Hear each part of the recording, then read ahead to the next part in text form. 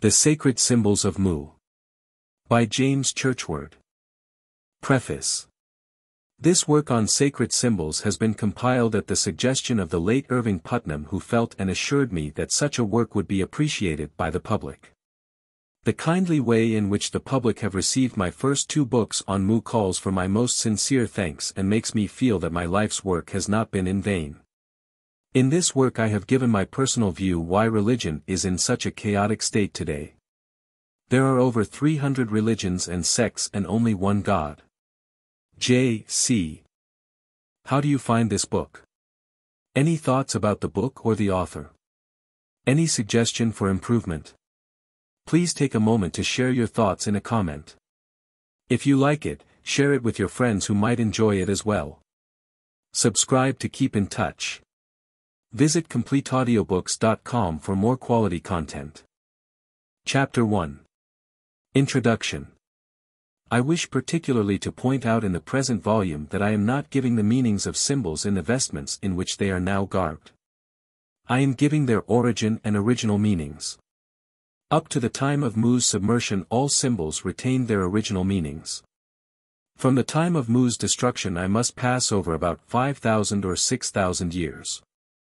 Those were years when seemingly no history was written except a few scraps in India and Egypt.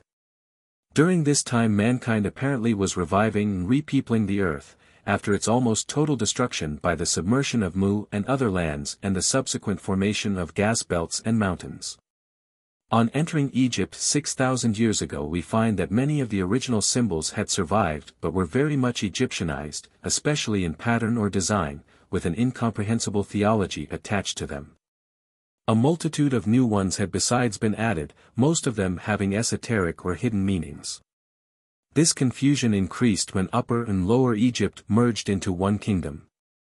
The two peoples not only commingled personally, but also their two sets of symbols. Thus two sets were made into one without any being discarded. It meant at least two symbols for every conception. So great was the confusion of symbols in Egypt, 4,000 to 5,000 years ago, that hardly one half of the priesthood understood those used in the temples of other cities, although they might be but a few miles away. The next period to note in Egyptian history is the reigns of the Ptolemies. Many Greek philosophers then went to Egypt and were taught the Egyptian sacred mysteries. This knowledge they took back to Greece, commencing about 600 BC. In Greece the sacred mysteries were Grecianized, new names and further theology were added. The result, generally, was the creation of amusing myths. The familiar Grecian myths may therefore be said to be influenced by the legends and teachings of Egypt and India. The next point to note is Mu's destruction, which removed her motherly control over religion and science throughout the world. The consequence was that each colony framed its own laws, at the same time making changes in religion to suit themselves. It is very noticeable among all ancient people that directly the control of the motherland was removed, those countries began to fall back. As time went on they so degenerated in science and religion that the teachings of the first great civilization were at last entirely forgotten and became a thing of the past. Myths, those shadows of the past, alone remained. Here and there, however, solitary flowers strove to raise their heads out of the weeds which now choked the world's garden. Coming down to present times, I find writers, supposed to be scholars, giving meanings to symbols that are purely mythical, the outcome, it may be, of fantastic dreams, and absolutely erroneous. Where they got their ideas I cannot imagine. Certainly not from the ancient writings. The result is that science has drifted into an age of theories. Theories are made subservient to facts. A fact cannot be a fact unless their crazy theories prove it. The more abstruse and bizarre the theory is, the more, apparently, it is scientifically thought of. A theory that is not even understood by the originator himself, and by no one else on earth, meets with scientific approval. Symbols and Freemasonry Freemasons in their ceremonies use many of the ancient symbols. They freely admit that the original meanings are now forgotten but they know that originally the symbols were sacred. Being used in religious ceremonies in the infinite days that are past and had a religious and moral meaning in line with the first religion of man their origin. Symbols and symbolisms are a principal division of archaeology. I am not a professional archaeologist, but I love the ancient and for over 50 years have been diligent in the study of it. When Mu went down the school of archaeology went with her. Archaeology, the date when archaeology was first studied reaches far back into the distant past. More than 15,000 years ago, the ancients had special colleges for its study. In these colleges a very profound knowledge of their past was attained. The further we go back, the more profound we find that archaeological knowledge. Like all other ancient sciences, archaeology had a dark cloud cast over it when Mu the motherland sank and the first great civilization was wiped out. Only seeds, remnants of mankind, were left here and there, out of which a new civilization was in time to develop. It is virtually within memory of living man that the study of archaeology has been again undertaken. Those who today call themselves archaeologists are, generally, diggers of the remains of man who lived, say, from 1000 to 5000 years ago. These are but of yesterday in human history. Why do they not go back to the beginning, as the ancients did 15,000 years ago? The archaeological study of the ancients included the whole history of man from his beginning 200,000 years before, if the astronomical evidence whereby such dates are computed may be accepted. Archaeology embraces much more than it is thought to do. As the ancients studied it, it was a fascinating story. It may be deemed a religion for, at every step, the student is confronted with works of a supreme conception, with symbols of the power and wisdom of the Creator. The sights cause him contemplation, contemplation brings him in touch with the Supreme, the great architect and builder of all. As the student progresses, he becomes aware that other branches of science are intimately connected with it, geology, chemistry, astronomy and the cosmic forces. These must all be mastered to obtain the full benefit of what has been written and left behind by our forefathers for us, to act as guideposts to the greater knowledge.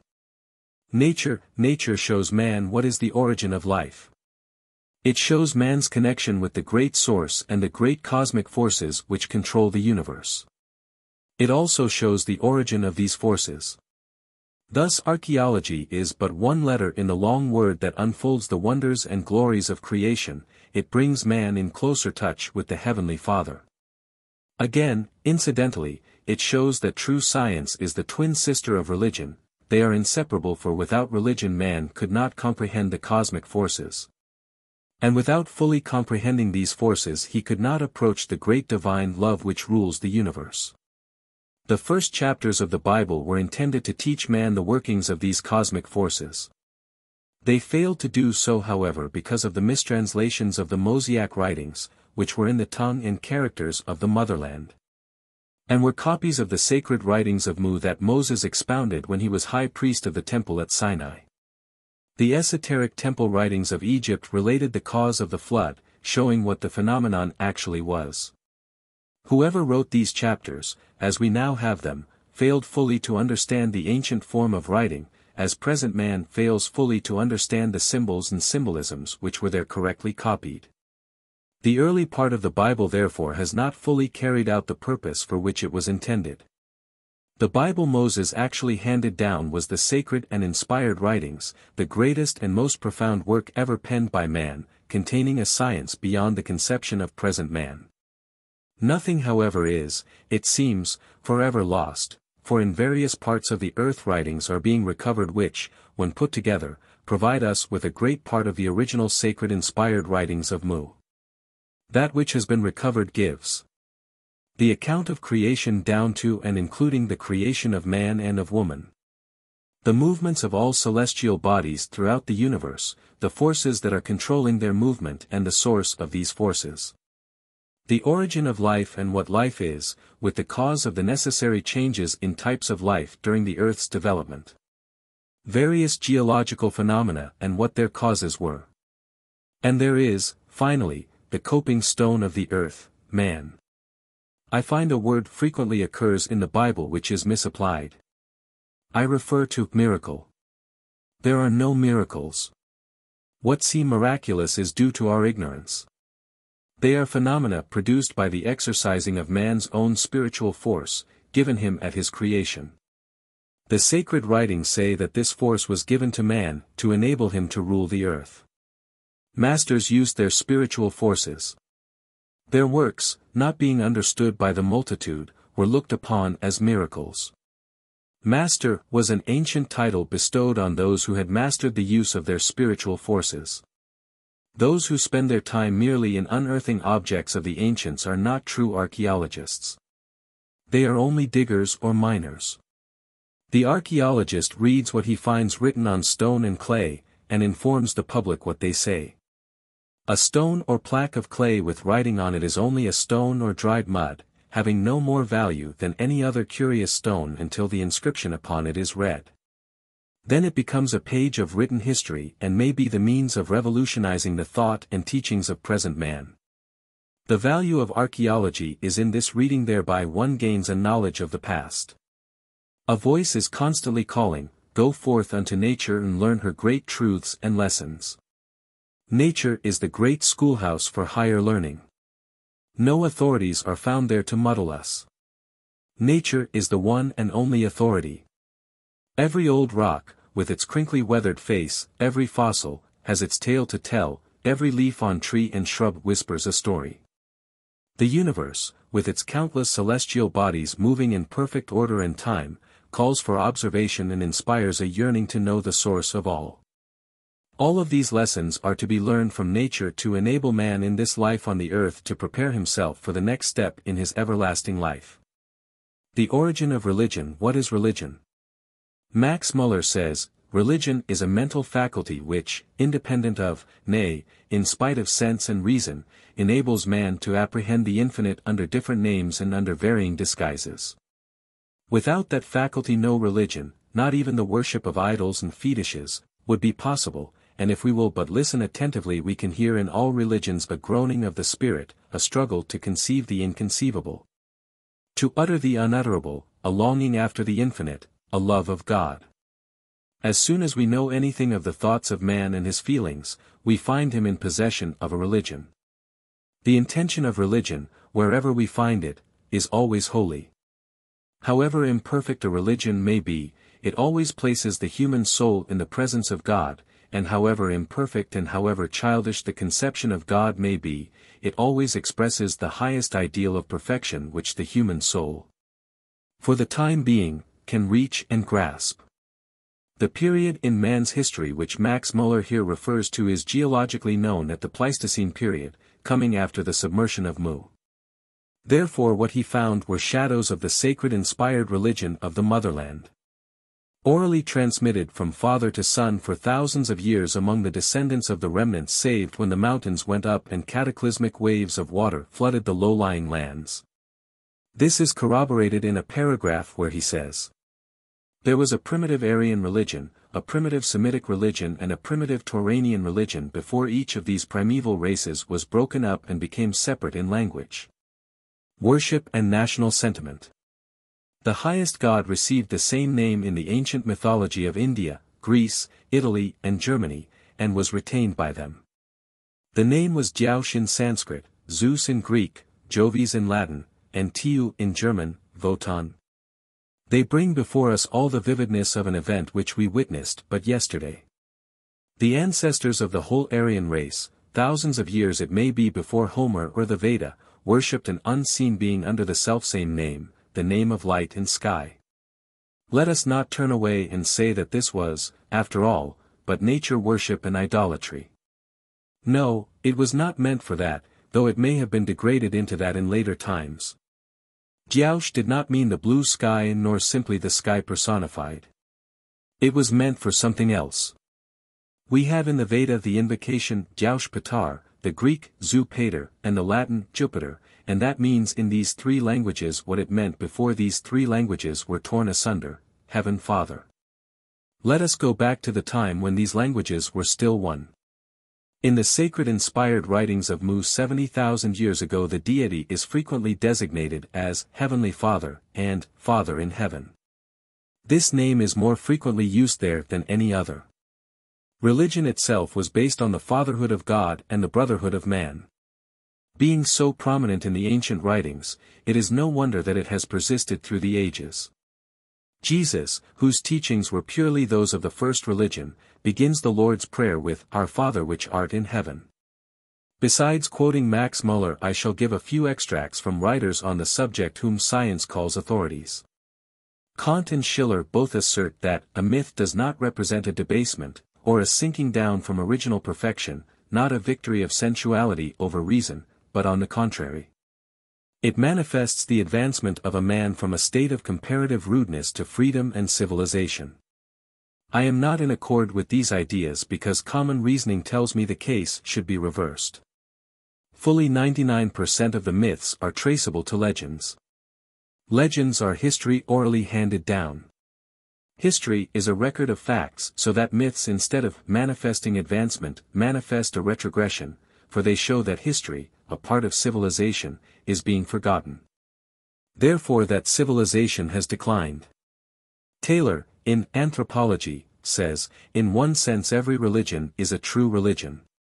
The great question which forced itself on their minds was one that we, with our knowledge, cannot half answer what the life is which is sometimes with us but not always. Taylor might with advantage consult the North American Indian, the semi-civilized Polynesians, the Maoris, the South African savages, and, beyond all, the teachings of Jesus. The savages and semi-savages do not claim great knowledge on the subject. I have, however, found that they possess great wisdom which is untrammeled by the queen of myths, known as science. De Brosses says, all nations had to begin with fetishes, to be followed afterwards by polytheism and monotheism. I suspect the Brosses of toying with theories of our simian origin. They have upset everyone who has ever come in contact with them. However, we shall let it pass because such writers as Max Muller, Dr. Happel, and Professor Pfleiderer are directly opposed to such assumptions. Hereafter, when dealing with the beginnings of religion, I shall show that man started with monotheism and it was only after Mu's destruction that there was polytheism and idolatry was practiced. The next quotation is as extraordinary. At a very remote period in the civilization of Egypt, Babylon, Mexico and Peru, the sun god had gained supremacy as the first and greatest of gods. This is contradicted by all ancient writings. The sun was never looked upon as a god by the ancients but as a symbol only of the deity. Therefore, it was never worshipped by them. The sun, from the beginning, was the monotheistic symbol of the deity. Being the monotheistic or collective symbol of the deity, it was esteemed the most sacred of all sacred symbols. This monotheistic symbol of the deity existed tens of thousands of years before man settled in either Egypt, Babylon, Mexico, or Peru. How, therefore, could it have gained supremacy during their time? Chapter 2 Religions Mu's religion, it is fairly well established that all religions have a common origin. Let us see what that source was. The first records of religion are more than 70,000 years old. They tell us that a body of trained masters from Mu, called Naacals, were carrying to her various colonies and colonial empires copies of the motherland's sacred inspired religion.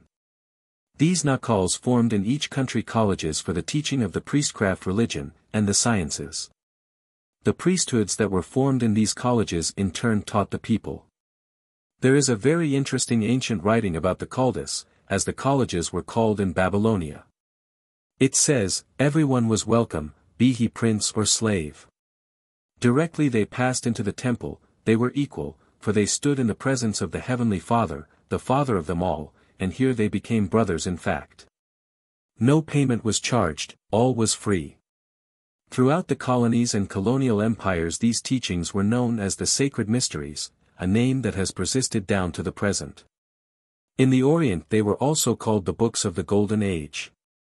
In later times, I find among Maya and Egyptian writings that the sacred mysteries were only entrusted to the high priesthood and the heir apparent to the throne.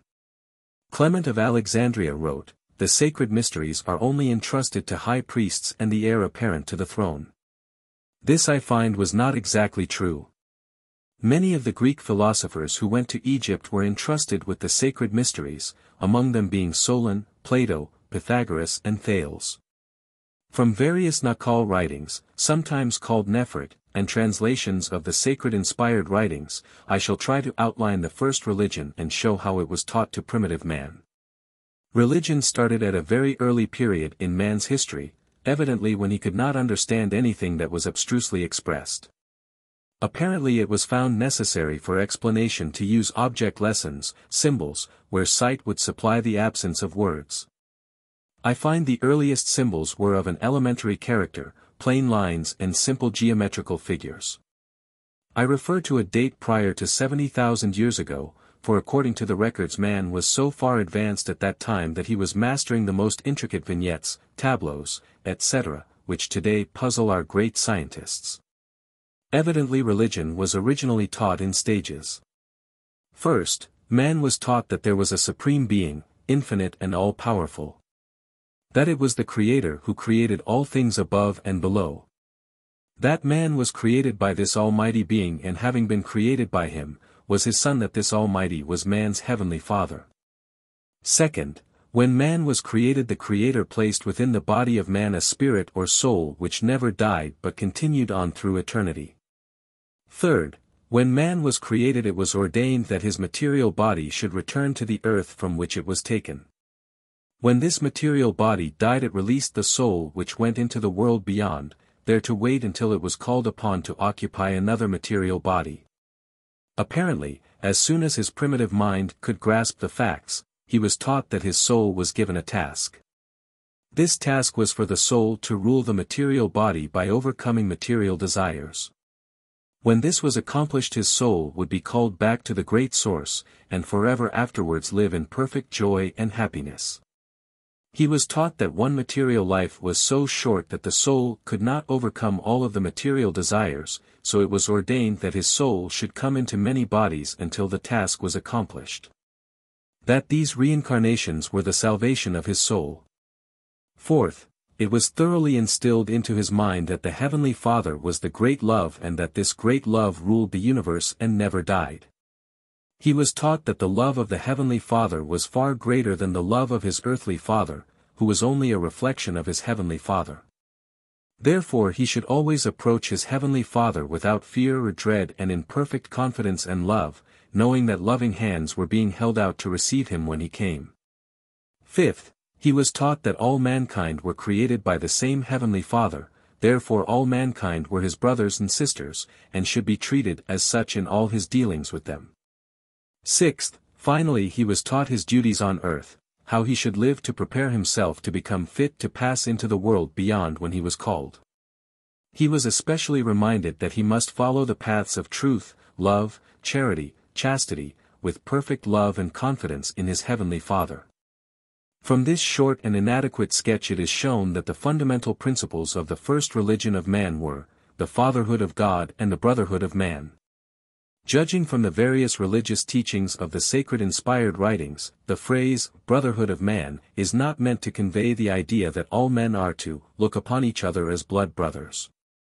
It would seem to me that this phrasing is symbolical or used as an example for explanation. I think our modern example better explains the meaning to the mind of present man, namely, do unto others as you would have them do unto you.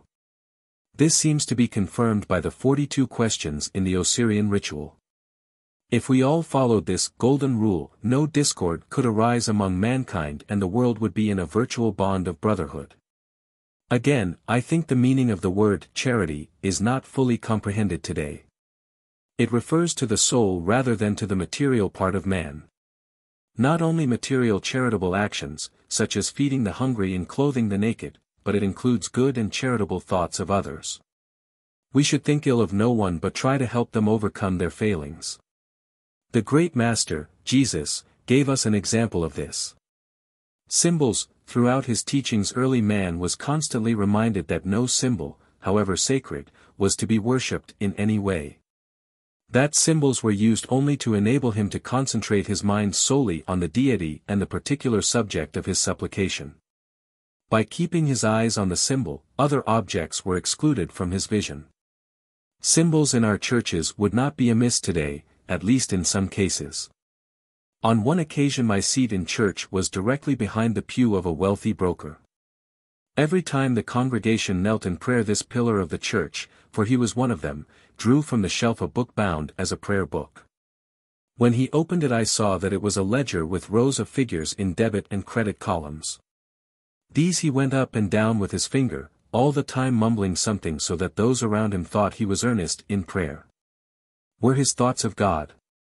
The symbol he was using guided him to the material not the spiritual. Theology The religion of Mu had no theologies or dogmas. Everything was taught in the simplest, most comprehensive language, a language that even the most unschooled mind could grasp. Theologies and dogmas crept into religion after the submergence of the motherland. With her destruction, her controlling influences were gone. Confusions in religion then began, and exist in full force today. Anyone considering present-day religion can see that it is in the process of crumbling, that it is only a question of time when it will be a mass of ruins. Then, when these ruins are cleared away, there will arise a new and purer conception of spiritual things. Religion cannot die until man has attained the perfection ordained for him. Our present religious state is not a new condition. Twice before, religion has fallen to the ground through theologies and their consequences. Out of the ashes new religions have arisen. Out of the ashes of present religions a new one will also arise. He whom the gods destroy they first make mad. Madness in the form of bigotry, impossible theologies, and other errors exists today. Why past religions have fallen.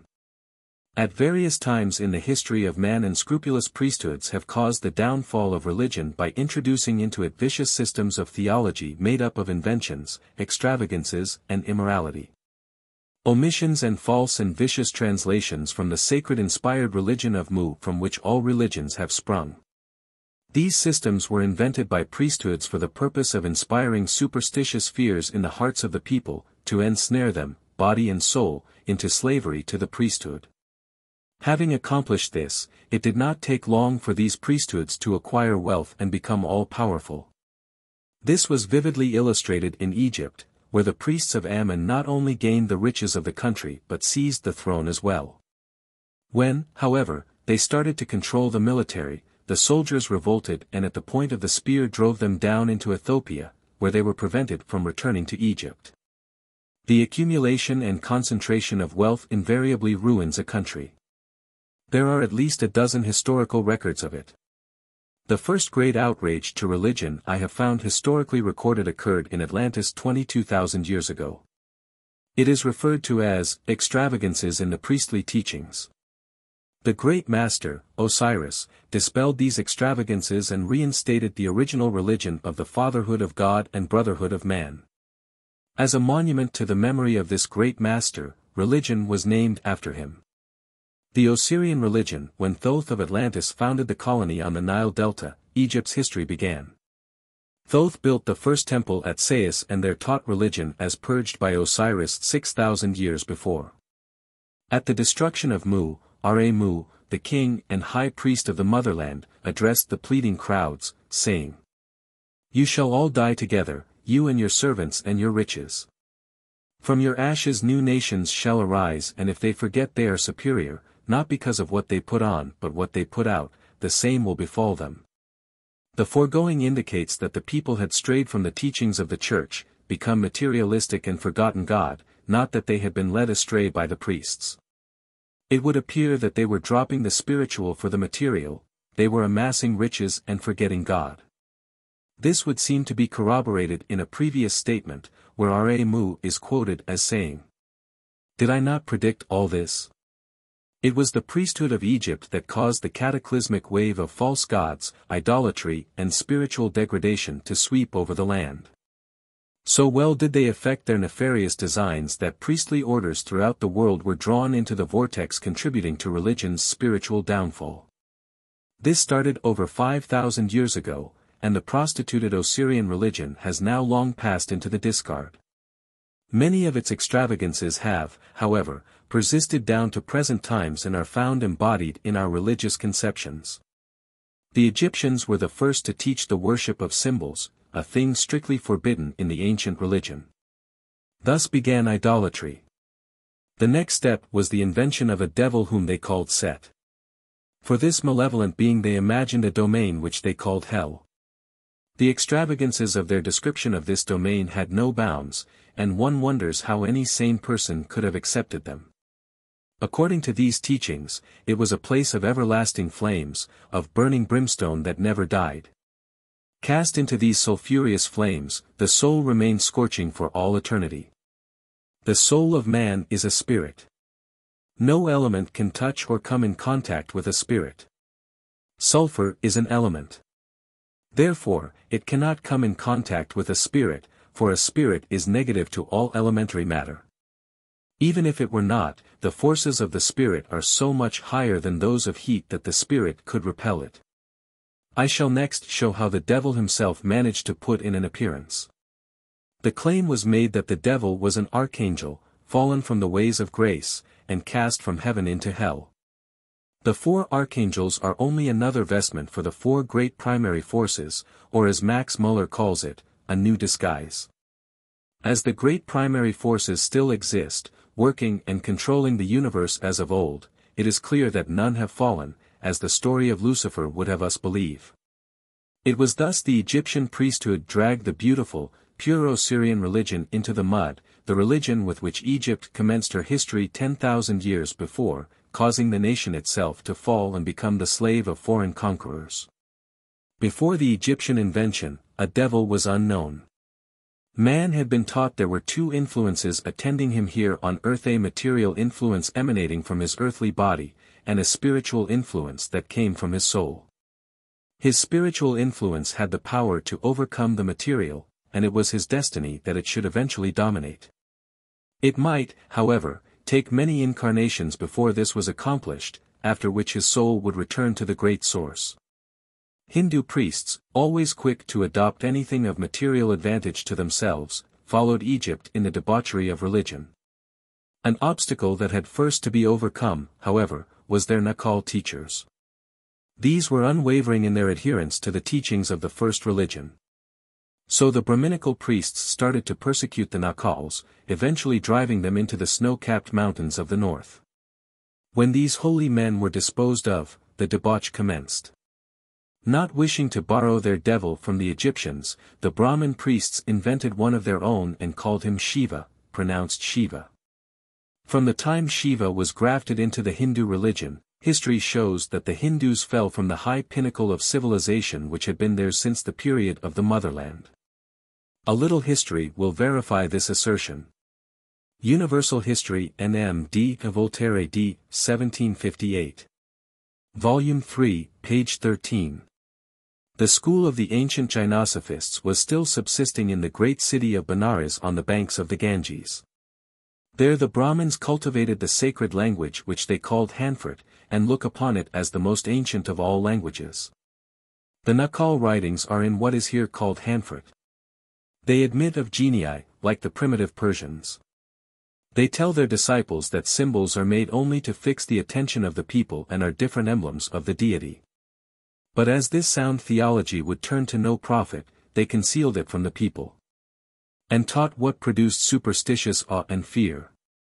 Be that as it may, the Indians were no longer that people of superior knowledge into whose country the ancient Greeks used to travel for instruction. India was the cradle of the Greek philosophy. Up to 500 B.C. the Greeks were going to India for learning. When they commenced going I do not know possibly a thousand years before.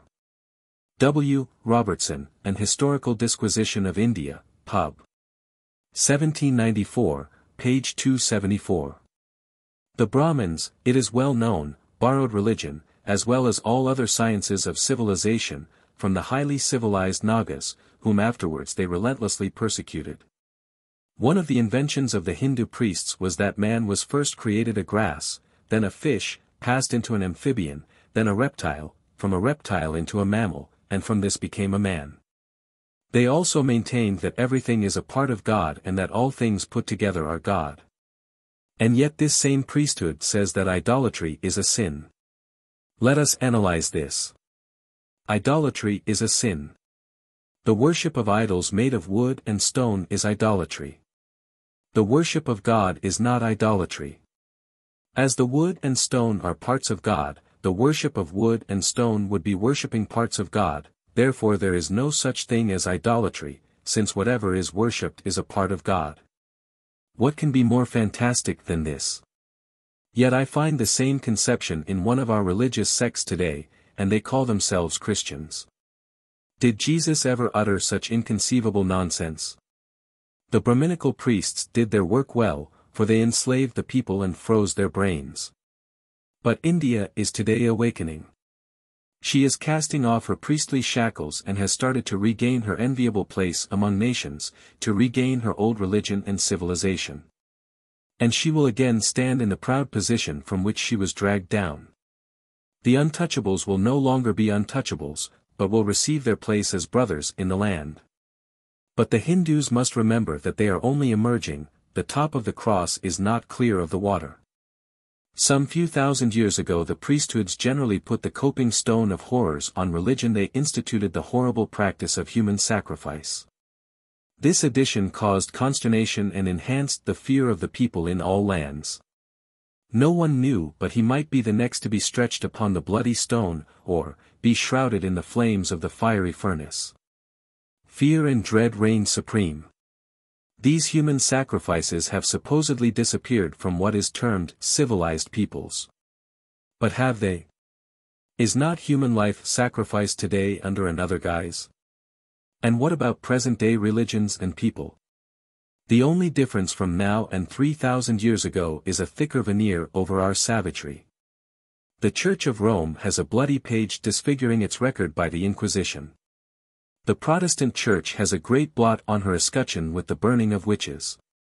The Mohammedan Church was born with the sword, has lived by the sword, and will die by the sword blood covers every page of its history. Have Christians been following the teachings of the great Master, Jesus, who preached only kindness and brotherly love? Certainly not. They have been following the cruel lust for blood bred of fanaticism and bigotry. Are we, ourselves, any better today? I think not. Our lust for blood causes us to hang, shoot and electrocute in the name of the law. What law? Not God's, for his law says, Thou shalt not kill. With all our great professions of civilization we still remain savages at heart, and I have known many savages who are more truly civilized than we are. We erect towering buildings, make horrible wars on one another because of greed for power and wealth. Is this civilization, or mere display? Coat a pig with gold and the pig still remains a pig. The gold is only a veneer. The pig still exists in its original form. Our civilization is simply a veneer hiding our real selves neither our hearts nor characters are affected by it for we are what we are. I shall now show by Mu's cosmogonic diagram what the first religion of man was the sacred inspired religion of Mu. Mu's cosmogonic diagram. The cosmogonic diagram of Mu was the mother of all the various cosmogonic diagrams found throughout the world. All subsequent diagrams were based on that of the motherland. Inventions, alterations, additions in lines to adapt them to new meanings, made nightmares of them all. One of the most prominent additions in the Hindu, Babylonian, Assyrian, Chaldean and Egyptian was the addition of a hell. This hell is shown in various diagrams as a small circle below the main figure, the outside of the circle symbolizing the universe, which was putting it far away from the earth. As the devil was unknown in Mu, no hell appears in her cosmogonic diagram. Deciphering Mu's diagram in Mu the novice was taught to learn the diagram thoroughly and repeat what was written upon it as his spiritual convictions. Just as children are taught the Bible today, the children of lost Mu were instructed in this diagram. The construction of the diagram, in the center is a circle within two crossed and interwoven triangles. Being interwoven or interlaced, these triangles form but one figure. Mu's cosmogonic diagram. These two triangles are enclosed within a second circle, thus leaving 12 divisions. Beyond this circle is a third, leaving a space between the two. On the outside of this third circle are 12 scallops. Falling from the outside of the scallops is a ribbon which has eight divisions. The meanings of these figures. The central circle is a picture of the sun and the symbol of the deity whose abode is heaven. The twelve divisions, formed by the crossing of the two triangles, are the gates to heaven where dwells the Heavenly Father. These gates symbolize virtues, the twelve great earthly virtues, which man must possess before he can enter the gates, among them being love, hope, charity, chastity, faith, etc. Love stands at the head of the list. The space between the second and third circles is the world beyond, which the soul must pass through to reach the gates of heaven. The twelve scallops on the outside of the outer circle are the gates to the world beyond and symbolize the twelve great earthly temptations which must be overcome by the material body. Before the soul can pass through these gates to the world beyond. The Babylonian Cosmogonic Diagram The ribbon with the eight divisions symbolizes the eight roads to heaven and tells what man's actions and thoughts must be to ascend to the gates of the world beyond. Put into present language the foregoing would read. The belief I believe there are eight roads to travel to reach heaven, mentioning them. My soul will first arrive after traveling these roads at the gates to the world beyond. To enter these my soul must show that my earthly body overcame the twelve great earthly temptations, mentioning them. Having shown that it had done so, my soul will be allowed to pass into the world beyond. This I must traverse until I reach the gates of heaven. Here my soul must prove that my earthly body possessed the twelve great virtues, mentioning them. Having shown that it did, my soul will then be passed through the gates into heaven to the throne of glory, where sits the Heavenly Father waiting to receive it. Have we anything today in any of our religions and religious sects that will compare with this beautiful conception so simply worded? This was the religion of Mu, the motherland, and the first religion of man. Jesus and the Christian religion. Jesus was a master, the greatest and most proficient who has ever been on earth. Jesus did not teach a new religion, he simply taught the first original religion as it is written in the sacred and inspired writings of Mu. The Chaldean Cosmogonic Diagram The Sri Santara The Lord's Prayer, the greatest work of its kind ever penned or spoken, is to be found in the sacred writings of Mu. Jesus condensed the ancient text to suit the language of his day. He compacted the whole of the material parts of religion into a few short sentences, leaving out nothing that was vital to man's salvation. The religion taught by Jesus has been called the Christian religion, yet not 5% of those who profess to follow his teachings do so. The other 95% are following the supposed teachings of the apostles made up by a conclave of priests years after Jesus and his apostles had taken the long journey. This they called the Athanasian Creed. They borrowed the name Christian for their headline. The teachings of this religion today include some of the extravagances the priesthood of Egypt grafted into the Osirian religion, which are so contrary to actual teachings of Jesus they are deplorable. Theologies and bigotry, to which may be added supreme obstinacy, are tolling the death knell of the Christian religion. The priesthoods of this religion condemn the falling away of the world from the churches. This is easily understood by anyone who will trouble to think. But thinking priesthoods seem never to have existed. While they are bitterly complaining of this, falling away from the church, as they call it, the priesthood has only itself to blame. The public is receiving a higher education than heretofore. People are beginning to think for themselves. The Hindu Cosmogonic Diagram Thinking shows them the impossible theories and beliefs that are being handed out to them, and the bigotry attending it all. With higher education their reasoning powers will not allow them to accept it, so they simply keep away from it. Are people becoming irreligious? No. On the contrary, they are becoming more religious. The heart craves truth, a knowledge of the loving Heavenly Father. Offer people a plain, untrammeled service of simplicity and truth and no church will be big enough to hold all those who will attend. There is, however, a crisis in the church today. How long before the structure will fall? It is crumbling fast and soon will form a heap of ruins on the ground. With the atmosphere cleared, the original religion will return the religion that places the spiritual above the material, that teaches the love of the Heavenly Father, and makes a true brotherhood of man. As it did during the life of the motherland.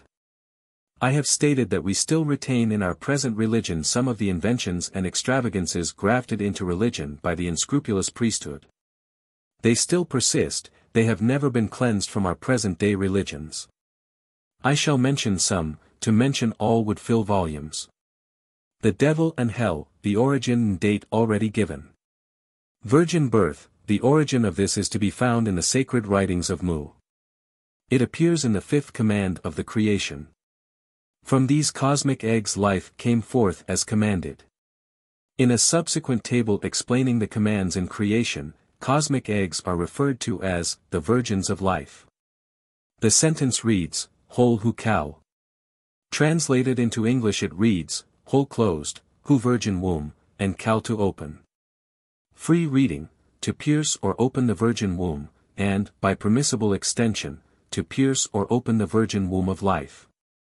For this reason the ancients called the waters, the mother of life, for up to this period of the earth's history, no life had appeared. Life, therefore, first appeared in the waters. The advent of life had opened the virgin womb in the waters. Later, the four great creative forces which emanate from the deity had the additional name of gods bestowed upon them. Being the first known commands or executors of the commands of the Creator. They were called of virgin birth to correspond with the teachings of the sacred writings regarding earthly life thus the first life either of the gods or nature was the result of whole who.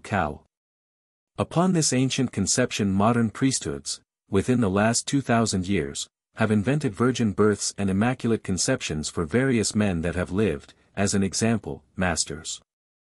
The priesthoods have made the great master, Jesus, of virgin birth and, forgetting themselves, give his pedigree and family tree back to David. Our learned scholars are not to be surpassed by any priesthoods. They tell us that all ancient kings were of virgin birth because they were sons of the sun. These kings claimed nothing of the kind. Son of the Sun was a title bestowed on the rulers or emperors of a colonial empire by Mu, the empire of the sun and suzerain of the whole world. Heretofore I have stated that Jesus did not teach a new faith but the original religion of man. My old friend, the Rishi, never tired of talking of the great master, Jesus. One day he said to me, the Lord's Prayer, as the Christians call it, is the greatest masterpiece of phraseology and condensation ever written, for it embodies the whole of the ancient religion in a few short paragraphs. Take, for instance, the beginning, Our Father which art in heaven. In these six words many points in the ancient religion are covered. It first tells us that we are his children, therefore all mankind are brothers and sisters. Forgive us our trespasses as we forgive others that trespass against us. These simple words tell us our duty one to the other, and that we should love one another like brothers and sisters. Again, our Father tells us that we should approach him as we would our earthly Father, with love and confidence. Give us this day our daily bread, is another wonderful sentence and far-reaching. It tells us that we should avoid greed and the craving to amass wealth and depend on Him for our daily needs. He will care for us, thus leaving us free to amass spiritual wealth without anxiety about the material. You will notice, my son, our temple has no wealth nor have those connected with it any wealth. We depend entirely on what the Heavenly Father sends us day by day through the people. Our faith in him is implicit, so he never allows us to want. And so he could go on through every sentence of the Lord's Prayer. Another favorite sentence in the Lord's Prayer to comment on was, Lead us not into temptation. This, he said, was unquestionably a mistranslation of the Master's words and, no doubt, was unintentional, arising from careless reading. He then went on, let us reason it out. In one of the paragraphs it is shown that the Heavenly Father is the all-powerful, for it says, For thine is the kingdom, the power and the glory. Here it is shown that the supposed leader into temptation is the all-powerful. Therefore, being all-powerful, he cannot fail, and who is the all-powerful? Our kindly Heavenly Father whose love is so great it rules the universe. Could he forget his great love and set a trap for a son's downfall? Impossible. I think the words of the Master, correctly translated, would be, Let us not be led into temptation, for in the sacred writings we find, O Heavenly Father, let not temptation overtake or surround us. If it does, deliver us from it. These are the reasons why I feel that the words of the great master have been unintentionally misquoted or mistranslated. He told me that one of the cardinal themes of the great master, Jesus, was reincarnation, something almost entirely omitted in our biblical account of him, also in our religious services. He told me many legends about Jesus that permeated Oriental lore, one of which he said was universal and told everywhere. The scene is laid in Lahore where Jesus was staying with one, a who was one of Jesus' pupils. One day Jesus and a were sitting in the porch of the temple and while sitting there a band of wandering minstrels entered the court and began to play. Their music was very rich and delicate, and Jesus remarked. Among the highest of the land we have no sweeter music than that which these uncouth children of the jungles bring to us. A asked, Whence do they get this talent? In one short life they surely could not acquire such perfection of voice and such knowledge of harmony and time. Jesus answered, Men call them prodigies. They are no prodigies, all things result from natural laws. These people are not young. A thousand years would not suffice to give them such divine expressions and such purity of voice. Ten thousand years ago these people had mastered harmony. In days of old they trod the busy thoroughfares of life and caught the melody of the voices of nature. They have come again to learn still other lessons from the varied notes of nature. When walking one evening with the Rishi, talking on the subject of the many religions of today and the work of Christian missionaries. He related a tale that was popular among the native priesthood about a poor benighted Hindu and a Christian missionary. A missionary asked one of his native flock what he thought of religion having so many sects. The poor Hindu answered, Religions are like the fingers on the hand. How are we to tell which is right? There was once a dispute among the fingers of the hand as to which was entitled to preeminence. The thumb said, I ought to have the preeminence for it is plain none of you can do anything without me. Ah I said the first finger, what is more important than pointing out the way? This is my office. I ought to have the preeminence. I, said the second finger, rest my claims on mathematical principles. When you hold the hand upright which finger is the tallest? I am, therefore I ought to have the preeminence. No, said the third finger, for although it is something to point out the way, and mathematics are strong, there is one thing stronger, and that is love. When you put the symbol of love upon the hand, it is on the third finger. Therefore the supremacy is mine. Hear me, too, said the little finger, it is true I am small and you are large. Mathematics are strong and love is stronger. But there is one thing above all these and that is worship. When you approach God, I am the finger you choose to present nearest in your prayers. For then you press your hands together, lift them up and hold them thus. Therefore, I should have the preeminence. And the old rishi turned to me with a smile, saying, What is your comment, my son? The poor, benighted Hindu's philosophy nonplussed me. So I leave it to my readers to supply it. On one occasion the old rishi informed me that temple legend stated, Jesus, during his sojourn in the Himalayan monastery, studied the contents of the sacred inspired writings, the language, the writing and the cosmic forces of the motherland. That Jesus was a master of the cosmic forces, with a perfect knowledge of the original religion, is manifest in the books of the New Testament, but it is not there shown that he understood the language of Mu. His acquaintance with it is proved by his last words when nailed to the cross, Eli, Eli, lama sabachthani. This is not Hebrew nor any tongue that was spoken in Asia Minor during the life of Jesus. It is the pure tongue of the motherland, badly pronounced and spelt in the New Testament. It should have been spelt, read and pronounced, Hele, Hele, Lamat Zabak Ta and I. Translation Hele I faint. Hele I faint. Lamat Zabak Ta and I darkness is coming over my face. I do not stand alone on this translation. The late Don Antonio Batres Jauregui, a prominent Maya scholar of Guatemala, in his book, History of Central America, says, the last words of Jesus on the cross were in Maya, the oldest known language. He says they should read, Hele, Hele, Lama Sabak Ta and I. Put in English, now I am fainting, the darkness covers my face. Thus we virtually agree on all material points. The slight differences are easily explained. Jauregui spells the word Lama. I spell it Lamat. He spells the word Sabak. I spell it Zabak. This difference is brought about by the translations coming from two different lines of colonization. Mine comes from the Nagamaya of Eastern Asia, Jauregui's comes from the modern Maya of Central America. The two, taken from vastly distant parts of the earth, agree in all material points. Chapter 3 Symbols of the Deity and His Attributes Sacred symbols To make the sacred symbols as intelligible as possible to my readers I am dividing them into classes. I shall start with the highest, most sacred symbol of all, the sun as Ra symbolizing the deity.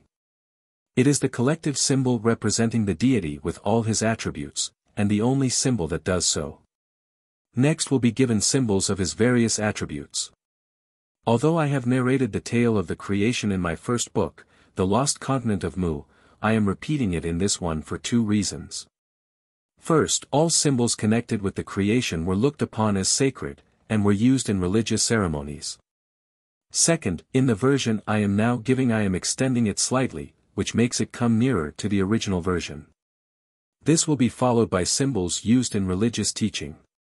The following chapter will be the compound sacred symbols, with the changes from their beginnings. Decipherings of all symbols are given either accompanying the symbol or in The Lost Continent of Mu.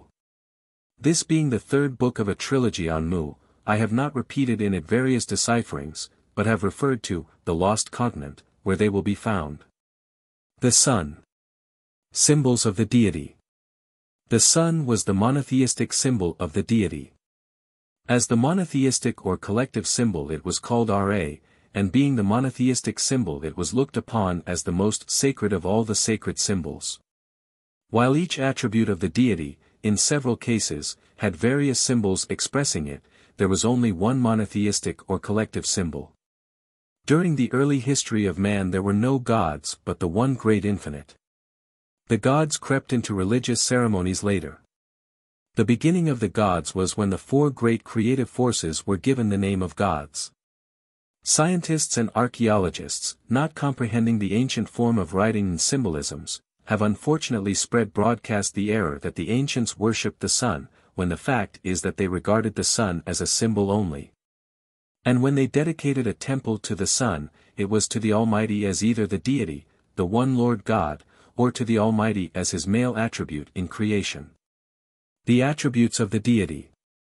The Creator's two principles. This is one of the most interesting of the ancient conceptions. It arose from the assumption that to produce anything, male and female were required, so that gave the Creator the two principles the sun symbolizing the male and the moon the female. Symbols were then designed to express the different phases, if it can be so called. First a symbol was devised to express the dual capacity. This they called Lahan the English translation of which being, two in one, one in two, and by extension, all in one and one is all. The glyph Lahan is a circle with a bar drawn through its center. The Mexican tablet No. 150 shows the sun symbolizing the male principle and the same cut shows the moon symbolizing the female principle. It was quite usual among the ancients, when erecting temples, to build two near each other. No. 150. The larger one was dedicated to the sun as the male principle and the smaller to the moon as the female. The lines on tablet number 150 read, the Creator created one. One became two and two produced three from whom all mankind descended. The top face symbolizes the sun, the lower face without rays the moon. Isis, the Egyptians were not content with having the moon symbolize the female attribute of the Creator, so they devised a symbol for the moon which they called Isis. Thus they made a symbol to symbolize a symbol. The intricacies of what Isis was, beyond symbolizing nature, and being the executrix of God's commands, was only understood by the Egyptians themselves, and they were not all in accord on the subject. In ceremonies and processions Isis wore as her headdress a moon with a pair of cow's horns. With the Egyptians, cow's horns symbolized motherhood. The goddess Seti of Upper Egypt, and the goddess Hathor both had cow's horns in their headdress. Hathor had a moon also like Isis. It appears to me that Sati, Hathor and Isis all symbolized the same thing, only they were represented in slightly different vestments. Isis The old Oriental empires followed the Egyptians in making a woman symbolize the moon. The Babylonians had Ashtoreth. The Hittites had Hepet. The Greeks rejoiced in their Aphrodite, and the Romans in Venus. Papyrus Ani, in early days, before priests froze the thoughts of man into blocks of stone and built of them shrines to a thousand gods, many held that there was only one God. The deity as the creator. The creation was one of the principal themes of the ancients. In this they clearly distinguished between the creator himself and the work consummated, making a prominent dividing line in their symbols. I shall first take the symbols of the deity as the creator. The ancients looked upon the power of creation as one of the attributes of the Almighty. The ancients had numerous figures, always conventional, symbolizing this attribute. Apparently the most popular were adorned serpents. Many designs of these serpents are found in ancient carvings and literature. Two of these serpents are especially prominent. One was the cobra, called in the motherland, Naga. This one had seven heads. This number was given to correspond with the seven stages of creation, the seven mental planes, etc. The seven-headed serpent originated in Mu and was there called Naga. In various Mu colonies it received added names. Judging from the geographical position of the colonies where we find it, I think that the lower western half of Mu was where it was used. The people using this symbol were called after it the Nagas. The other serpent was covered with feathers instead of scales. This also originated in the motherland and was there called Quetzalcoatl. It is still to be found in the impenetrable jungles and swamps of Yucatan and Central America, but extremely rare. Angkor Thom. Anuradhapura Ceylon. During all of my explorations I have only seen one, and I never want to see another. It is the most venomous serpent ever known on Earth. Its location was apparently along the northern half of the motherland. One tribe who made Quetzalcoatl their symbol for the creator, like the Nagas took their name from it, being known as the Quetzal. The Quetzalcoatl varied in design among these people. One of the most noteworthy conventional designs of the Quetzalcoatl is the dragon so prominent in the northern parts of Eastern Asia today. In this effort the ancients carried the design to the extreme of conventionality, for they endowed it with a crest, which it had not, wings which it had and legs which were long instead of mere claws or feet. They not only gave it the wherewithal to fly, but to run also, which it could not do. The Pueblo Indians of Arizona and New Mexico bestowed on it the name of the bearded serpent as well as Quetzalcoatl. The Quiche Mayas, in their sacred book the Popol Vuh, refer to it as follows. All was immobility and silence in the darkness, in the night. Only the Creator, the Maker, the Dominator, the serpent covered with feathers, they who engender, they who create, they are surrounded by green and blue, their name is Gucumatz. Narayana. The name Gucumatz here does not refer to the Creator himself but to his four great creative forces, hence they are referred to as, they. I found in a Nootka Indian tableau a serpent having a plume on his head, unquestionably one of the conventional designs of Quetzalcoatl. Although the names of all other objects in the tableau were given, that of the serpent was omitted by these British Columbian Indians. As sacred symbols of the creative powers, these were all held in great reverence. They stood next to the sun the most sacred symbol of all. I also find a feathered serpent in Egypt. In the tomb of Pharaoh Seti I is to be seen a painting of a serpent having three heads, for legs of man and feathered wings. The Sacred Four The Sacred Four is among the oldest religious conceptions. I found it in the sacred inspired writings of Mu. The Sacred Four are the four great primary forces, coming from the Almighty. They first brought order out of chaos throughout the universe and then, on command, created the universe with all the bodies and life therein. When creation was completed they were given charge of the physical universe. Today the universe and all physical life is controlled by these forces. An ancient Hindu picture. The god Vishnu supported by the serpent Ananta, having seven heads, the symbol of the seven commands of creation. The ancients held these forces in such reverence that nearly if not all of the very early temples were dedicated to them as the Creator's executors. Most of the temples, I find, were subsequently dedicated to the sun and moon, the sun temple symbolizing the male principle of the Creator and the temple of the moon the female principle. Still later, I find temples dedicated to seven great commands of creation and symbolized by an adorned or conventional serpent. From the beginning various symbols for the sacred four began to creep in.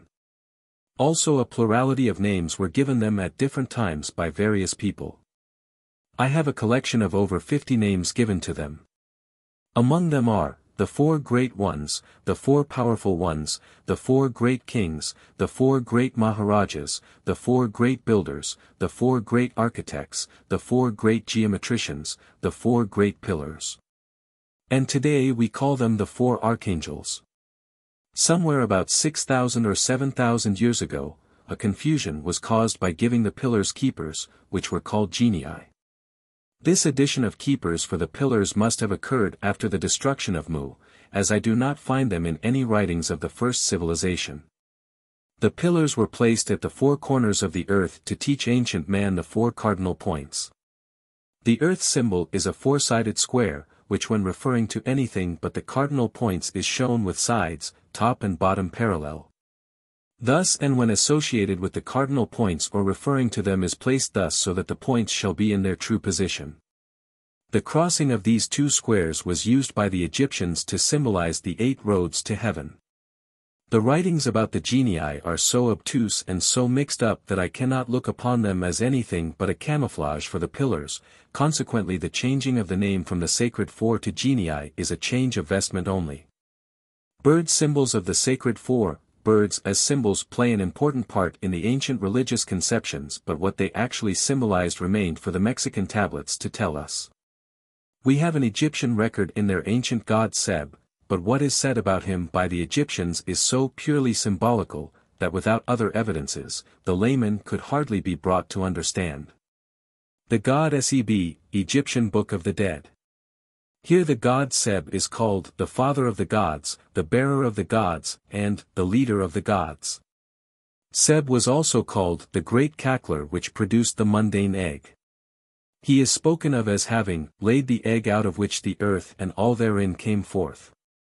It further says, I protect the egg of the great cackler, if I thrive it thrives, if I live it lives, if I breathe the breath of air it breathes.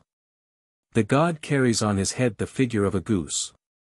Seb was the Egyptian name for this particular species of goose. The Hittite bird symbol. Courtesy of American Weekly. The foregoing speaks of both the Creator and the four great creative forces emanating from him. As hitherto stated, the gods, were the sacred four, thus showing that the old Egyptians knew perfectly well what the origin of forces is. Hawaiian Tradition, Ellis Polynesian Research In the Sandwich Islands there is a tradition saying that in the beginning there was nothing but water when a big bird descended from on high and laid an egg in the sea. The egg burst and Hawaii came forth.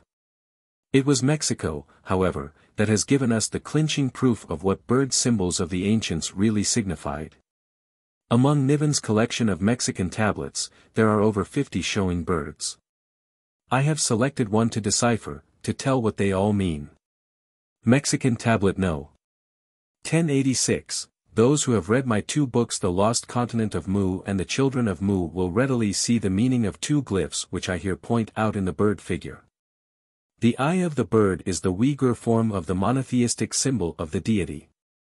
Projecting from the bird's breast is the hieratic letter H in the alphabet of Mu which was among all ancient people was the alphabetical symbol for the four great forces. The body of the bird is in the shape of a pod symbol for the home of the primary forces. The various lines in connection with the pod are old esoteric Uyghur temple writings. This bird therefore symbolizes the creative forces of the deity and the forces are shown as emanating from or coming out of the deity. By extension, this figure reads, a symbol of the Almighty showing the four great primary forces coming out of him. Easter Island, on this little island have been found various bird symbols and conventional animals with birds' heads. One has an egg in its claw, which seems to show that the ancient Easter Islanders had the same conceptions as the Hawaiians. Legends of some of the North American Indians show that bird symbols are their favorite symbol for the creative forces. Their name for this bird is the thunder bird. Birds appear among the ancient records of the Babylonians, Chaldeans and Hittites as one of their symbols of the sacred for the creative forces. The Assyrian genii included a bird. The Egyptians included a bird. The Bible also includes a bird. An Alaskan totem pole, a very old chief of the tribe of Haida Indians, Queen Charlotte Island, Alaska. To which a totem pole belongs has stated, the winged creature which crowns the totem pole is the thunderbird and represents the great creator. It would have been more correct if he had said, represents the great creative forces.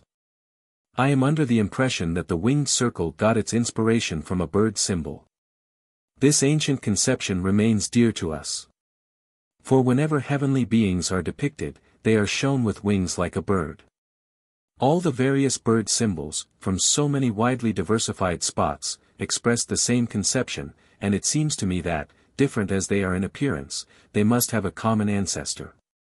Cross symbols of the Sacred Four The specialized cross was one of the figures used by the ancients to denote the sacred four the four great primary forces. The cross was always a favorite symbol among the ancients probably because they found it more expressive than any other figure. Studying and writing about the sacred four appears also to have been an absorbing theme with them. Today the Pueblo Indians of Arizona and New Mexico refer to the sacred four as those above. The mother of all crosses was plain with four arms of equal length. I first find it in the sacred and inspired writings as the symbol of the sacred for the great creative forces. Mexican Tablet No. 672, is an exact duplication of the cross heretofore mentioned as appearing in the Oriental copies of the sacred inspired writings of Mu. As time went on this cross evolved. It developed into four distinct lines, becoming more intricate all the time. Number 672. 1. The end of the first line and the shortest, I have called the pyramid cross. 2. The end of the second line is a cross formed of four loops, having the symbol of the deity in the center. These I have called the loop crosses. 3. The end of the third line is the well-known swastika, known as the good luck symbol. 4. The end of the fourth line was the winged circle. The ancients rioted in designs for this figure, the Egyptians excelling others in beautiful devices and marvelous artistry. Besides these four main lines, there were many single special designs. The Pyramid Cross Line 1, a group of crosses among Niven's collection of Mexican tablets is especially interesting. I have called them the pyramid crosses because they are designed on the lines of a pyramid. They are the cosmogony of a pyramid illustrated by a cross. The four arms are composed of four triangles corresponding with the four sides of a pyramid. The points of these triangles are covered with the monotheistic symbol of the deity. The base of a pyramid is square, the four triangles brought together form a square. The pyramid is built on astronomical lines, so is the cross. These crosses were drawn before the submersion of Mu. Were any pyramids built before that date? I know of none. Were pyramids evolved out of these crosses? Fig. A. Is the base of a pyramid divided into four triangles? Fig. B. Dotted lines within the circle show the points of the triangles, corresponding to the top of a pyramid. Fig. C. Shows the cross with the monotheistic symbol of the deity, Naga pattern, crowning the points. Fig. D is the same as fig, C with the exception that the Uyghur monotheistic symbol crowns the points. Fig, E. The point of the triangle covered by the monotheistic symbol. The following is written on these tablets. The four great pillars, the sacred four, the four great architects, the four great builders, and, the four powerful ones. No. 777 confirms the fact that the four triangles forming the cross are the sacred four because the symbol within the triangle reads, pillar. The four triangles with their inscriptions therefore read, the four great pillars, one of the names given to the sacred four. During the life of Mu it was taught that the four great pillars sustained the universe. After the destruction of Mu the universe was forgotten and the earth given the honor of anchoring and sustaining the pillars.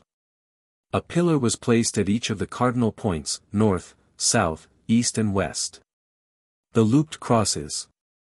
Line 2. The evolution of this line started with the plain cross shown in the sacred writings and ended with the deity being added to four loops symbolizing the four great forces, with the names of the forces given within the loop. The evolution of the looped crosses.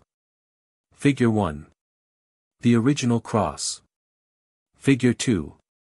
The oldest form of looped cross I have as yet found. It is very ancient from the fact that the symbol of the deity is of the ancient pattern and not specialized. It is a question in my mind whether a link is not missing between figure 1 and figure 2, the change appears to me to be too radical for the ancients.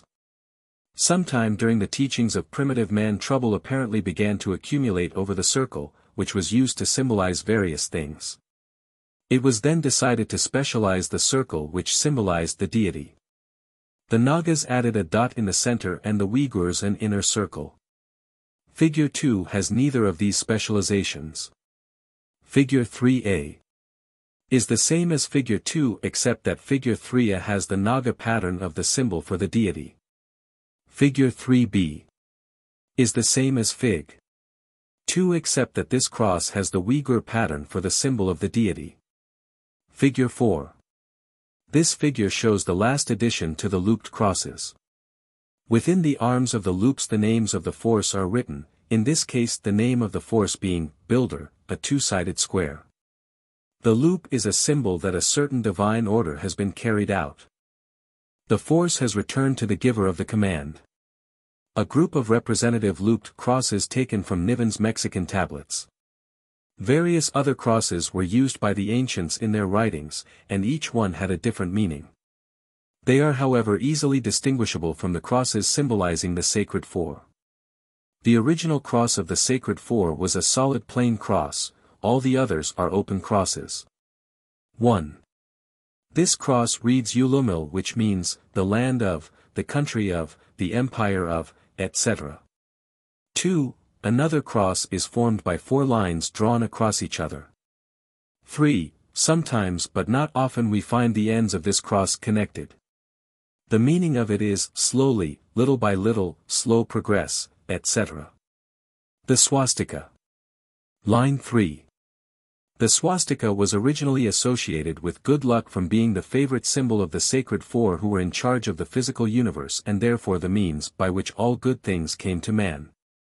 While the swastika is one of the oldest and most universal of symbols, being found throughout the ancient world, its origin and meaning have been lost for the past 3,500 years. The loss occurred when the fierce Brahminical priesthood of India persecuted and drove their teachers, the mild and highly educated Naacals, into the snow-capped mountains of the north. I found the origin and meaning of this symbol. First, in the Naacal writings which were brought from the motherland and for thousands of years, probably, had lain dust-covered and almost forgotten in the archives of Oriental temples and monasteries.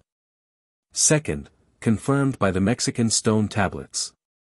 Fate, however, ordained that their coverings of dust and ashes of thousands of years should be removed and their secrets be once more known to the world. The good luck symbol is a very appropriate name for the swastika, since it represents the physical welfare of man and all the universe. The swastika evolved from the plain original cross. The evolution of the swastika. Figure 1. Is the original plain cross. Figure 2. Here we have a circle added, surrounding the cross. The circle is the symbol of the deity. The cross is shown within the deity, therefore it is a part of him, emanating from him. This accounts for the ancients calling their works, the commands of the Creator, his desires, his wishes, etc. The forces symbolized by the cross were the executors of his commands. With the circle drawn around the cross it became a composite glyph symbolizing the ancients' full godhead of five i.e. The deity and his four great primary forces, the four original gods. Figure 3. Is a glyph found among the North American cliff writers.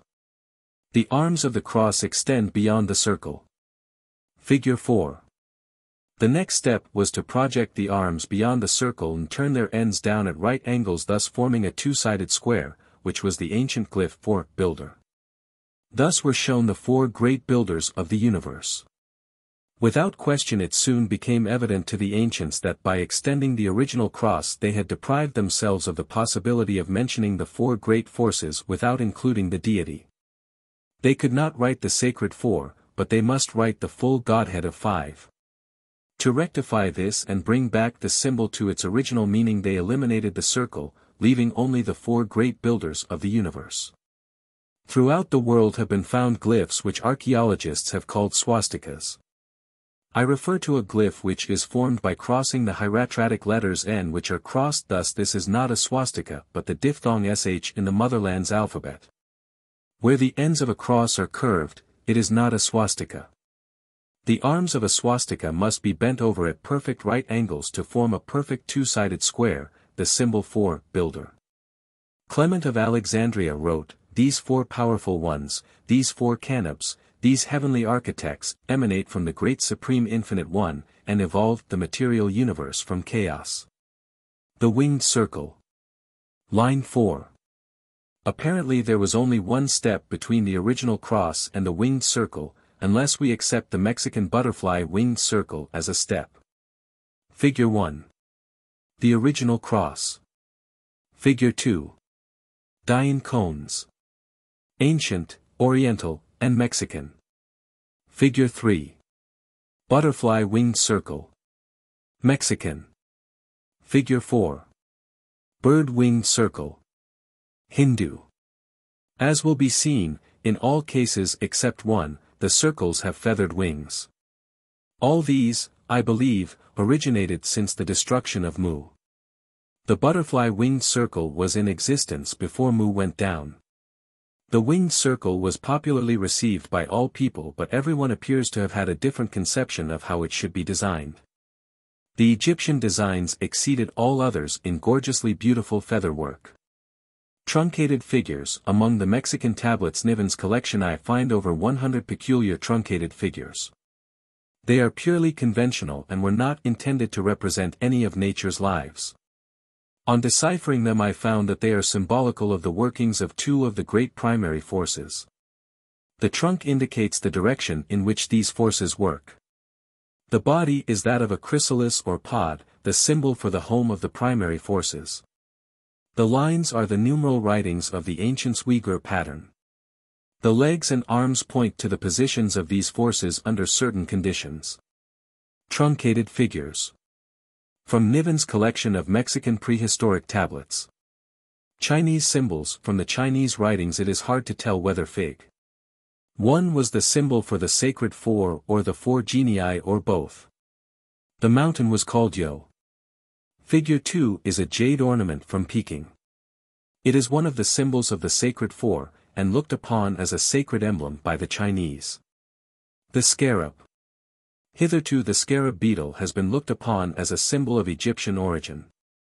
I am here giving records which prove that the scarab beetle was used as a symbol of creative energy in the motherland tens of thousands of years before men settled in Egypt. Figure 2. Is a little tableau carved on the handle of a knife. A record exists saying that this knife was worn by Prince Maya of India. Prince Maya was the son of the first ruler over the Naga Empire of India. Traditions say that Prince Maya lived 25,000 years ago, other traditions say 35,000 years ago. Temple histories show that the Naga Empire was in existence 25,000 years ago. Inscriptions on the handle of this knife state that it was made before India was turned into a colonial empire. It is believed, based on a tradition, that this knife was made in the motherland and obtained there by Prince Maya who brought it back to India on his return after he had completed his studies in a Naacal college. It is without question the oldest known knife in the world. When it was presented to me by an Indian prince, a written history was given with it, telling what ancient kings had worn it. Referring back to the tableau, the scarab is shown surrounded by rays of glory, and kneeling in adoration are two deer called say. This species of deer was the ancient symbol for first man. Say is often shown as the symbol for first man in ancient writings, both Hindu and Maya. Upper Egypt was colonized from India. Without question, the colonists brought this symbol with them, so that the scarab as a sacred symbol originated not in Egypt but in Mu the motherland whence it was brought to Egypt by way of India. Figure 3 is one of the vignettes of the Book of the Dead and is a reflex of the symbol just described.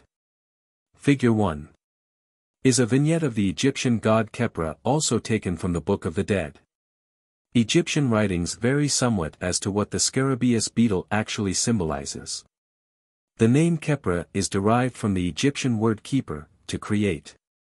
On the tablet of Ramesses II at Kuban we read the god Ra is like thee in his limbs, the god Khepra in creative force.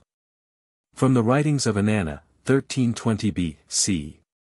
To the Egyptians the scarabaeus beetle is no god, but an emblem of the creator, because it rolls a ball of mud between its feet and sets therein its eggs to hatch, as the Creator rolls the world around, thereby causing it to produce life. Ganesha, Ganesha is the symbol of the attribute who cares for the welfare of the crops and fields, and is generally known as the Lord of the crops and fields, upon which humanity depends for its sustenance. On that account he is very much beloved. Ganesha is depicted as having a man's body painted red with an elephant's head placed upon it. In India he is to be found at the crossroads sitting upon a stone. Dear old Ganesha, for he is very old, having originated in the motherland, everyone loves him, even the little children. No one ever passes him without placing a flower between his arms, so that he is always bedecked with flowers. In Java he is more thought of still, for there he is held to be the emblem of good luck also, and his representation is found everywhere, over the doors of shops, on bank windows, in fact no place apparently can be lucky without him. The Javanese give him four arms corresponding with the four great primary forces from which we receive all our blessings. Ganesha from India Ganesha from Java Courtesy New York American. Chapter 4 The Creation Vignettes from the Sacred Writings of Mu Figure 1. Fine, straight, horizontal lines. Symbol for space. Figure 2. Symbolizing the seven-headed serpent as the deity moving through space. The surrounding circle is the symbol for the universe. Figure 3. Wavy horizontal lines symbolize earthly waters. Figure 4. The circle. The monotheistic symbol of the deity. Figure 5. The plain cross. Symbol of the sacred four. The four great primary forces coming direct from the Almighty. Figure 6. The full Godhead of five. The deity and his four great primary and creative forces. Figure 7. Lahan. The dual principle of the Creator. Figure 8. The fires of the underneath. The earth center. Figure 9. Vertical, fine, dotted lines from the Sun symbolize the Sun's affinitive forces to the Earth's light forces. Figure 10. Vertical, fine, straight lines from the Sun, symbolize the Sun's affinitive forces to the Earth's light forces. Figure 11. Vertical, wavy lines from the Sun, symbolize the Sun's affinitive force to the Earth's heat force. Figure 12. The Sun's affinitive forces to the Earth's life forces striking the Earth's forces in the cosmic eggs formed in the waters. Figure 13. The Sun's affinitive forces to the Earth's life forces striking the Earth's forces in cosmic eggs which have been formed on the land. Figure 14. Symbol of the waters as the mother of life. Figure 15. The Tau, symbol of resurrection and immersion. Fig. 16. The Tree of Life and the Serpent. The serpent symbolizes the waters and the tree Mu, the mother of man, the only life. All of nature's lives are illusion, they do not continue on. Only man is life and life is everlasting. Mexican Tablet No. 1231, I consider this cross the most valuable writing which has come down to us from the first civilization both as regards religion and science. This cross tells us that all forces throughout the universe have their origin in the deity. That these forces are controlling life and all movements of matter down to the atom and particles of atoms, either directly or indirectly. It shows us that the forces called atomic forces are only indirect workings of primary forces through atoms. It tells us how the great primary forces are working in a manner to maintain regular and perfect movements of each and every body throughout the universe. All of the arms of this cross are symbols of the primary forces coming from and out of the deity. All of these arms or forces are pointing towards the east the four form a circle. Therefore, the primary forces are all working in a circle from a center and proceeding in an easterly direction. Tablet number 1231. Detailed deciphering of this symbol is to be found in the Lost Continent of Mu, page 34. The origin of forces has always been a mooted question among scientists. We have here a writing by the scientists of the Earth's first great civilization, telling us what the origin is. And not only that, but also the manner and direction of their workings. Especially it shows us the curvatures apparent throughout the universe, which are causing so much controversy among scientists today. How long ago this was written I cannot say, but certainly more than 12,000 years ago. Mexican Tablet No. 988, I am giving this tablet as a confirmation of the previous one regarding the direction in which the forces are working throughout the universe. This particular glyph shows the lines running from the outside to the center therefore it is the centripetal force. This glyph, without any script, appears on many of the Yucatan and Central American inscriptions. Pedro Beltran, Plongeon and others have written that this glyph refers to the movement of the sun. Here it distinctly states that it represents the workings of a primary force. Mexican Tablet No. 339, this interesting little tablet symbolizes the four great primary forces, in the shape of a butterfly, flying through space and evolving law and order out of chaos in obedience to the command of the Creator his first command in creation. Let land appear. And waters covered the face of the earth. A full deciphering of this tablet is given in the Lost Continent of Mu, page 37. Mexican Tablet number 1267. Figure 1. The outside circle the universe. Figure 2. The wavy circle the waters. Figure 3. The inside the earth. Figure 4. The fires of the underneath, volcanic gases. The force symbol, coming out of the fires, tells us that land is about to be raised. Mexican Tablet No. 328, this Mexican tablet symbolizes the actual first life on earth. A full reading of this compound glyph is given in the Children of Mu, page 76. The Tale of the Creation. The following is what I found in the old Oriental Naacal writing, supplemented by the Mexican tablets. Naacal. Originally the universe was only a soul or spirit. Everything was without form and without life. All was calm, silent and soundless. Void and dark was the immensity of space. Only the Supreme Spirit, the great self-existing power, the Creator, the seven-headed serpent, moved within the abyss of darkness.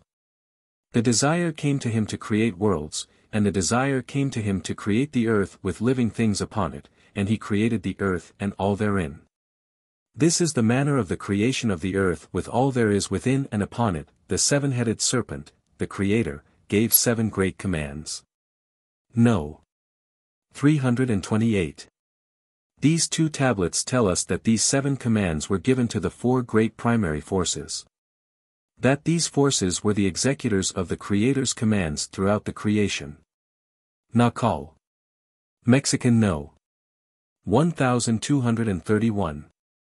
The first command, let the gases, which are scattered throughout space and without form and order, be brought together and out of them let worlds be formed.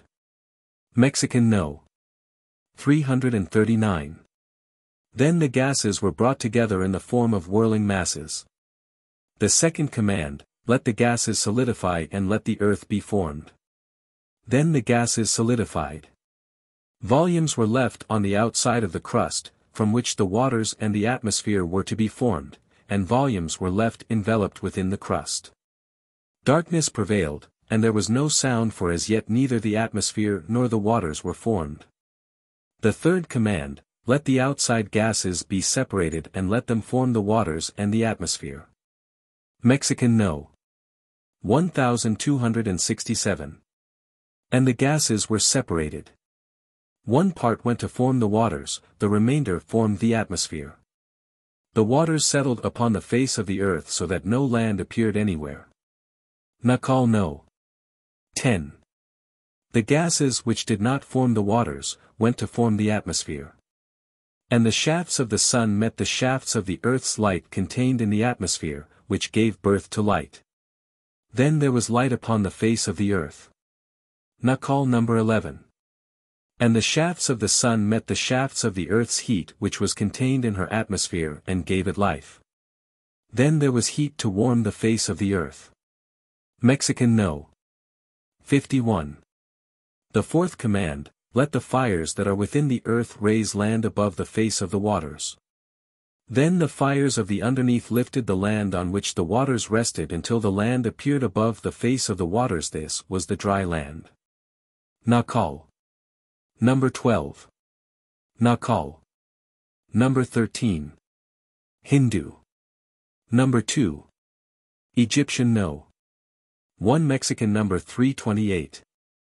The fifth command, let life come forth in the waters.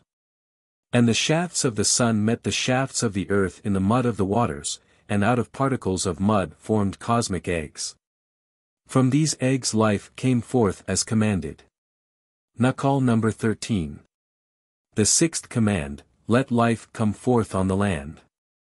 And the shafts of the sun met the shafts of the earth in the dust of the land and out of particles of dust formed cosmic eggs. From these cosmic eggs life came forth as commanded. What I have translated as arrows and shafts is the glyph. The seventh command, and when this was done, the seventh intellect said, let us make man after our own fashion and let us endow him with powers to rule this earth. Then the seven-headed intellect, the creator of all things throughout the universe, created man and placed within his body a living, imperishable spirit, and man became like the creator in intellectual power. What does the phrase, after our own fashion, mean? It certainly does not mean in the image of the creator, for, a little farther on in the sacred writings, it says, to man the Creator is incomprehensible. He can neither be pictured nor named, he is the nameless. Mexican Tablet Number 1584 Creation of the First Pair Man and Woman If man were, in the image of God, he would be a picture of God.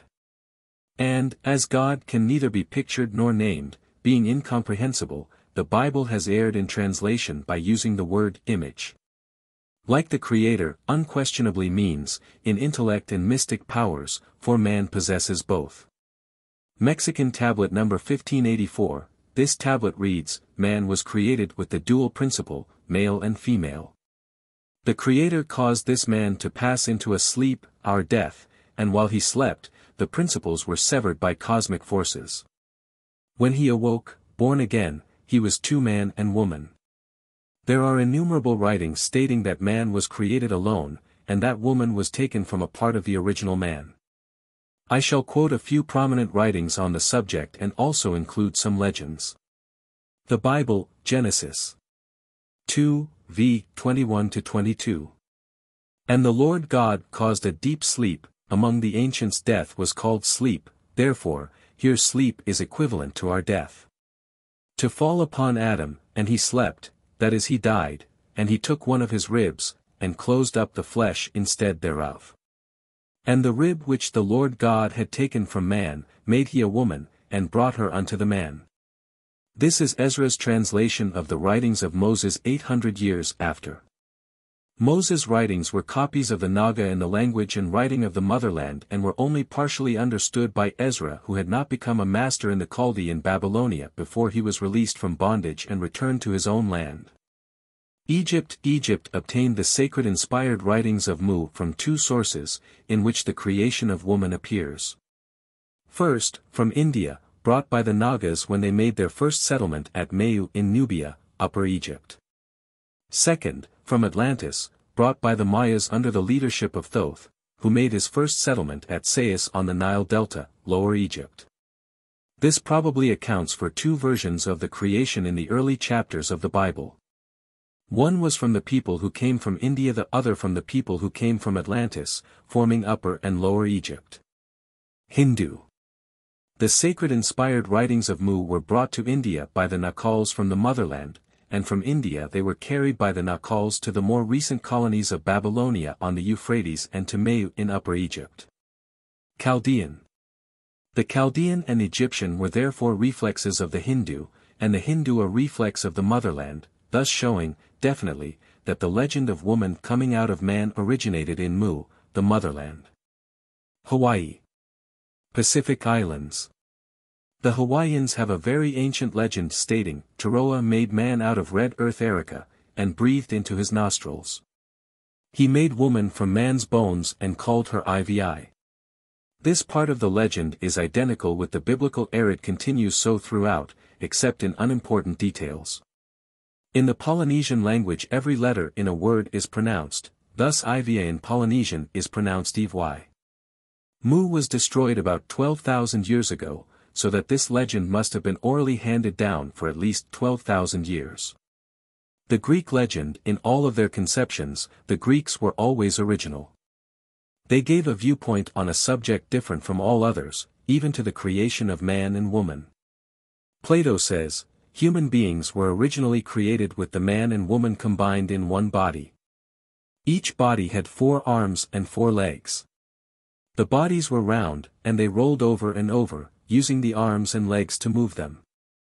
By and by they began to treat the gods badly. They stopped their sacrifices and even threatened to roll up Mount Olympus to attack and overthrow the gods. One god said, Let us kill them all. They are dangerous. Another said, No, I have a better idea. We will cut them in half. Then they will only have two arms and two legs, they won't be round. They won't be able to roll. Being multiplied by two, they will offer twice as many sacrifices, and what is the most important, each half will be so busy looking for the other half that they will not have time to bother us.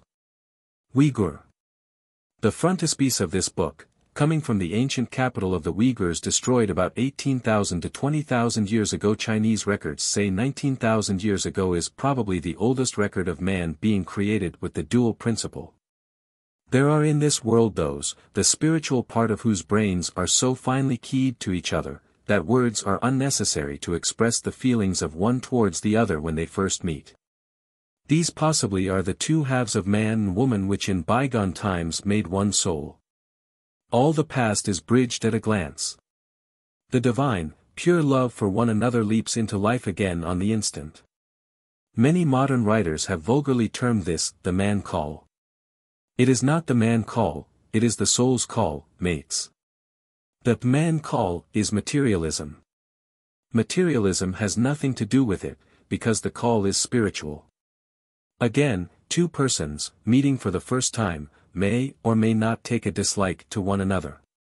One of them at least may take a dislike to the other and mistrust the other for no apparent reason. This is popularly termed first impressions.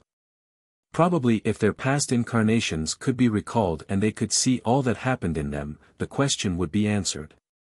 A glyph, generally a circle but sometimes oblong with two parallel lines drawn through its center dividing it into three parts as shown cut. 1. Niven's Mexican tablet number 2379, is a common universal symbol. It is found among the cliff writings of our western states, in inscriptions on the Mexican pyramid at Xochicalco, in the Maya writings of Yucatan. It appears in a writing on Inscription Rock, northeast Brazil near the boundary of British Guiana, and in other various American carvings. It occurs in the ancient writings of the Uyghurs, Hindus, Babylonians and Egyptians. Cut 1. Mexican No. 2379. Cut 2. A paragraph in the sacred inspired writings, Naacal writing.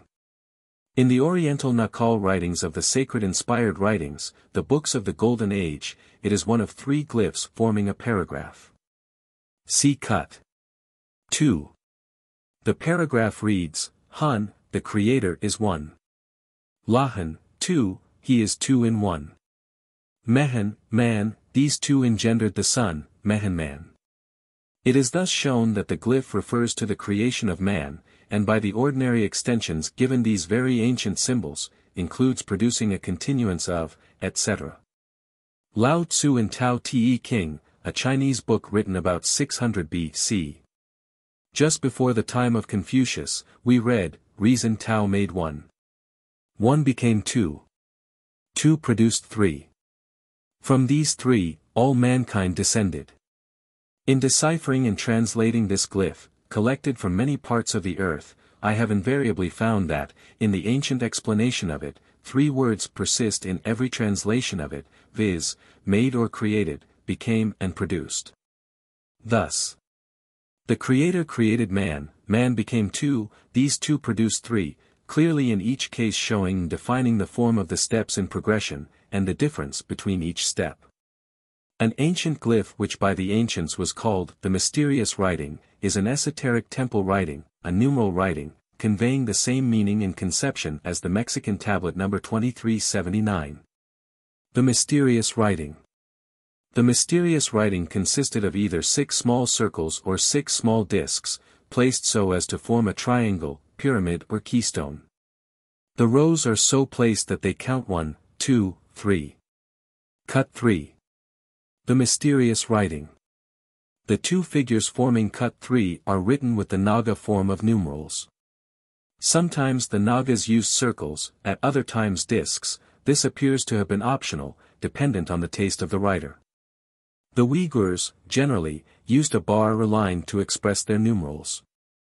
I find their expression of the 1, 2, and 3 most frequently written thus or. Kara inscription in Brazil. On a large prairie-like plain in the northeastern part of Brazil near the boundary of British Guiana stands an immense rock with many smooth faces which are literally covered with very old inscriptions in the characters of the ancient Karas or Carians. The following is one of the inscriptions with its deciphering and translation. 1. This is a universal symbol found in the writings of all ancient people. 2. The northern or Uyghur form of writing the numeral 1. Kara or Carian pattern. 3. Numeral 2. 4. Numeral 3. This glyph is specialized by not having one end closed which gives it a special significance. The legend, 1 became 2. 2 produced 3.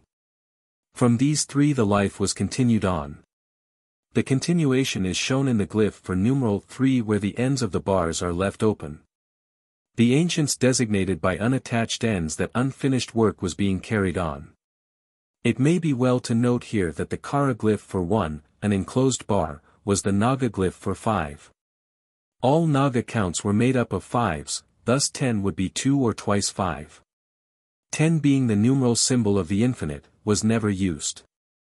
As the symbol of the infinite it was looked upon as being too sacred. I have here shown a South American inscription composed of a symbol or vignette with its meaning given in script. This, to a great extent, follows the character of the sacred inspired writings of Mu, further, it is unquestionable that this passage was taken from the sacred writings for on the other side of the world comes the motherland. In China we find Lao Tzu in Tao Te King, using virtually the same words about 600 B.C., which he took from the sacred writings of the motherland. Xochicalco Pyramid Mexico, on this celebrated pyramid there are many inscriptions. I have selected one which appears to me to be relative to the creation of the first pair. Uyghur writing. First line. Numerals 1, 2, and 3 with their hidden meaning as previously given. Second line. Includes the Uyghur glyph for man having the dual principle. Man before he became divided. Third line includes man as the male principle only. When mankind was referred to, the Uyghur plain letter M was given. The evolution of the Uyghur letter M. 1. Naga Mu. 2. Uyghur Mu. 3. Second changing the right leg to be the longer. 4. The third, the last pattern handed down to the Chinese. The waters the mother of life. Throughout all ancient writings the waters are referred to as the mother of life. Thus it is shown that the ancients knew perfectly well what is confirmed by geology today, that is, the first life on earth was marine life, that is, it first appeared in the waters. To think that life first appeared in the waters is not only reasonable, but it was imperative according to natural laws that it should do so, for life can only commence at a temperature below 200 degrees Fahrenheit. I have been unable to produce life at over 175 degrees Fahrenheit. During the Earth's cooling, the waters were always a step in advance of the rocks in cooling. Therefore the waters being in advance of the rocks in cooling were down to a temperature where life could make a start before life could start among the rocks, or at the best hot, rocky, gravelly sand with little or no actual soil. The waters of the mother of life. The first life that appeared on this earth were tiny microscopical marine grasses and lichens. These were destined to become the foundation stones of the house of life nature's lives and so the house was built upon them until man, the special creation, came to form the divine coping stone. Figure 1. Figure 2. Various serpents are mentioned in the ancient writings, each one symbolizing something different from the others. These ancient serpent symbols are divided into two classes. 1. The adorned serpent symbolizing the creative attribute of the deity. 2. Plain unadorned serpents were symbols of the waters. The symbolic water symbol was called Khan. Figure 1. This serpent is one of the vignettes appearing in the sacred writing's fifth command. As this serpent has a nest of eggs within her coils, it is permissible to assume that this creation refers to various forms of marine life. Mexican tablet, no. 328, this serpent symbolizes actual first life in the waters, therefore the first life on earth. Figure 2 is the usual form of the water symbol, without any additions, such as eggs, etc. Horus in combat with Apophis. This vignette comes from an Egyptian papyrus dating about 3000 BC. It depicts Horus the symbol of the sun in combat with Apophis the waters. This illustration plainly shows a great difference in the teachings from the original that are found in the sacred writings and which are repeated and confirmed in the Mexican tablet number 328. There the scientific account is given. In the Egyptian a symbol is given without the explanation. The Mexican tablet is at least 7,000 years older than this Egyptian vignette. Egyptian vignette. But Egypt did not stand alone in this obtuse teaching, the Greeks had their Apollo, the sun, killing the serpent Python, the waters. The Hindus had Krishna killing the serpent Anatha, the waters, and the Chaldeans had Belmerduk, the sun, overcoming Tiamat, the waters. Chaldean tablet found in the library of the palace of King Assurbanipal, at a time when neither the heavens above nor the earth below existed, there was the watery abyss, the first of seed, the mistress of the depths, the mother of the universe. The waters covered everything, no product had ever been gathered nor was there any sprout seen, I, the very gods had not yet come into being. The gods are preparing for a grand contest against the monster known as Tiamat, the waters. The god Belmerduk overthrows Tiamat. Tiamat is a Naga word meaning water everywhere, nowhere land. Belmerduk was the Babylonian name for the sun as the celestial orb and not as the symbol Ra. From the foregoing it appears to be that the first two extracts correspond to the Mexican tablet number 339, and the last to the advent of life on earth. Some connecting tablets are evidently missing. In the sacred writings of Mu it is plainly shown that there was no combat or fighting. That it was the commingling of forces in connection with elementary matter that produced the results and that the natural law regarding the creation of life had only been followed. The savages and semi-savages of the South Sea Islands have legends among themselves showing that they understand the workings of the forces better than the myths taught by the Egyptians, Greeks, Hindus and Chaldeans which go to prove that these myths were bred after Mu went down and the South Sea Islands became isolated from the rest of the world. The South Sea Islanders explain that all creations are the result of marriages, commingling, between gods, forces, which is correct. Theirs is the original explanation orally handed down for 12,000 years, and wonderfully well they have kept it. Of course there are divergences from the original, but when one considers the time they have been orally passed on from father to son, it is a miracle that the differences are so immaterial. But they have had no unscrupulous priesthoods to tamper with the great things left behind. The Bible. Referring to the Bible again, and to show how extremely old some parts of it are, those which came out of the sacred inspired writings, I will call attention to a few facts. Moses without question bases his religious laws on the pure Osirian as taught by Thoth. Take for instance the Ten Commandments. In the great hall of truth of Osiris there are placed forty-two gods in a row, to ask the soul when it enters this judgment hall forty-two questions regarding the life of the material body in which it had dwelt. Moses took these forty-two questions and in a condensed form made forty-two commands out of them which he condensed to ten commands. This drastic change made by Moses was unquestionably necessary to meet the condition into which his people had fallen. Moses changed nothing in conception, he simply made more emphatic how they must live their lives here on earth. He applied these laws to the living directly instead of to the dead. The Ten Commandments, however, are found in the sacred inspired writings of Mu more than 70,000 years ago, only in the form of questions instead of commands.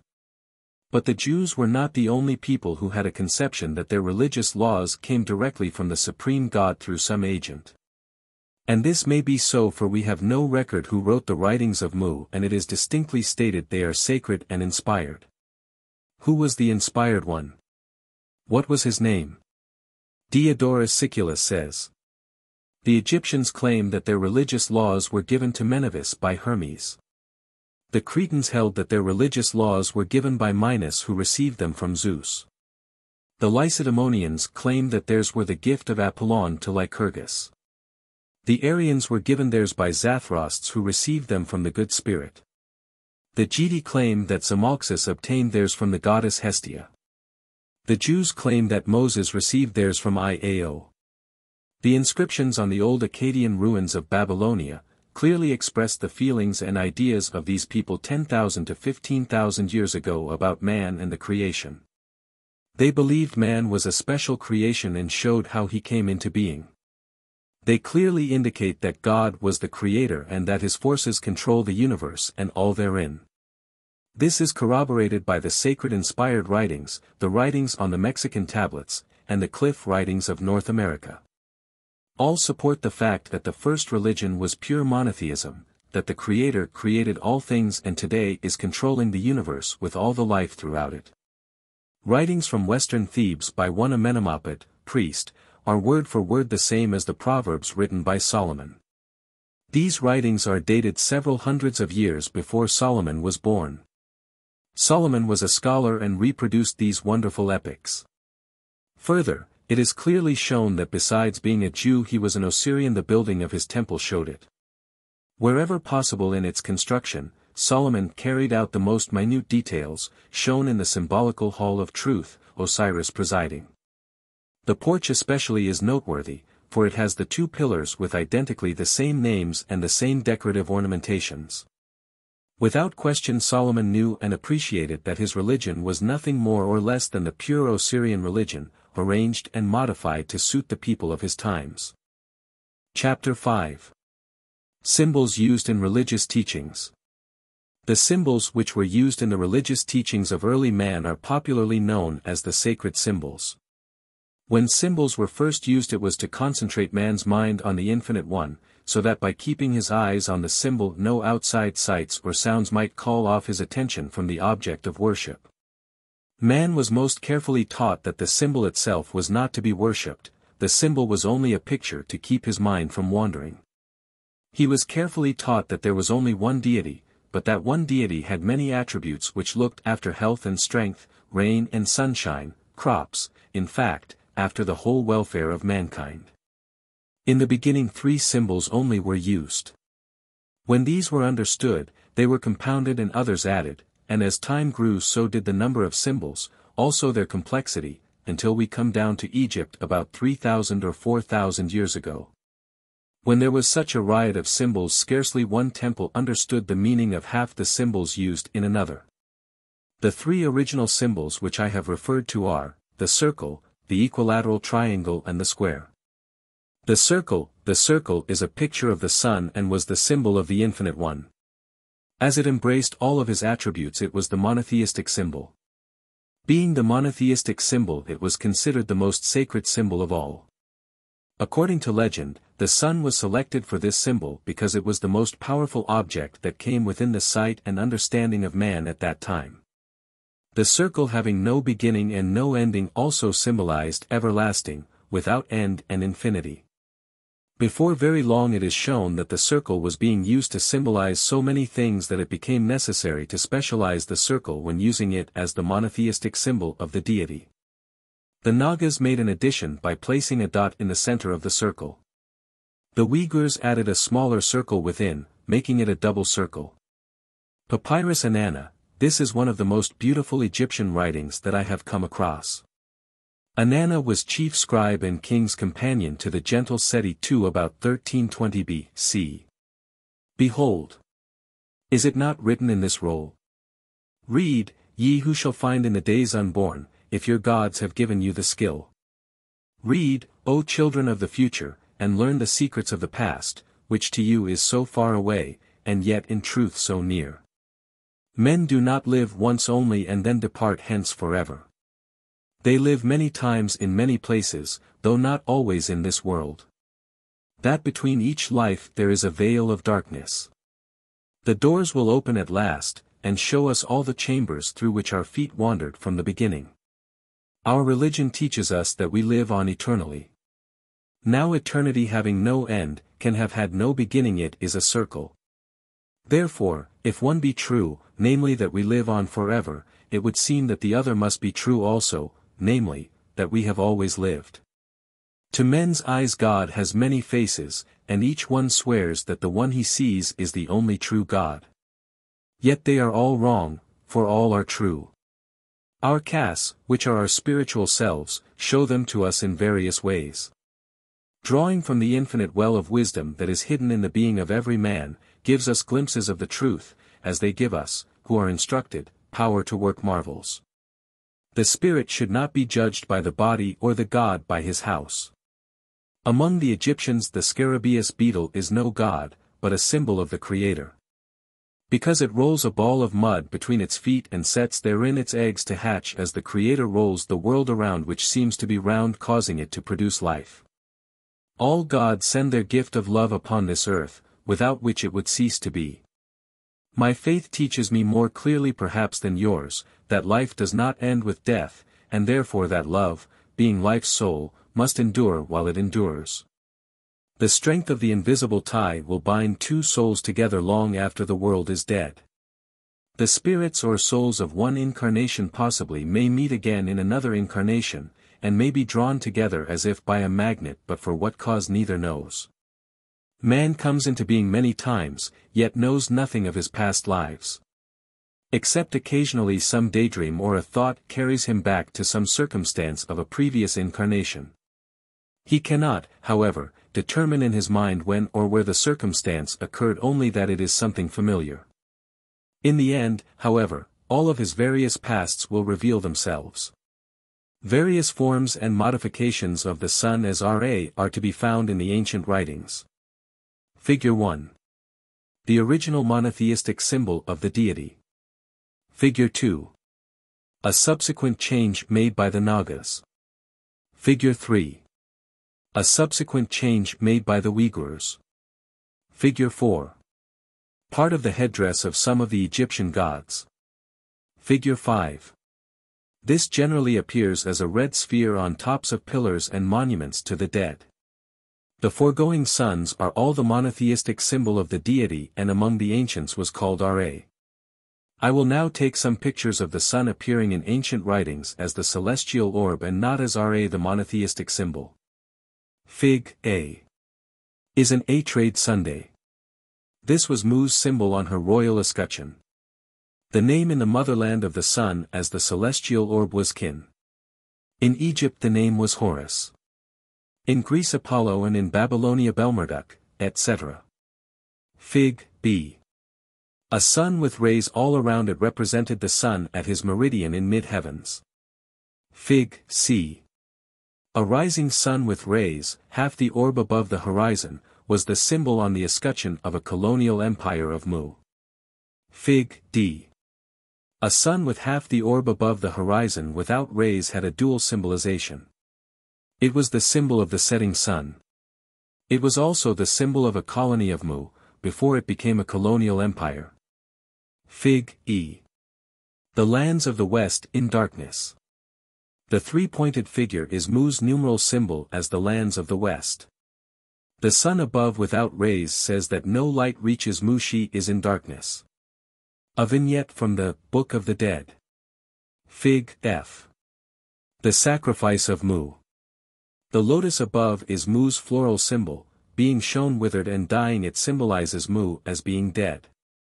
A rayless sun stands between Mu and the altar, therefore Mu is dead in the region of darkness on the altar as a sacrifice. Fig. G. Peaks only remain above the water. Mu is here depicted as being dead and in darkness with only points or peaks remaining above the water. Kin no longer shines upon her. Vignette from the Egyptian Book of the Dead. The Equilateral Triangle the equilateral triangle has a dual significance, dependent upon where and how it is used.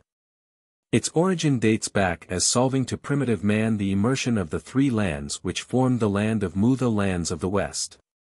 The lands of the West consisted of a huge continental island and two small ones, separated from the big one by narrow seas, called in the Egyptian, canals. Tradition says that the big continental island was first emerged and that the two small islands were subsequently emerged at different periods. It was to explain this phenomenon, of the three lands coming up at different periods, that the triangle was selected. The equilateral triangle has three equal sides joined to one another and forming a single unbroken line without ends. It was pointed out to primitive man that it was the same creator that raised all three lands, each land being raised by separate commands, thus there were not three creators but only one. Apparently, to make it more understandable, each was raised by a separate attribute. This formed the first triune Godhead whereon have been built the enormous number of pantheons that have permeated all ages. The conception of a triune Godhead has been handed down from the beginning of religious teachings and still remains with us.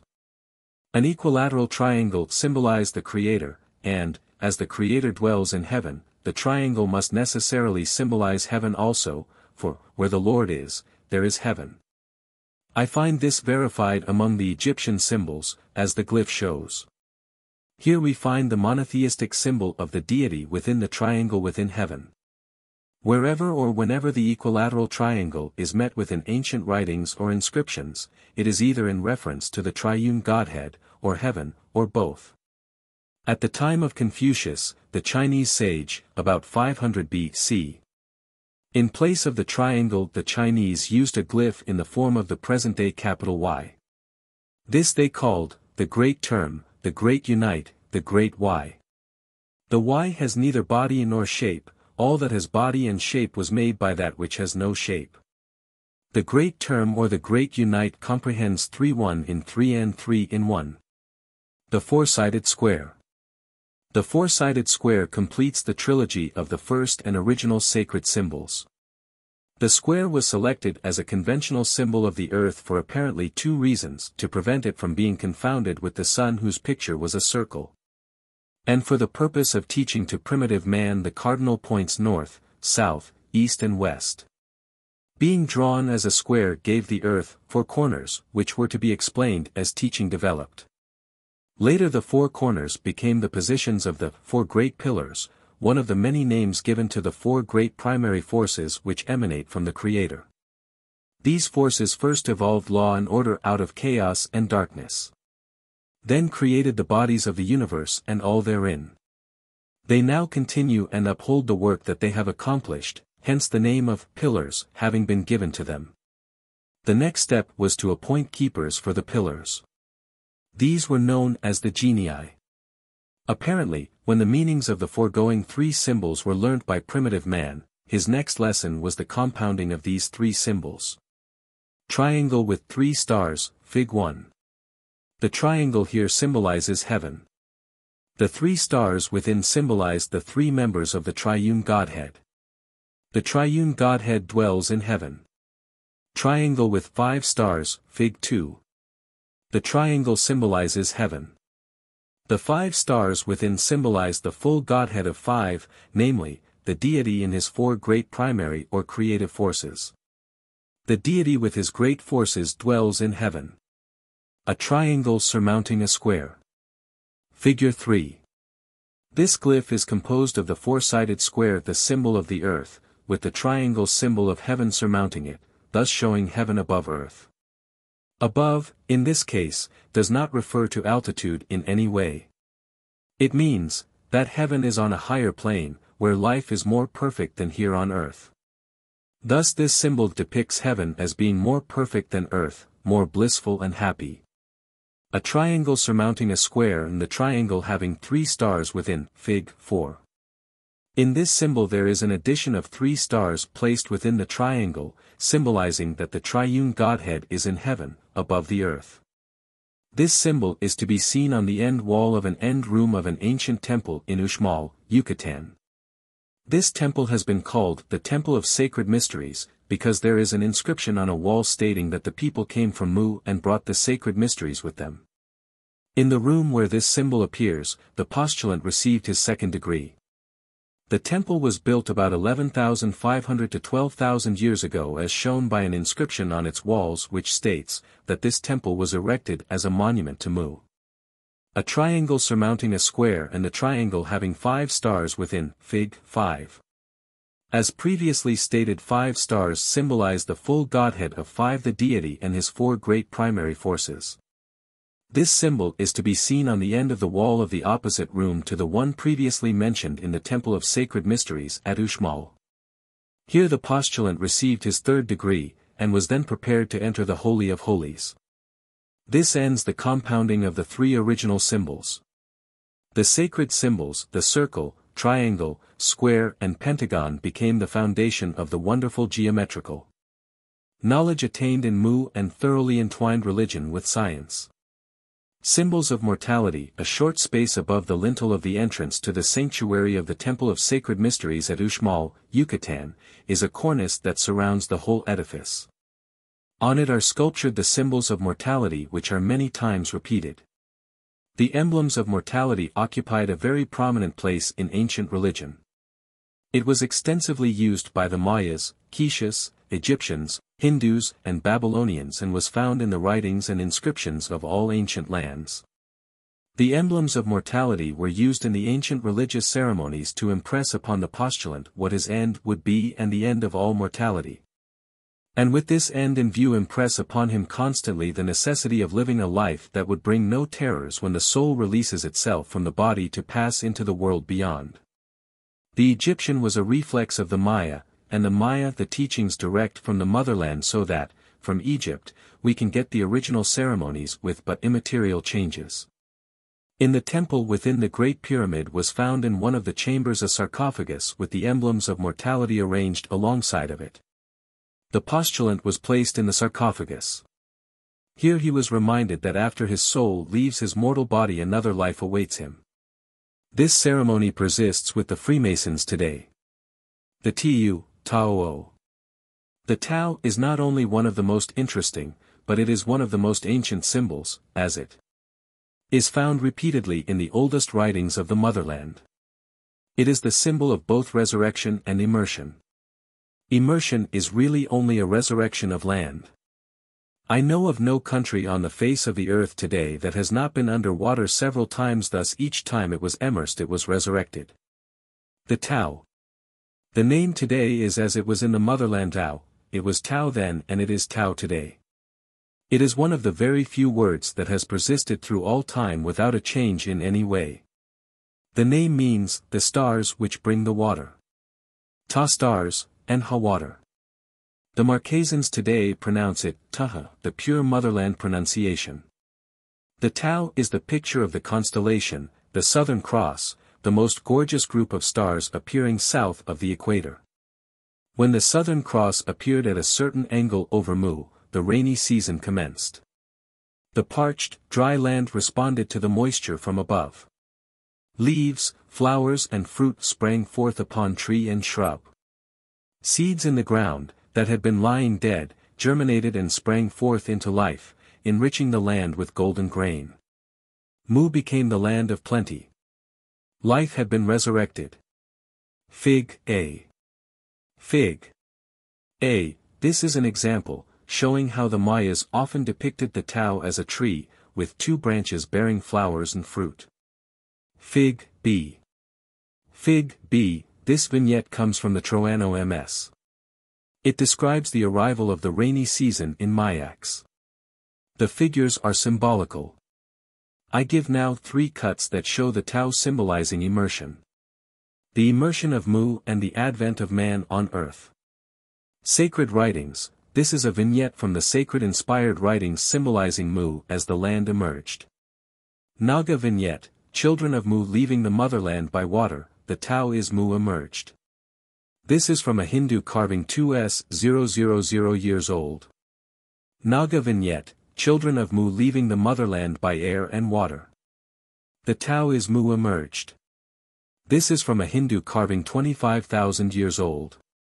Children of Mu leaving the motherland by water. Children of Mu leaving the motherland by air and by water. The double triangle. A pair of triangles bound together at their base, thus forming a double triangle, was the ancient symbol for an offering, and often appeared on the altar where offerings were made. These altars were generally in the form of the Tau, or had a Tau carved on the face of the altar. The rain brought by the Tau made offerings possible. These offerings, generally, were in the form of flowers or fruit, or products from the fields. Before the destruction of Mu, sacrifices were unknown. Sacrifice was a word coined to describe the awful destruction of the beloved motherland.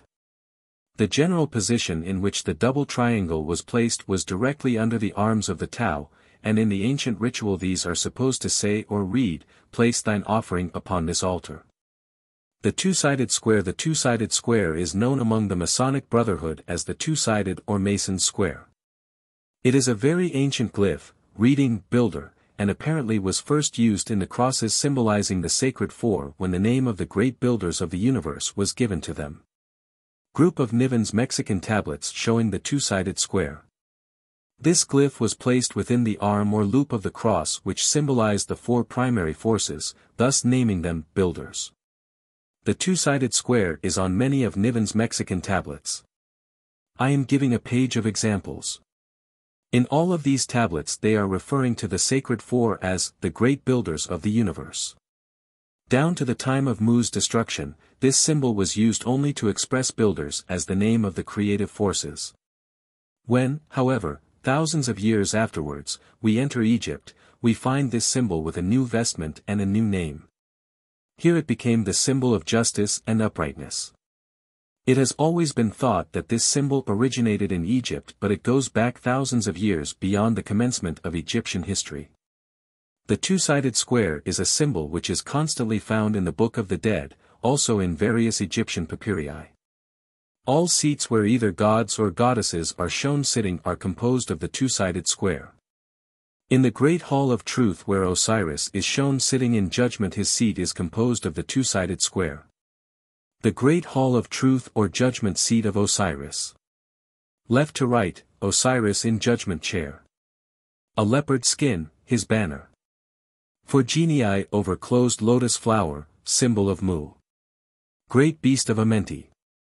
Thoth with ibis head recording history of the deceased.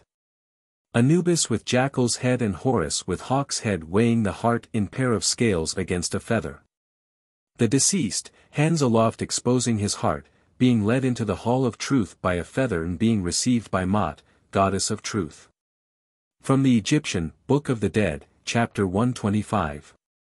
The people of Egypt were taught that this symbol of the two-sided square represented, right from wrong, to act on the square, to act rightly, to act justly, to act truthfully according to Mot. To only the initiated and the priesthood of Egypt was the actual meaning of this symbol known. This is shown by the title and symbol of the god Ptah. Two of his titles were the Divine Artificer and the Divine Builder. Accompanying these titles was the two-sided square. In all of the designs of Egyptian pillars, they symbolize the ancient and true meaning. The cube, this symbol is especially interesting to archmasons. It is found in the 64th chapter of the Book of the Dead which is the oldest and one of the most important chapters in this sacred volume, having been written by Thoth at Sais at the commencement of Egyptian history about 14,000 B.C.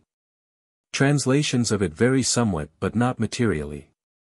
The following are some of the translations. M. Paul Pierret translated one of the sentences from the Turin copy as, I am yesterday, and I know tomorrow, I am able to be born again. London Papyrus reads, I am yesterday, today and tomorrow. The rubric says, this chapter was found in the city of Khemennu upon a block of iron from the south which had been inlaid with letters of real lapis lazuli. Under the foot of God during the reign of His Majesty the King of the North and the South Menkaure triumphant by the royal son Harutataef triumphant. He found it when he was journeying about to make an investigation of the temples. One Nesket was with him who was diligent in making him understand it, and he brought it to the king as a wonderful object. When he saw that thing of mystery which had never been seen or looked upon. London Papyrus dating 3733 B.C. The cube is what was found. The cube. Top of cube. M. Paul Pierret's translation from the Turin Papyrus, this chapter was found out in Hermopolis on a brick of burnt clay, written in blue, under the feet of the god Thoth. The finding out at the time of King Menekre was made by Prince Harttf in this place when he was traveling to inspect the temples. It related in itself a hymn which transported him into ecstasy. He brought it to the king's chariot as soon as he saw what was drawn on the cube a great mystery. Papyrus Mesemneter dated 4266 B.C. This chapter was found in the foundation of a plinth of the shrine of the divine Henu boat by the chief mason in the time of the king of the north and the south Hesepti triumphant. And it is there directed that it shall be recited only by one who is ceremoniously clean and pure. The interlaced triangles, the crossed triangle is an exceedingly old symbol. The oldest record of it that I have is in the cosmogonic diagram of the motherland which is the mother of all cosmogonic diagrams. I did not find it in any of the sacred writings which I read, but that is no criterion, nor does it say that it does not appear in the sacred writings. There are over 10,000 tablets covering these writings. I have only seen about 3,000 out of the 10. The Divine Henu Boat. The flight of the soul to the region of incarnation. The deceased sailing his bark through the field of stars to Amenti, the domain of Osiris, for judgment and reincarnation. The figure shows a central circle enclosed within a pair of triangles crossed and interwoven. Again the two triangles are enclosed within an outer circle which leaves 12 divisions between the two circles. The central symbol, the circle, is the monotheistic symbol of the deity, the triangle of heaven, and the outer circle the universe. The twelve divisions between the two circles are gates, the twelve gates to heaven. Each gate was a virtue, and these twelve gates must be opened by the twelve virtues before heaven could be entered. Among the twelve virtues were first of all love, then followed faith, hope, charity, etc. The feather, the feather is another of the very prominent ancient sacred symbols, it symbolized truth. Three feathers adorned the crown of Mu. Three feathers were the ornament on the headpiece of Aremu, the king high priest of Mu Niven's Mexican stone tablet number 1780. We find feathers as symbols among the Mayas, the difference in color denoting the rank of the wearer. In Mu yellow was the color for royalty, blue for the priesthood and red for soldiers and nobility. In these ancient times yellow appears to have been the royal color throughout the world. A dark blue is the mourning color in the Orient today. Research shows that this color was adopted when Mu was sacrificed, and corresponds with the color of her burial shroud the blue waters of the Pacific Ocean. The feathers worn by the North American Indian today is a relic which he has inherited from his forefathers. Whether they know the original meaning of the feather, I cannot say.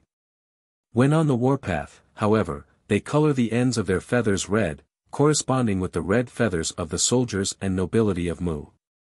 In Egypt, however, we find more extensive information about the feather.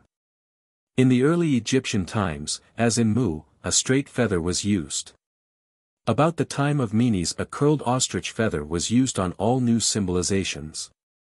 The curled feather is in the headdress of Osiris and Mot, and in the Great Hall of Truth an ostrich feather is shown as being weighed against the heart of the deceased, the feather symbolizing truth. The feather symbol of truth. Legend says that the feather was selected to symbolize truth because a puff of wind blows it away. Truth is just as liable and easy to be frightened away as the feather is to be blown away. The ancient name for the feather was kukum, ku, or kuk. Among the Mayas of North America we find a serpent called Kukul Kukulkan which translated would be Khan King, Kuk Feather, and all covered. So that a free translation would be, the king of serpents which is covered with feathers. This corresponds with the Quiche Maya as recorded in their sacred book the Popol Vuh. Pillars as sacred symbols are of an extremely ancient origin. My personal opinion is they date back to the first temple ever erected for the worship of the Infinite One and that was more than 70,000 years ago. The pillar is one of the multitude of symbols which symbolized the four great creative forces. They were first used at the doorway or entrance to the temple. They were specialized in their construction and shapes. From various old tablets and fallen ruins I have reconstructed a pair as they were erected 20,000 years ago. A pair of ancient pillars. A pair of ancient pillars, the pillar on the left was square and capped with the glyph strength. The right-hand pillar was round and capped with the glyph which in a general way means established, built up, and by extension, finished, accomplished, dependent on how and where used. Both pillars were in four sections, to correspond with the four great primary forces, the four great gods, etc. Pillar Cross A pillar cross, the four arms of this cross are in the sacred symbols of mu shape like the ancient glyph for pillar. Connecting them all is shown their source, the great creator. The upper pillar, or arm of the cross, is capped with two glyphs strength. Establish. Thus, this cross reads, the pillars have been established in strength. Temple porch with two pillars. Temple porch with two pillars, Niven's Mexican stone tablet number 50, over 12,000 years old. This temple has a dedication over the center of the arch, the hieratic letter H in the alphabet of Mu. This was the alphabetical symbol of the four creative forces. So this temple was dedicated to the four great primary forces. Below are shown two pillars, each one has four sections the numeral 4, Uyghur form, corresponding to the four primary forces. The left-hand pillar is capped with the glyph strength, and the right-hand one with the glyph establish. The ground plan of this temple which is on another tablet shows the left-hand pillar to be square and the right-hand one round. A very old written record, dating back to about 11,000 years, comes from the Greek, and refers to the pillars of the temple dedicated to Poseidon of Atlantis. The foregoing I think clearly establishes the antiquity of pillars as sacred symbols, with their shapes and meanings. I shall now pass on to the Egyptians of much more recent time, taking the period of about 1000 to 4500 BC. Egyptian pillars, this is a group of pillars taken from the Book of the Dead and various Egyptian papyri. By these it will be seen that the Egyptians did not adhere to the patterns and details of the ancients, but rather made a display of their imagination and artistry. Pillars came to Egypt with both tides of colonists, the eastern line brought them and the western line brought them and between the two, new conceptions of what pillars ought to be developed. Egyptian Pillars The Egyptians called them Tat pillars. They are, however, better known throughout the world as totem pillars. The Egyptians called one pillar, Tat, which in their language means, in strength.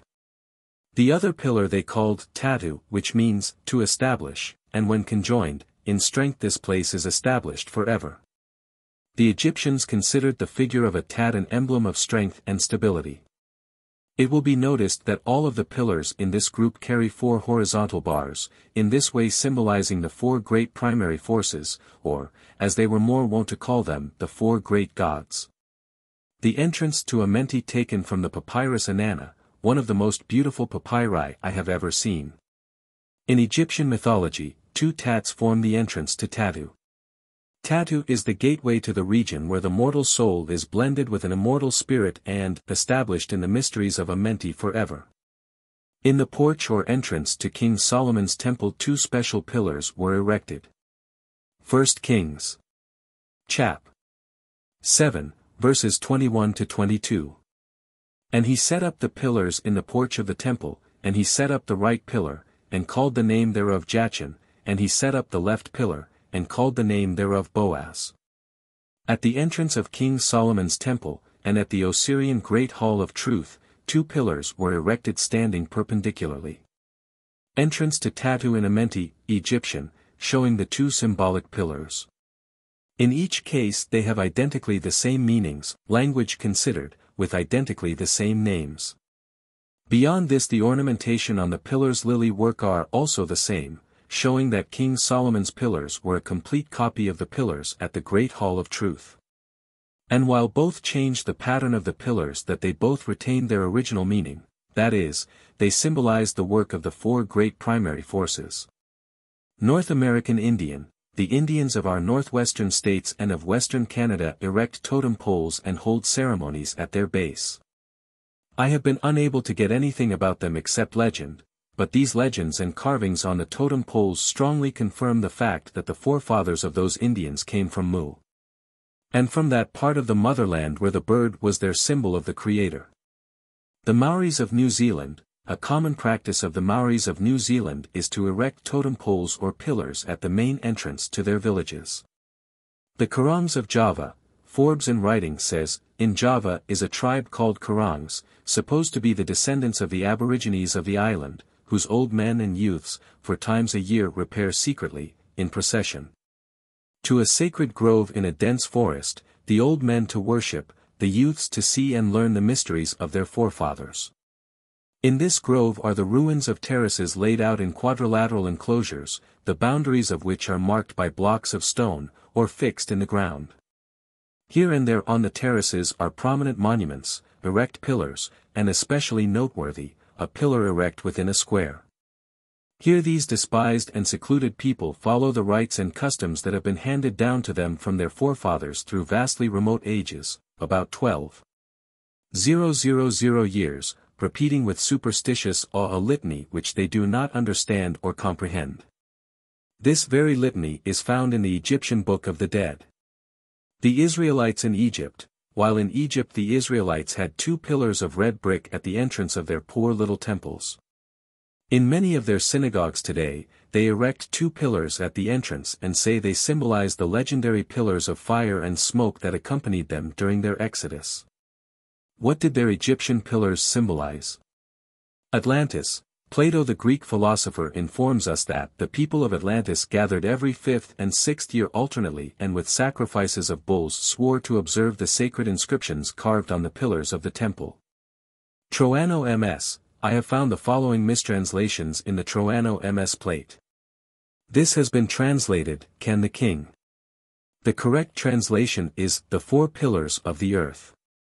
Is the hieratic letter M in the motherland's alphabet. Eight Roads to Heaven. The alphabetical symbol for mother, earth, land, etc., or is the symbol for a pillar when the actual pillar is not shown, therefore, this glyph reads, the four pillars at the four corners of the earth. The whole of this plate is a mistranslation. The Eight Roads to Heaven The Eight Roads to Heaven was a religious symbolic teaching which I first found in the cosmogonic diagram of Mu which attests its great antiquity. In this cosmogonic diagram it was used to show man how he must live on this earth to be prepared to pass into the world beyond when his call came. The Eight Roads to Heaven was not an actual conception. It was a symbolic teaching, religious in character. These special teachings were unquestionably universal, as they are found among ancient people throughout the world. Such form of teaching must have been very popular since there were so many designs of symbols for it. Every ancient people appear to have had their own idea as to what design and figure best symbolize the eight roads to heaven. The life symbol Crux Ansata or Ankh although known now as an Egyptian symbol only, like the scarab it is very old. It is found in the writings of the first civilization, also carved on the stones of the North American cliff dwellers or their predecessors. The Roadway of the Soul. Courtesy of Mrs. M. U. L. Hudson. The life symbol is a compound of two symbols. The O loop at the top symbolizes a mouth or gateway.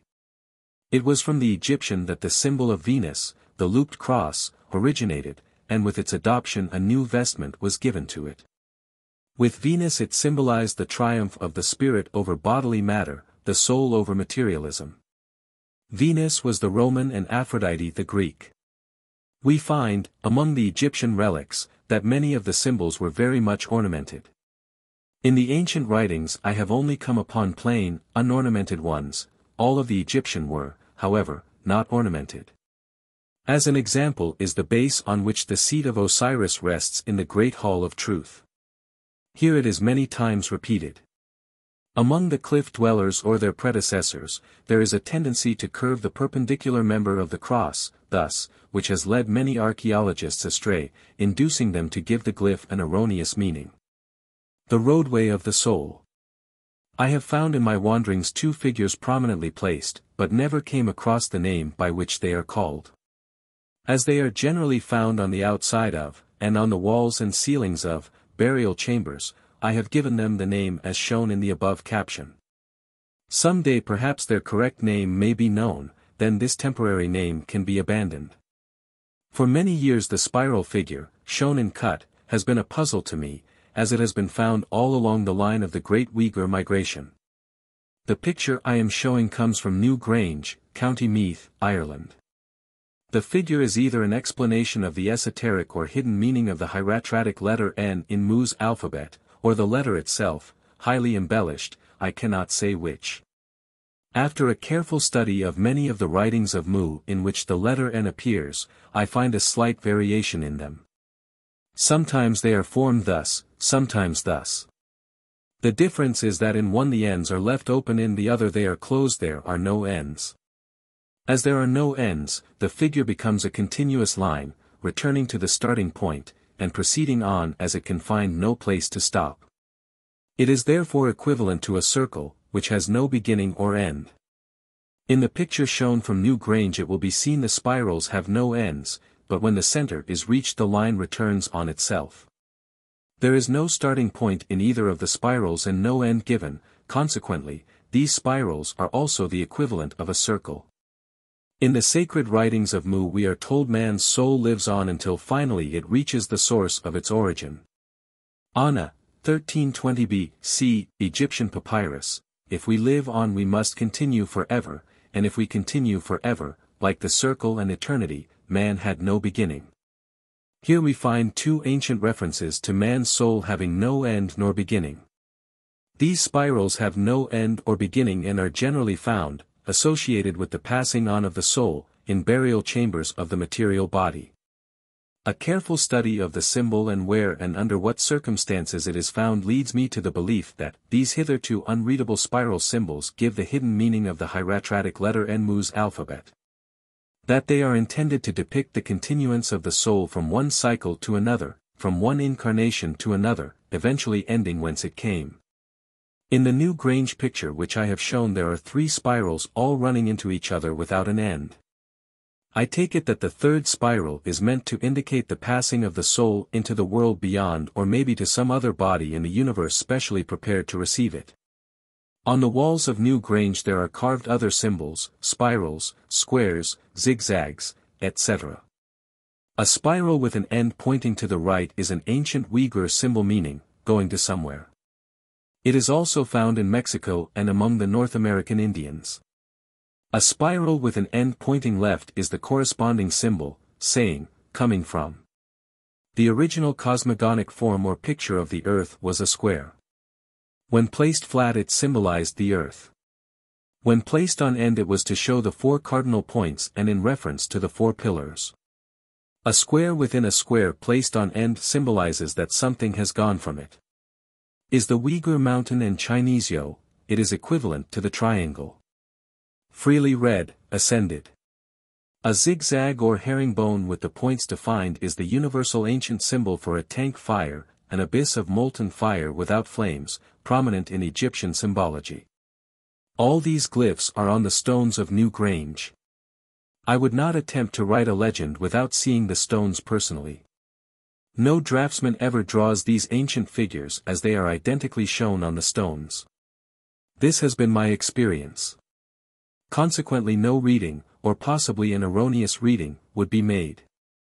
This is a figure found under identically the same circumstances as the previously mentioned spirals. Found along the lines of the Mayas and Carians running easterly from the motherland. It is composed of the hieratic letter H or rather two of the letters following one another but connected with each other. The second is drawn in reverse of the first one, symbolizing a return. The tree and the serpent. These also are generally found at the entrance of burial chambers. The tree and the serpent. This work would seem incomplete to me if I omitted the tree and the serpent. Innumerable legends about the serpent and the tree are found in religions. The tree is invariably called tree of life, and the serpent entwining it, tempter, or whatever else signifies Satan. The tree and the serpent started as a legend, then gradually drifted into myths, the climax being reached when the tree was credited with its fantastic crop of apples. These apples became necessary to carry out a myth for how otherwise could old Satan tempt Eve to eat apples and Eve tempt Adam. They were needed to accomplish the downfall of Adam. By this action poor woman has been made the cause of every ill befalling mankind.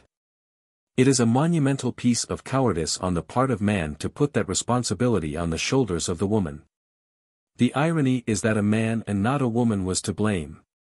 The Eve alibi has stood for nearly 3,000 years but it must now be set aside. Had Ezra been able to read correctly the symbols which appeared in the writings of Moses, he would have given a very different version of the wily old serpent and the tree of life. The small vignette comes from the sacred inspired writings of Mu.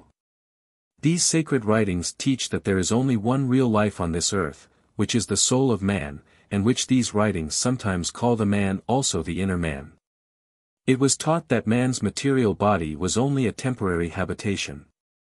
All other forms which are known to us as life are of a temporary nature also. They are taken from the earth and to earth they must return. Of all the forms of earthly creations, man only had an imperishable part which survived the material body and lived on forever, therefore man's soul was the only true life on earth.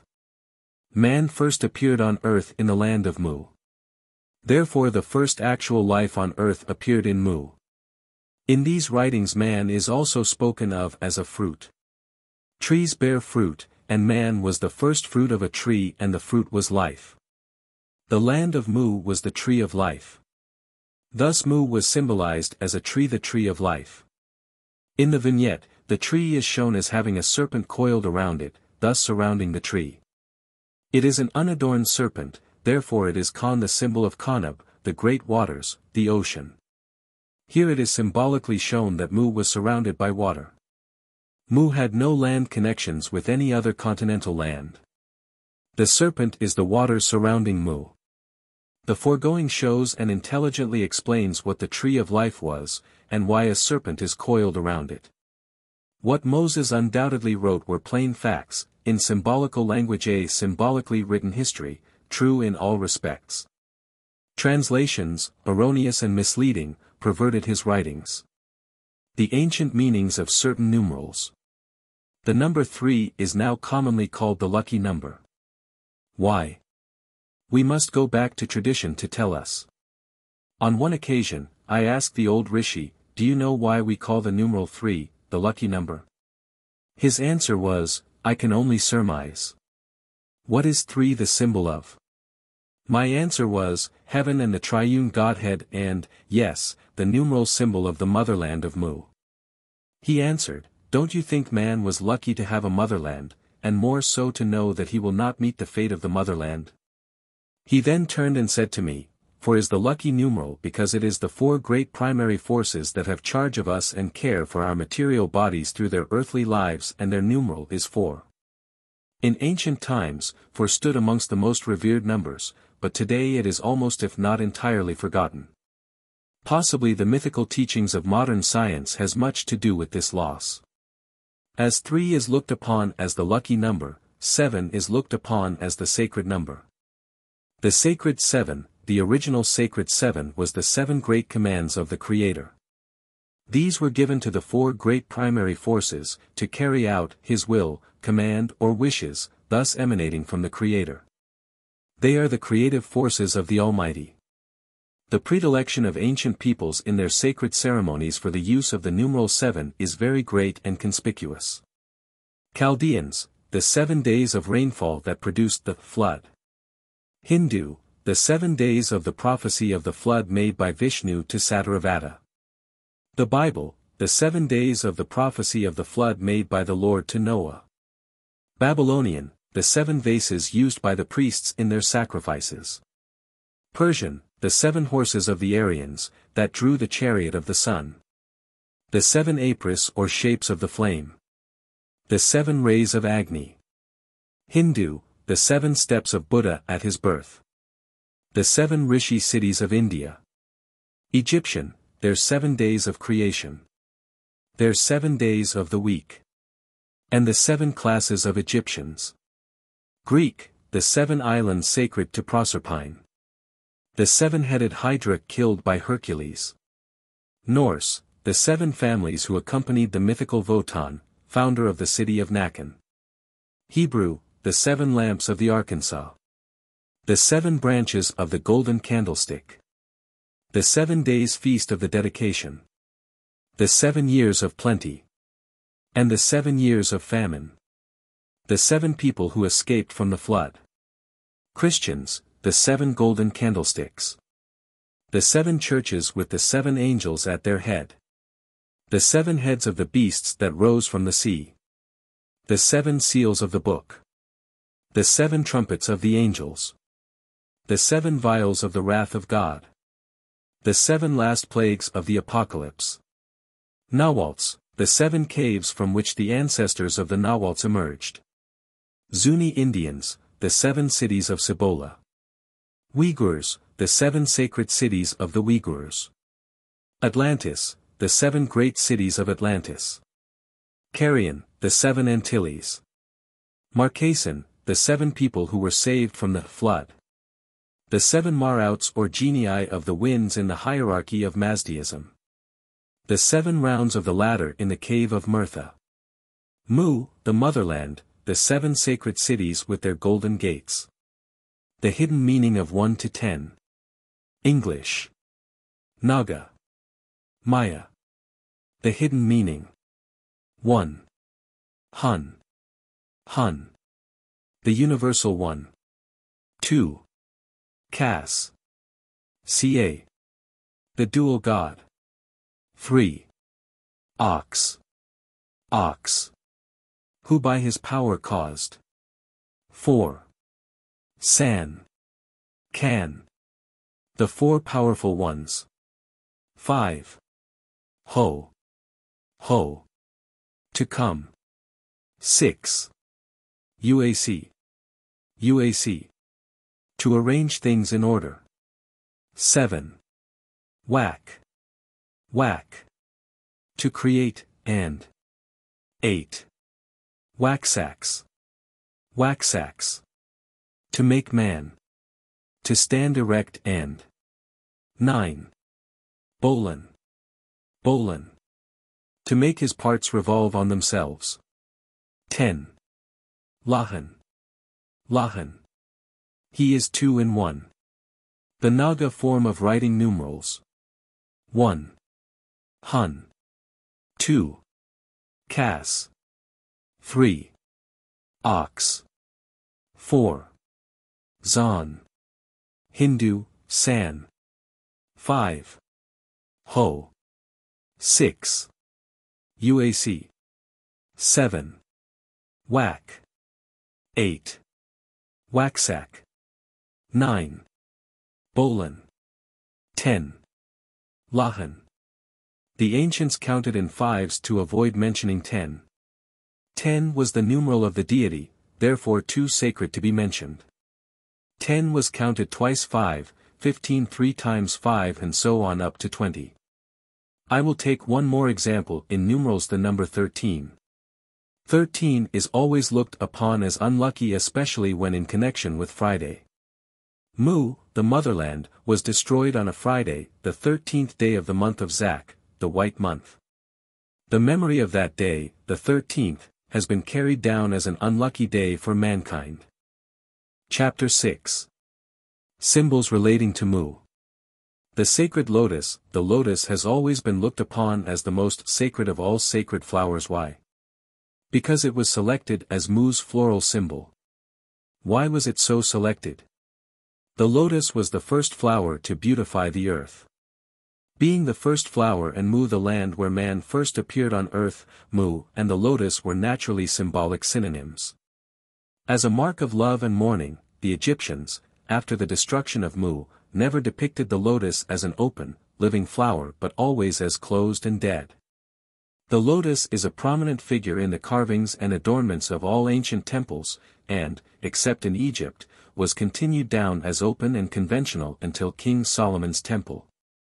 In this form, the tips of the petals are turned in. The lotus was indigenous to Mu. The plant was carried to all parts of the world by the colonists, so that wherever we find the lotus today, we know that the parent stock, like the parent stock of man, came originally from Mu. Figure 2.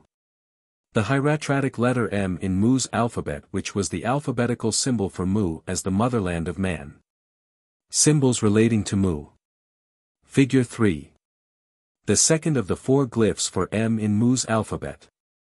This was the symbol for Mu as the mother of man. Figure 4. This is the numeral 3. 3 was the numeral symbol for Mu and very much used. Figure 5. The two lotus buds are the symbols for the two islands adjacent to Mu. Mu and these two islands were geologically known as the lands of the West. Figure 6. An open lotus very much used in decorations and in traceries on temple walls, when it was desired to refer to Mu. The ends of the petals are turned in to denote death. Figure 7. This is a symbol constantly appearing in the Maya writings and has been translated in every conceivable way except the correct one. Some of these decipherings are absolutely ludicrous, Le Plongeon's as an example. This glyph is a compound symbol being composed of the second M in Mu's alphabet and having at the end of each arm an amix the symbol F or breast. These breasts are shown distant from the mother, therefore physically not actually attached to it. Cortes, as we are told by Bishop Landa, asked the natives what the symbol meant. Their answer was mother. This is correct as far as it goes, but it does not go far enough. Is the alphabetical symbol for Mu, the mother of man. These amix say, the breast of Mu. In many of the ancient writings the two islands are called the breasts of Mu. Therefore a liberal translation would be Mu, the mother of man, and because the two islands are included, the lands of the west. The amix is drawn as follows in the Troano MS. Front view of the breast. Representing side view of the breast. Figure 8. The withered and dying lotus, Mu's floral symbol after she was dead. Figure 9. The lands of the west, at the time she was above water. Figure 10. Mu is submerged. No light shines upon her. She is in the region of darkness. Figure 11. The lands of the west are in darkness. No light shines upon her. Figure 12. Mu, the lands of the West. Maya. Figure 13. That land of Maya writing. Figure 14. Peaks only remain above the watery abyss. Codex Cortesianus. Figure 15. The ten tribes which were submerged with Mu. Troano MS. Figure 16. Mu is sacrificed. She lies in the region of darkness. Book of the Dead. An altar painting. Figure 17. The light of day has gone from Mu. Cliff Writing, Nevada. Figure 18. Mu lies beyond the horizon over the great waters. Cliff Writing, Nevada. Figure 19. The Tree and Serpent. Cliff Writing, Nevada. Figure 20. The Tree and the Serpent, as it appears in the sacred writings. Figure 21. One of the forms of the letter M found in various ancient writings. Figure 22. The Royal Escutcheon of Mu. Altar painting the legend, deciphering and translation, this temple is dedicated to the sacred for the four great forces which issue from the mouth of the Almighty and are His commands. They first of all evolved law and order out of chaos throughout the universe, and then created all things.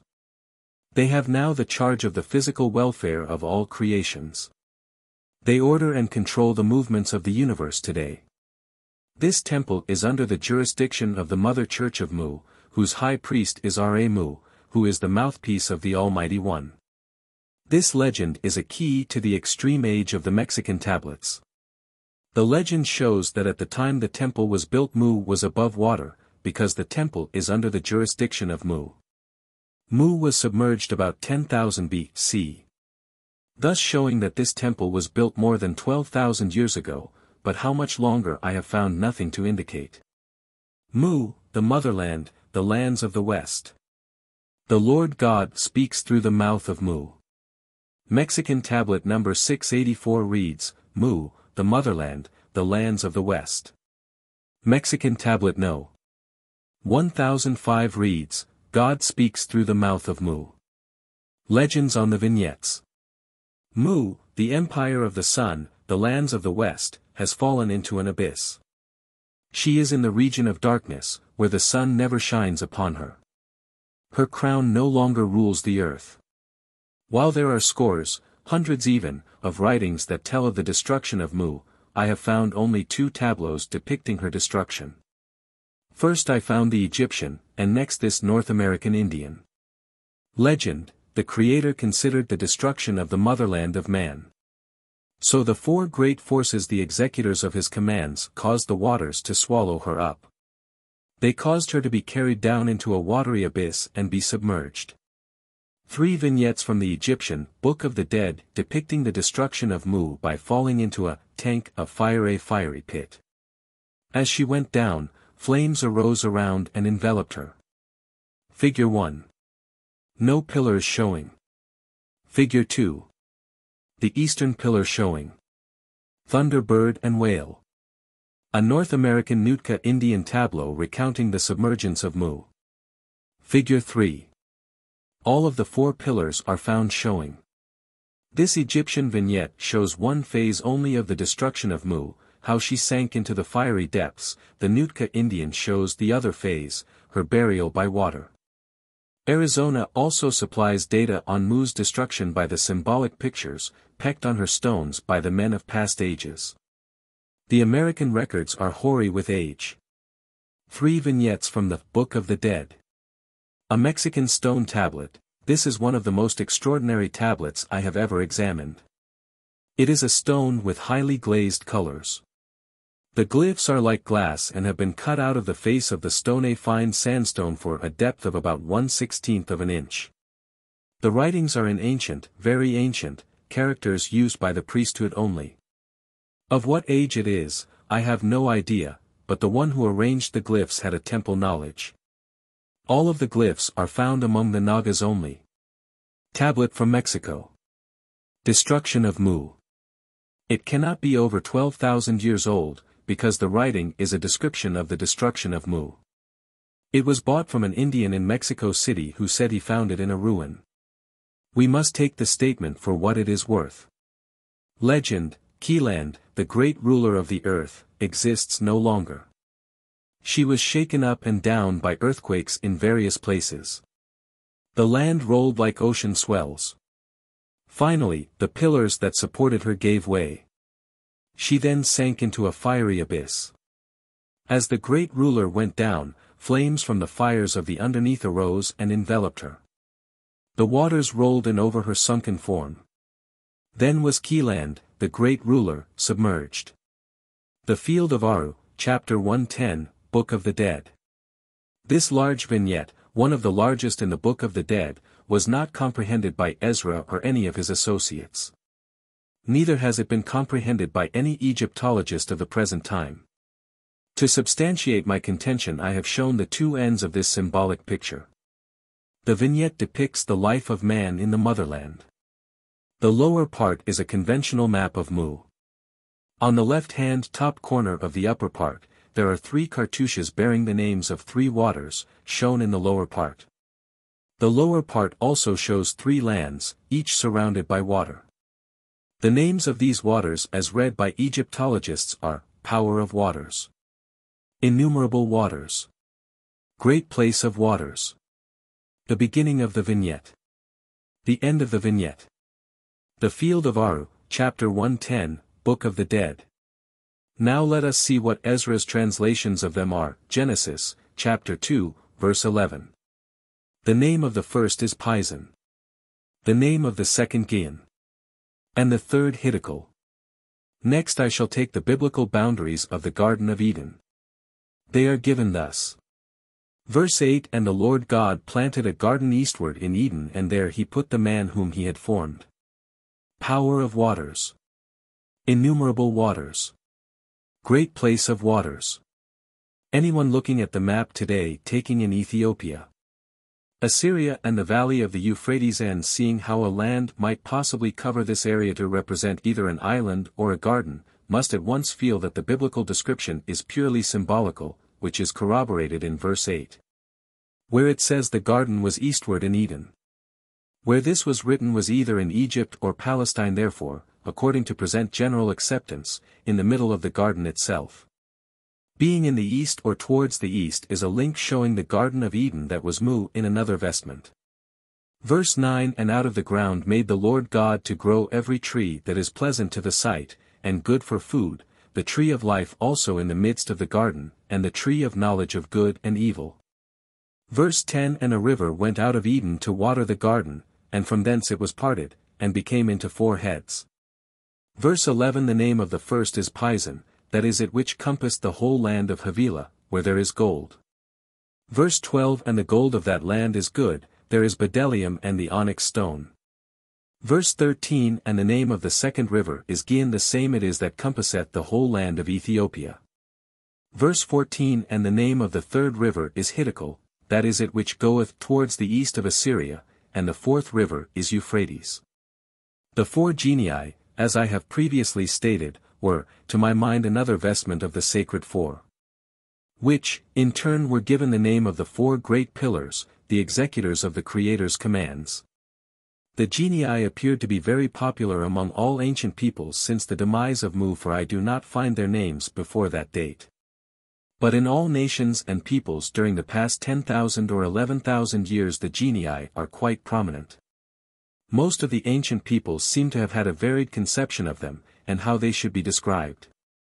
I find them associated with all histories and traditions of the creation. One of the oldest records that I have found of them comes from the Mayas of Yucatan and Central America. With them the genii were referred to as the keepers of the pillars. The Mayas as well as all other ancients symbolized the earth as a four-sided square. At times and for certain purposes, for explanation, they stood the square on one of its points forming a diamond out of it. This brought the four points into astronomical lines pointing north, south, east and west, making four cardinal points. The theology said that at these four points, were four pillars sustaining heaven, and at the foot of each pillar, was stationed one of the genii, to look after and care for it. The names of the Maya genii were Kanbakab the yellow Bakab, placed in the south.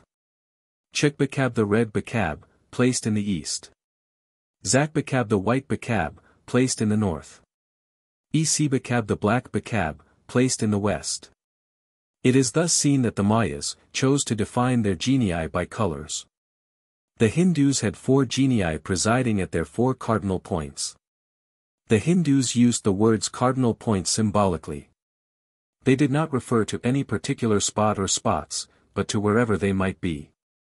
Instead of colors their genii were called by phenomena connected with life, their names were Rovera the god of wealth, placed in the north. Yama the judge of the dead, placed in the south. Indra the king of heaven, placed in the east. Varuna the god of the waters, placed in the west. The genii were also called gods by the Hindus. Chinese. The Chinese designated their genii as Yos mountains. The four mountains Tseyo. They also referred to them as the four quarters of the earth. They are Taitsong the Yo of the east. Sangfo the Yo of the west. Haokawang the Yo of the south. Chinsi the Yo of the north. The Chinese symbolized these mountains as a mountain in the shape of a triangle with an eye at the apex of the mountain looking down from it. Egyptian. According to the Egyptian theology there were four genii in Amenti, which were placed at the four cardinal points in charge of the pillar which stood there, their names were Amset the genius at the cardinal point in the east. Hapu the genius at the cardinal point in the west. Tesotmut the genius at the cardinal point in the north. Quabsanuf the genius at the cardinal point in the south. Chap. 125, Book of the Dead, has a large picture of the great hall of truth of Osiris. Near the seat of Osiris in this picture are shown the four genii. They are symbolized as men in mummy form. One has the head of a human being, another the head of a monkey, a third the head of a hawk, and the fourth the head of a jackal, Anubis. Chaldean. The Chaldeans believed that there were four genii protecting and looking after the welfare of all human beings. This example does much to show the origin of the genii. As by the swastika, we frequently see in the ancient writings that man's welfare is constantly being watched over by the sacred four, symbolized by crosses etc., and that by watching over and caring for the physical welfare of the universe. Including man, they are acting as the executors of the Creator's wishes, desires, commandments etc. This is the exact work of the genii as conceived by the Chaldeans. The names given to the genii by the Chaldeans are Sedalup or Karub represented as a bull with a human face. Lamas or Nigel represented as a lion with a man's head. Uster after the human likeness. Nadig represented with the head of an eagle. The Hittites, Assyrians and Persians all had the genii engrafted in their cosmogony. The Israelites. Although I cannot find any direct reference in the Jewish research which I have made, that is no criterion and does not say that they entirely rejected the idea. In Ezekiel, chapter 1, verse 10, there is something at least touching on it, for it says, They four had the face of a man, and the face of a lion, on the right side, and they four had the face of an ox on the left side. They four also had the face of an eagle. The foregoing is given as a vision of Ezekiel. At the time this was written Ezekiel was a captive among the Chaldeans. Let us compare this vision with the Chaldean creed which had been in existence thousands of years before Ezekiel came on earth. Ezekiel's dream. For beasts with the heads of a man, another an ox, another a lion, and the fourth, an eagle. Chaldean belief. For genii, beasts with heads, one with a human face, one with the face of a bull one with the face of a lion and the fourth with the face of an eagle. These Chaldean genii stood at the bottom of steps leading to temples and palaces, one could not walk through a city without seeing many of them. Thus to me it seems unquestionable that Ezekiel must have seen many of them during his captivity. A set of four is now in the British Museum and came from the king's palace, Nineveh. Ezekiel's vision looks like an embellishment of the Chaldean creed. Is the biblical translation correct? Hieratratic letters from the alphabet of Mu. The hieratratic letter A, pronounced a how. The monotheistic alphabetical symbol of the deity. 183. The hieratratic letter H, the alphabetical symbol of the four great primary forces, called in the sacred inspired writings, the sacred four. The hieratratic letter M, pronounced Ma and Mu, the U is pronounced as in German U. The alphabetical symbol of Mu, the motherland. It was also the symbol for mother, earth, land, country, empire, anything pertaining to the soil. The hieratratic letter N, the alphabetical symbol for the serpent of creation. The hieratratic letter T, pronounced Tau, the alphabetical symbol for resurrection, also immersion. Used in the sacred writings symbolizing Mu's immersion. The hieratratic letter U, pronounced as OO in moon. The alphabetical symbol for an abyss, a deep hole, a valley. In the body of a word another of the U glyphs is generally used as a V. Dress ornament. Society Islands. Dress ornament. Marquesan. Some miscellaneous symbols relating to Mu. This glyph is often found in ancient writings. It is one of the figures that was used to symbolize the four great primary forces that sacred four. It is composed of four circles, each with one of its sides incomplete. Another glyph symbolizing the sacred four. This was a very favorite symbol among the Uyghurs and is revered by the Chinese today. I have also found it as a dress ornamentation among the South Sea Islanders especially the Polynesians. This peculiar glyph is found in various parts of the earth, but not often. I have found it in writings where the ten tribes of people who went down with the motherland at her destruction are spoken of. Apparently this is a Maya symbol. I have found it in no other writings. It is found in the Maya description of the destruction of the motherland. It reads, peaks only rise out of the abyss. It therefore refers to the islands that were formed between the gas chambers. An equilateral triangle with the monotheistic symbol of the deity within symbolizes, the triangle heaven, the circle within the deity, reading the deity, the infinite, dwells in heaven, heaven is his abode. An equilateral triangle with an eye within symbolizes the deity looking out from heaven. In Egypt it was changed to the all-seeing eye of Osiris looking down from heaven. These two symbols are found in all ancient writings. Rather, they appear in many writings and among all people. A large dot within a small circle was occasionally used by the Egyptians as an equivalent for an eye. A conventional map of the lands of the West after submersion. From the Troano manuscript. Chapter 7. Sacred Symbols Connecting North America to Mu. Slabs from Patambo, these two slabs were found by William Niven in an ancient grave on the banks of the river Rio del Oro in the state of Guerrero, Mexico. They are not the work of a very ancient civilization like those of Chimalpa, Remedios etc. This civilization occupied Mexico less than 12,000 years ago as is shown by the inscription on one of the tablets, Return to the region of darkness, which was submerged Mu. Their actual age I cannot estimate. Each slab has a top and bottom division. The divisions are formed by a carved line running horizontally across the face of the slab near its center. The central figure in each of the top divisions is a conventional, symbolical head of Quetzalcoatl the bearded or feathered serpent, the symbolic serpent of the creator in one part of Mu. And corresponds with Naga or Narayana the seven-headed serpent of oriental countries. The ancient peoples of North America had various names for their serpent of creation. The Quiches, called it Gucumatz, the serpent covered with feathers. Sculptured Slab A.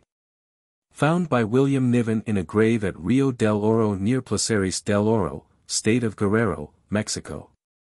Size 28 inches long, 18 inches wide and 2 inches thick. The Mayas called it AC Luchapat, the plumed or feathered serpent.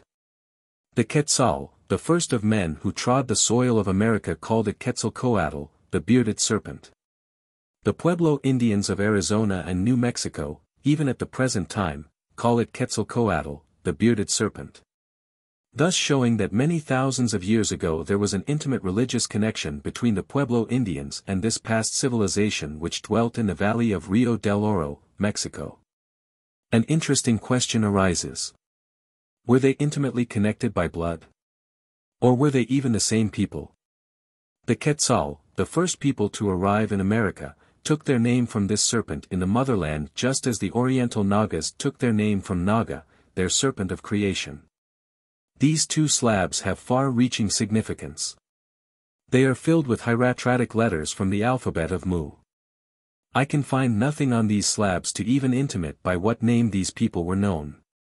Slab A Upper Division The central figure of the upper division of this slab consists of portions of the head of a symbolical serpent called Quetzalcoatl, the bearded, also the feathered serpent. A very important detail in the head are the eyes. This part of the carving is too mutilated to make anything out of it. The beard of the serpent is prominent and intact, this alone is sufficient to say to what serpent it belongs. The mouth is an oblong square in the form of the hieratic letter M. Evidently the nose and eyebrows are formed by a pair of serpents in the act of gliding away, leaving for some reason. The head is resting on the hieratic letter U, the symbol of an abyss, deep down, etc. The ends of the U are bent outwards ending with the symbol of the sun as kin, not Ra, thus showing that it is the earth referred to and not heaven. The bottom part of this division assumes the form of an urn, symbolizing the body of the earth. The U opening at the top symbolizes the abyss. Within this urn are two glyphs, squares pointing downward with the symbol, lost light, engraved upon them, literal translation the light has gone forth from the day. Slab 8 Lower Division This division symbolizes a grave where the body is lying in rest and darkness as shown by the pointer glyphs. In the upper division the pointer indicated downward, the direction taken by the body. Here the pointer is changed to horizontal. The design of this lower division is the two halves of a head placed back to back with each other. The eyes are again formed of the sun as kin, the celestial orb, again telling us that this tableau refers to the earth, not to heaven. Beneath the eyes are two conventional mouths in the form of the hieratic letter M. This form of M was used both by the Mayas and Egyptians. Within these mouths is another hieratic letter, the letter N, which was the alphabetical symbol of the serpent of creation. This symbol is universal throughout the ancient world. The American serpent of creation is adorned with either feathers or a beard, the Oriental with seven heads, but in all cases, wherever found. An adorned serpent is the symbol of the creator and creation and among all ancient peoples the hieratic letter N was its alphabetical symbol. Thus we find here in America, the same symbol used as in the Orient. Slab A. The Legend. Quetzalcoatl, the creator, the bearded serpent called him, and his soul passed on to the region of darkness, submerged Mu, there to await the call from the great serpent for reincarnation. Slab. B. Slab B, like Slab A, has two divisions, an upper and a lower. These two slabs are so intimately connected that they may be looked upon as belonging to the same legend life and death. Slab A symbolized death and B, life. Upper division. The central figure in this tableau is also the conventional head of the bearded serpent, Quetzalcoatl. In this drawing the action of the two serpents forming the nose and eyebrows differ from that in slab A. Instead of gliding away, they are here shown with their heads bent towards the eyes. The double tongue of the serpents is curving around the eye, not striking it. Their tongues form the symbol for speech, so they are giving a command. Sculptured slab B. Above and surrounding the head is the hieratic diphthong letter, DZ, a glyph with three steps, which symbolizes the three steps to the throne. In the right-hand lower corner of the slab the margin forms another DZ with the addition AM. It now reads Zam, translated He who sits upon the throne. At the foot of the throne is the monotheistic symbol of the Creator. Consequently, it is He, the Creator, who sits upon the throne. The head, as in slab A, rests over an urn having also an opening at the top in the form of U. This urn has an ornamental border composed of a string or succession of the hieratic letter N. This appears to me to form a strong adjective. Within the body of the urn which symbolizes the body of the earth are two glyphs, symbolizing darkness, I. E, the region of darkness, submerged Mu. Lower Division In the lower division of slab B we find the exact opposite of slab A. Here we find the two halves of the head brought together again and joined with opened, light-seeing eyes. This symbolizes the soul and body being joined together again, the reincarnation. This face is twice repeated, the second forming the adjective to the accomplishment. The mouth in both faces is the oblong square, the symbol of Mu, thus saying that it is in Mu that the reincarnation has taken place. This is identically the same conception as the Egyptian where the soul returns to Amenti, the region of darkness, the domain of Osiris, submerged Mu. It was also the conception of the Mayas of Yucatan, as it is in some oriental countries today. On each side of the lower division there are symbolical borders. The border on the left is composed of the third glyph of the letter H in Mu's alphabet and extends from the top to the bottom of the division. On the right-hand border at the top is the hieratic letter H, the symbol of the sacred four. The various symbols on the right-hand border read, the great serpent, who created all things. He who sits upon the throne. He who embodies the sacred four. The legend. When Quetzalcoatl, the bearded serpent, the creator, he who sits upon the throne, whose four great commands evolved law and order out of chaos, calls the eyes of those closed in sleep are opened, the time of their reincarnation has arrived. They answer the call of the great serpent and come forth into a new day. Note. The glyphs on these slabs show an intimate connection between these people and the ancient Mayas of Yucatan. They were also closely connected with the people of Arizona and New Mexico. The cosmogony of all three is identical. Quetzal and Quetzalcoatl, a popular misconception is that the sun was worshipped by the ancients.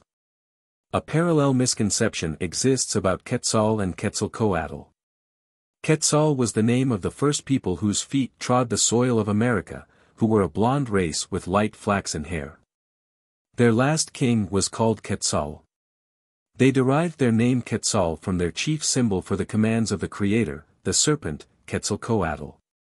Quetzalcoatl is a feathered and winged serpent. In the motherland to the south of the Quetzal were a people whose corresponding symbol was the cobra de capella, which they called Naga. They were known as the Nagas. They gave their Naga seven heads to correspond with the seven commands, or mental planes of creation. The early settlers in North America, coming, generally, from the northern parts of the motherland, made the feathered serpent their symbol. In the ancient Quiche Maya sacred book, the Popol Vuh, which was written in Guatemala, the Quetzalcoatl is referred to as the serpent covered with feathers, and the symbol of creation. In Guatemala, where the Popol Vuh was written, legends permeate the country, in which Quetzal is referred to as the last king of the blonde-white race, which occupied Central America and southern Mexico. Among the Mayas of Yucatan of later date I find that two different serpents were used to symbolize the creative commands, the Naga, the seven-headed serpent which they called Acilachapet, and the Quetzalcoatl, which they called Kukulkan. Kukul comes out of two words of the language of Mu, kuke feather and ul covered with, coated with etc., a free reading is, covered with feathers. The Aztecs as usual made a scramble out of the two words Quetzal and Quetzalcoatl, and after being thoroughly scrambled they turned the pan over, and out came Quetzalcoatl as the god. Then to add to the mix-up they gave this serpent man, or god, a son, which they called Tezcat, who was to be an avenger, for having taken the land from the Quetzal and driven them out of the country.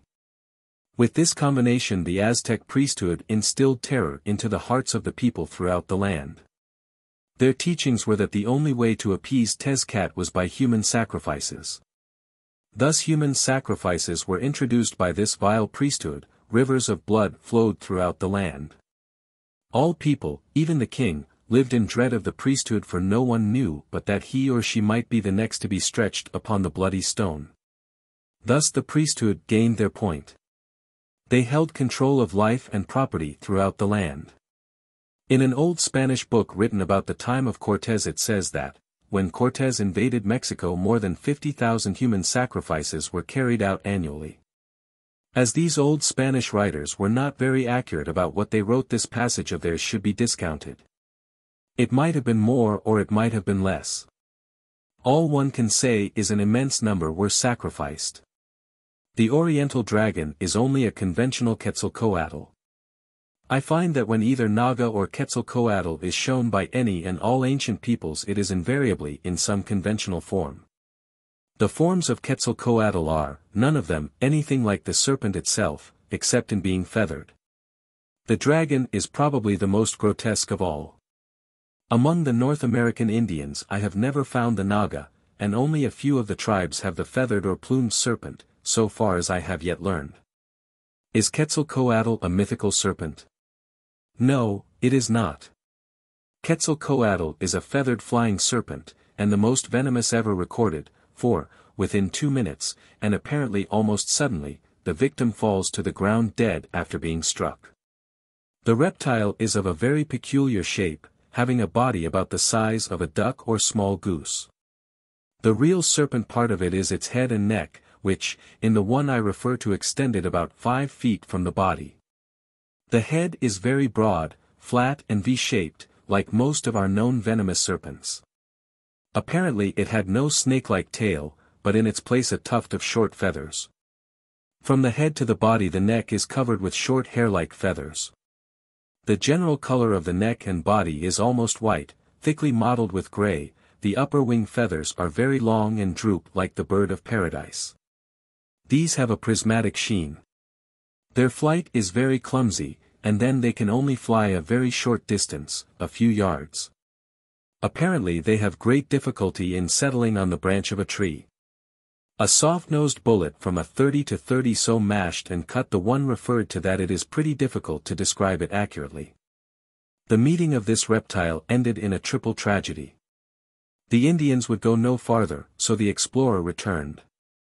It is said by the Indians that the Quetzalcoatl is to be occasionally found back in the swampy deep unexplored forests of Yucatan and Guatemala, but is very scarce. Niven's Mexican tablets show that over 12,000 years ago Quetzalcoatl was used as a symbol by the people who occupied the Valley of Mexico at that time. The origin of the Red Indian. I will now make a short review of the North American Indians, showing that nearly, if not all of our Red Indian brothers, have among themselves vast numbers of Mu's original sacred symbols. Retaining almost identically the same meanings they conveyed in Mu. These supplemented with their astounding legends show us clearly that the North American Indians came to America from Mu in boats. Times without number, it has been scientifically recorded that the North American Indians came to America from Asia via the old Bering Land Bridge. They neither came from Asia nor did they use the Bering Land Bridge, and from their own legends and writings I shall show from where they actually came and how they came to America. The trouble with our scientists in the past has been that when they came across anything they could neither comprehend nor understand, they cordially agreed that it came from Asia via the Bering Land Bridge. Being thus agreed, it became orthodox science. Our American scientists were not alone in piling up scientific accusations against Asia. The European scientists have splendidly seconded their American cousins in this respect.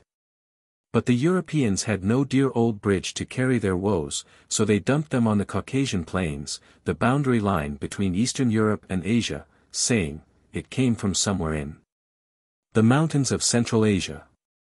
Then this became orthodox science. The Caucasian plain myth like the Bering Land Bridge dream has broken up. The European scientists have turned their venom on Africa, and are accusing it of the most unheard of things. That is no business of ours, we have our own troubles to account for our redskin brothers. We cannot deny that they are here, and that they were here when we first came to America to make it our home. So they must originally have come from somewhere, but where? I am going to commence with the Indians down in Arizona and New Mexico, then work my way up through our western states to British Columbia and Alaska. My keystone will be two Indian writings, not legends, written by the Indians themselves. These writings tell us of their origin and where they came from to America, also, how they came. In Arizona, New Mexico, Colorado, Nevada, Utah, etc., are various tribes of Pueblo Indians. They have many legends and traditions about their ancient past. During the short time I spent among them in Arizona and New Mexico they told me many of their legends. At a ceremonial dance I was astonished to see that the blanket of the chief was covered with the sacred symbols of the motherland, Mu. One symbol in particular attracted my attention, as it was identically like the central figure of the Hindu cosmic diagram, the Sri Santara. It is also the same as the motherlands, with one exception. In the motherland's diagram the twelve gates to the world beyond, are symbolized by 12 scallops. The Pueblos like the Hindus have symbolized theirs by 12 triangle points. It is needless to say that when I read the symbols which appeared on the chief's blanket, and told them their meanings, which were what they understood themselves, it was the open sesame for me to their hearts. I became at once a brother. They have a legend, that far, far back, they did not live in America, but in a land in the direction of the setting sun, across the great waters. That their forefathers came from this land to America in boats. They have a very complicated legend about the Great Flood. It varies a great deal in minor details by different narrators, but in all essential points it is the same. Many of their present-day words are to be found in Mu's vocabulary. Also, many of their other words have their roots in words of the mother tongue. Certain symbols persist from the north of Yucatan in Mexico to Nevada, Utah, and Colorado, which leads one to believe that at one time all this area was occupied by Pueblos or near relatives. Having come to America from the motherland in boats it shows that the Pueblos have been in America more than 12,000 years, the approximate date of Mu's destruction. When they came to America they were a very highly educated, civilized people. Their legends show that they knew more about geology than our scientists did 50 years ago. Why do we find them in the state they are today? The answer is the old, old, tale of mountain raising. When the mountains were raised, the earth went through a period of volcanic upheavals and workings such as she had never known before nor since. The outside parts of the earth's crust were literally torn to pieces. They were then forced up into ridges by the volcanic gases beneath, rocks were hurled and thrown from ridge to ridge, covering the valleys between. The earthquakes shook all cities and buildings into ruins, burying tens of millions of human beings in the debris. Then to complete the destruction, the most violent volcanic outbursts followed. Fire, rocks, lava and smoke were belched forth burying the whole of the surrounding country with these ejections. Few of the people in the regions of the rising mountains escaped with their lives, a few here and there only. An Oriental legend states that nearly a billion of lives were lost in Asia during the raising of the Asiatic mountains. In America stands a lava flow 26 feet thick and nearly 30 miles long. This is from one out of many surrounding craters. I find no record of the loss of life in America, it was, however, great. After the mountains went up destroying most of the people and their country, the surviving pueblos, to carry on, had to resort to primitive methods, so that they could only carry down by legends a few details of their great past. Nevada. The following symbols have been found carved upon the rocks of Nevada. Some of them were etched before the mountains were raised on which they now stand, others were written after the mountains had gone up. There are two distinct dates when these writings were made. Those that were etched after the mountains went up are much more recent than those which were written before the mountains were raised. Probably thousands of years intervened between the two. Among these Nevada writings there are three very distinct sets. 1. This is a symbol of the rising sun. Universal throughout the world. 2. Symbol of the setting sun. Universal throughout the world. 3. Symbol of the sun at his meridian universal throughout the world. 4. Symbol of the Sacred Four. The four great primary forces. Universal throughout the world. S. Symbol of the Sun as Ra. Universal throughout the world. This is the earliest pattern of the Sun as Ra. 6. The plain-colored disk without rays symbolizes that the Sun has sunk below the horizon and is giving no light to the land. 7. A colored disk with three feathers appearing above symbolizes, first the plain disk darkness second the three feathers symbolizes Mu. A free reading Mu is in the region of darkness, no light shines upon her, she is dead, submerged. 8.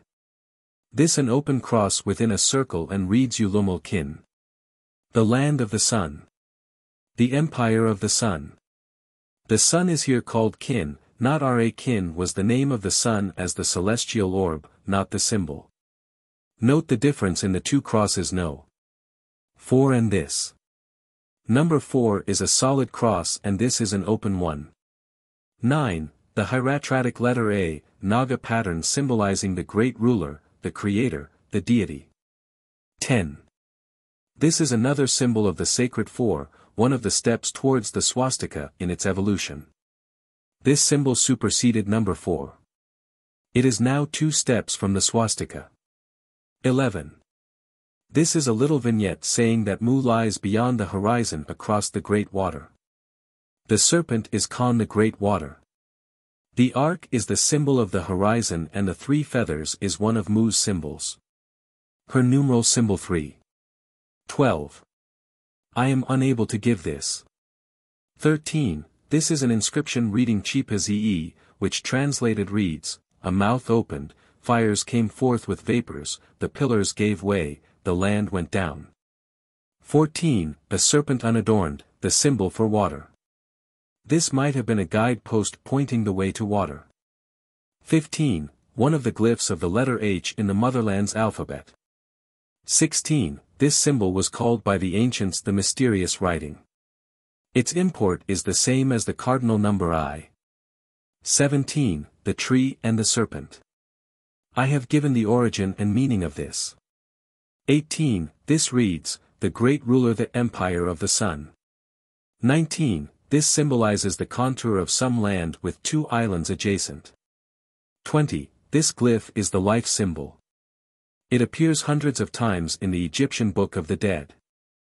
An exact duplication of this glyph will be found at the base of the naos or chair of Osiris. There it is many times repeated. Book of the Dead, Chapter 125. 21. This is the bud of a lotus flower. The floral symbol of Mu. The sacred flower among all ancient peoples. 22. An Uyghur symbol. Gone down from the sight of the sun.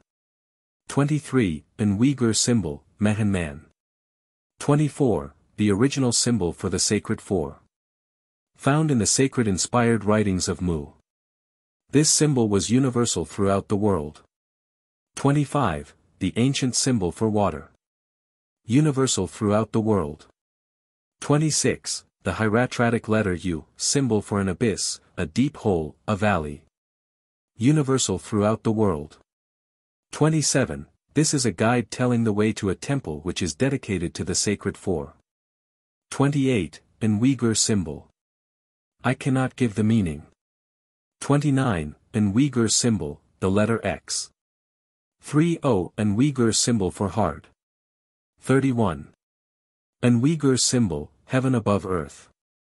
32. An Uyghur pattern of the feather, symbol for truth universal throughout the world. 33. One of the glyphs for the letter N in the alphabet of the motherland. 34. A human hand, not a symbol. 35. The ancient symbol for the active and passive elements in nature. Universal throughout the world. 36. An Uyghur symbol, fires of the underneath. 37. An Uyghur pattern of the symbol for multitudes. The Egyptians reversed the leaf, having the stem on top. 38. An outline of an animal, not a symbol. 39. The skin of an animal, not a symbol. 40. Tracks of an animal, not a symbol. 41. An animal's head, not a symbol. 42. One of the glyphs of the letter H in the alphabet of the motherland. A, B, C, D, E are symbols perfectly new to me. I have no key whereby I can read them, and there are not enough out of which to form a key. In this collection of Nevada symbols, there is a great mix-up of Naga and Uyghur characters. They show, however, a very close connection with the ancients of both Yucatan and the people who wrote Niven stone tablets. There are two distinct eras of writings, written by neither Naga, Uyghur or Yucatan Maya, probably one or two of the ten tribes of the motherland, who were in close proximity with all three in the motherland. Among the Klamath Indians of Oregon there are to be found several legends one about a great flood. In Washington and British Columbia among the Kootenai Indians they have a legend stating that, their forefathers came to America from the land of the sun. Land of the Sun and Empire of the Sun were the common names for Mu before she was submerged. Upon one of their ceremonial dresses I found a border with the hieratic letter M, Mu's alphabetical symbol. Prominently resting over the left breast of the wearer was an emblem, an eight-rayed sun, the central figure of Mu's escutcheon. The sun was a pale yellow, the rays of a warm pinkish red with their points a pale blue. Blue was Mu's symbolic color. I think this symbol in conjunction with their legend clearly proves that the forefathers of the Kootenai Indians originally came from Mu, also that they themselves are aware of the fact. Ornament on a ceremonial blanket. Kootenai Indian, British Columbia. Fan with moose symbol, eight-pointed sun. Gilbert Islands. I will now take a leaf out of the history of the Haida Indians of Queen Charlotte Island, near Alaska. The leaf is a totem pole, one of the prettiest and one of the most interesting totem poles I have ever seen. The pole is capped with a large eagle-like looking bird which is called the thunderbird.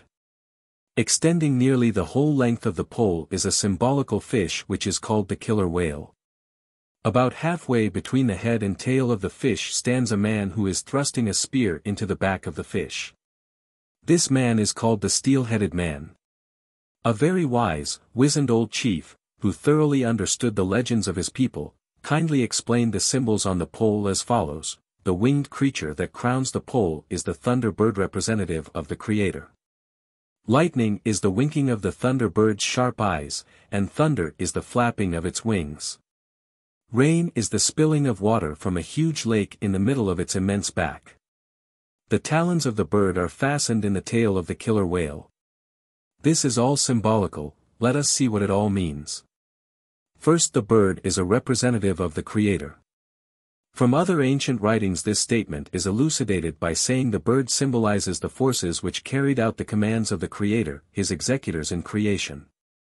Birds as symbols for the creative forces are common throughout the world. The thunderbird appears to be the universal symbol among the Indians of our Northwest. Thunder, lightning, rain, etc., are ascribed to the thunderbird. This is again true, the thunderbird being the executive of the supreme power. The natural phenomena result from the workings of what we call nature, and nature is the will of the Supreme. Bird symbols for the four great creative forces are found in Mexico, Central America. Egypt, Assyria, Babylonia, India, among the Hittites, etc., in fact among all ancient people, so that the thunderbird follows in line with the rest.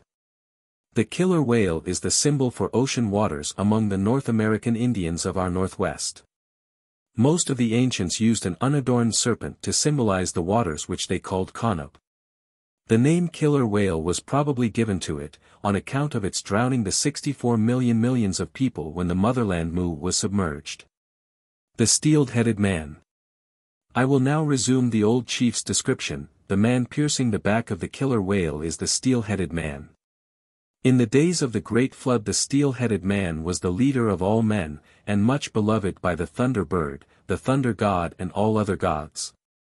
When the flood swept over the face of the earth the gods feared for the life of the steel-headed man whom they miraculously changed into a steel-headed salmon. There again we have a great symbolism. It says the steel-headed man was the leader or governor of all men. This clinches the point that the steel-headed man was the symbol of Mu among the Haida Indians.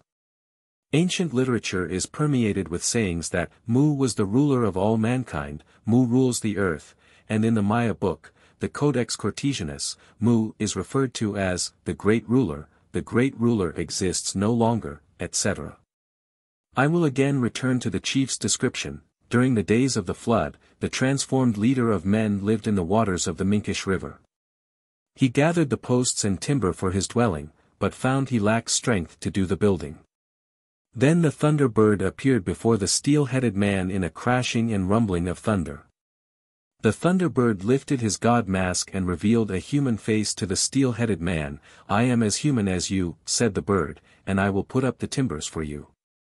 There shall I stay with you to set up your tribe and be your protector forever. Then with four claps of thunder, the bird caused to appear a group of warriors who sprang out of the crashing din full armed. They with the steel-headed man were the nucleus from which the Haida people grew. There we have a myth so covering a legend that it becomes hard to extract the legend from the myth. Steel and steel-headed salmon were names unknown in America, up to a few hundred years ago. At this point there is also an omission in the legend. How did the steel-headed salmon become a man again? How did the group of warriors arrive, and where did they come from? There is no mention of women without whom the tribe could not be formed. In many of the oriental pictures of emigrants leaving Mu by boat, they are pictured as fish jumping along on the surface of the water. Was the steel-headed man one of these jumping fishes? In completing the reading of the totem pole the old chief said that the base told the tale of the killer whale and the sea lion.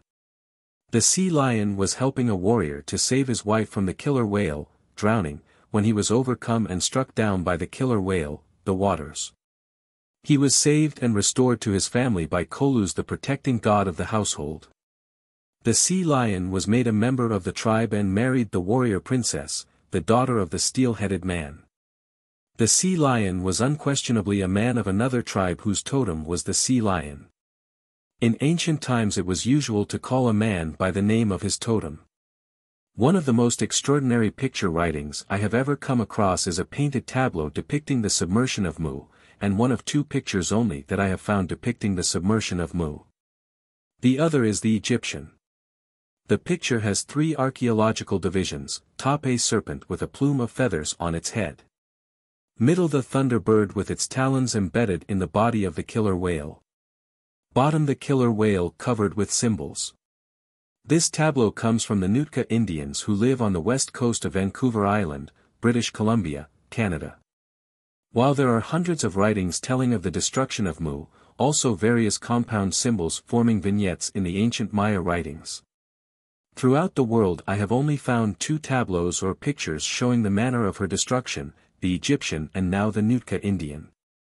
There is, however, a marked difference in the two. The Egyptian depicts Mu falling into an abyss of fire, while the Nootka Indian depicts her as being submerged and covered with water. Two phases in her destruction and both correct. The three divisions are deciphered as follows. Top. The serpent. This serpent has a plume of feathers on its head, it is therefore an adorned serpent, the well-known Quetzalcoatl of the Mayas, and the symbol of the deity as the creator among the northern people of Mu. Thus the picture commences by saying that the creator is dominating what is proceeding below. Middle. The Thunderbird. Thunderbird legends permeate the tales of the Indians of the Northwest. Birds were one of the symbols, symbolizing the four great primary forces which are the executors of the deity's commands. Birds were the favored symbol to express these forces in the northern parts of Mu, while to the south crosses were more frequently used.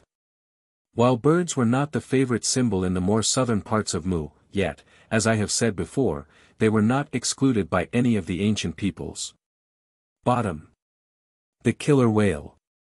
This division is the crux of the whole picture the top and middle amounts to but a preliminary setting. The killer whale is purely a conventional fish, just a symbol. The eye is made out of the compound symbol mother and land which, conjoined, reads motherland. The pupil is a solid black square symbolizing darkness, therefore the motherland is in darkness. The neck is shown as broken, with the symbol, abyss and magnetic forces, falling from the wings of the thunderbird, the four great forces, into the broken neck thus showing that it is subsidiary forces coming from the primary that is accomplishing the destruction. Within the mouth is the symbol for flowing water, at the end of the mouth a passageway is shown. Beyond this passageway is the hieratic letter U, the alphabetical symbol for an abyss, thus saying the motherland has been carried down into an abyss of water. Directly following the abyss is the Uyghur numeral 4, 4 bars. On the backbone is the Naga form of number 4, for circles or disks. The number 4 was the numeral symbol for the four great primary forces. Above the backbone are five bars, the Uyghur way of writing 5. 5 was the numeral symbol of the full or monotheistic godhead. Legend. Thus repeating within the fish what was said by top and middle figures. The whole as a legend would read, the creator ordered or commanded the submergence of Mu. His executors the four primary forces proceeded to carry out the command by dispatching subsidiary forces to do the work. These caused the land to sink and the waters to cover over the sunken land. Chapter 8 The Mound Builders of North America None of the prehistoric races that have inhabited North America have caused more interest and speculation than the mound builders. Among their remains, in their mounds and burial grounds, have been found pottery of a high order, bone needles with eyes, stone pipes with elbows, strings of fine beads made from shells, fragments of cloth, ornaments of catlinite, silver, copper and tortoise shell, and some strings of extraordinarily large pearls, etc. 1. On their ornaments and pottery are found various religious symbols, connecting them with a prehistoric race in Mexico and with Mu, the motherland of man. By these symbols it is shown that they possessed a highly scientific knowledge, for they perfectly understood the great cosmic sciences which today are just dawning on our scientific world. The cosmic sciences include the origin and workings of the four great primary forces, the parents of all forces. My object is not to attempt to give a history of the mound builders but simply to give some of the highlights about them which apparently have been overlooked by the archaeological authorities who have been keeping the public informed regarding the mysteries of the mound builders. My object is to show their great civilization, which I think has been underestimated, and that they came from Mu via Mexico. Regarding the time when they were living in America I have found nothing whereby even an approximate date could be suggested except that it was after Atlantis went down about 11,500 years ago. My opinion is that they were among the last of the prehistoric races that can be called prehistoric. Geographically they occupied what may be termed the Mississippi watershed. This area before the sinking of Atlantis was a shallow inland sea extending north from the Gulf of Mexico. The sinking of Atlantis in the Atlantic Ocean formed an immense hole in the Atlantic. To fill this in and level off the waters the surrounding waters were drawn in. This drew off the waters from various shallow inland seas, made them either dry habitable lands, or swamps. It also extended the coastlines. During the process of the readjustment of the waters the Mississippi Valley was drained. Even after the land was drained it was a long time before it assumed a condition where man could live and thrive upon it. This condition seems verified by the fact that no remains of the cliff dwellers, or those that preceded them, have been discovered in the Mississippi Valley proper. The end of the mound builders, like the Khmers of Cambodia, apparently came very suddenly, leaving no trace behind it. While the mound builders show no cause for their apparent sudden disappearance the Khmers do, for it is geologically shown that the Khmers were destroyed by a flood. A cataclysmic wave having rolled up the Mekong River and surrounding Khmer country. The mound builders as a people are gone, but did they leave no descendants in America? If sacred symbols, which I have found the most reliable source with which to trace the movements of people from time to time, are acceptable, I say this after 50 years of study, then we have something with which to make a start. This, with other evidence which may hereafter be found, may eventually show that they have descendants still among us in some of the Indian tribes of our southwestern states. Figure 1 is a bottle recovered from a mound on a line between southeast Missouri and Arkansas. Therefore, this is of ancient workmanship. Figure 2 is a water bottle I personally own. It was bought from Indians in New Mexico within the last 10 years and was perfectly new when given to me. This, therefore, is modern. The main figure on each of these two bottles is identical, with the exception of coloring. The ancient has a creamy white ground with brilliant figures. The modern has a brick red ground with black figures edged with white.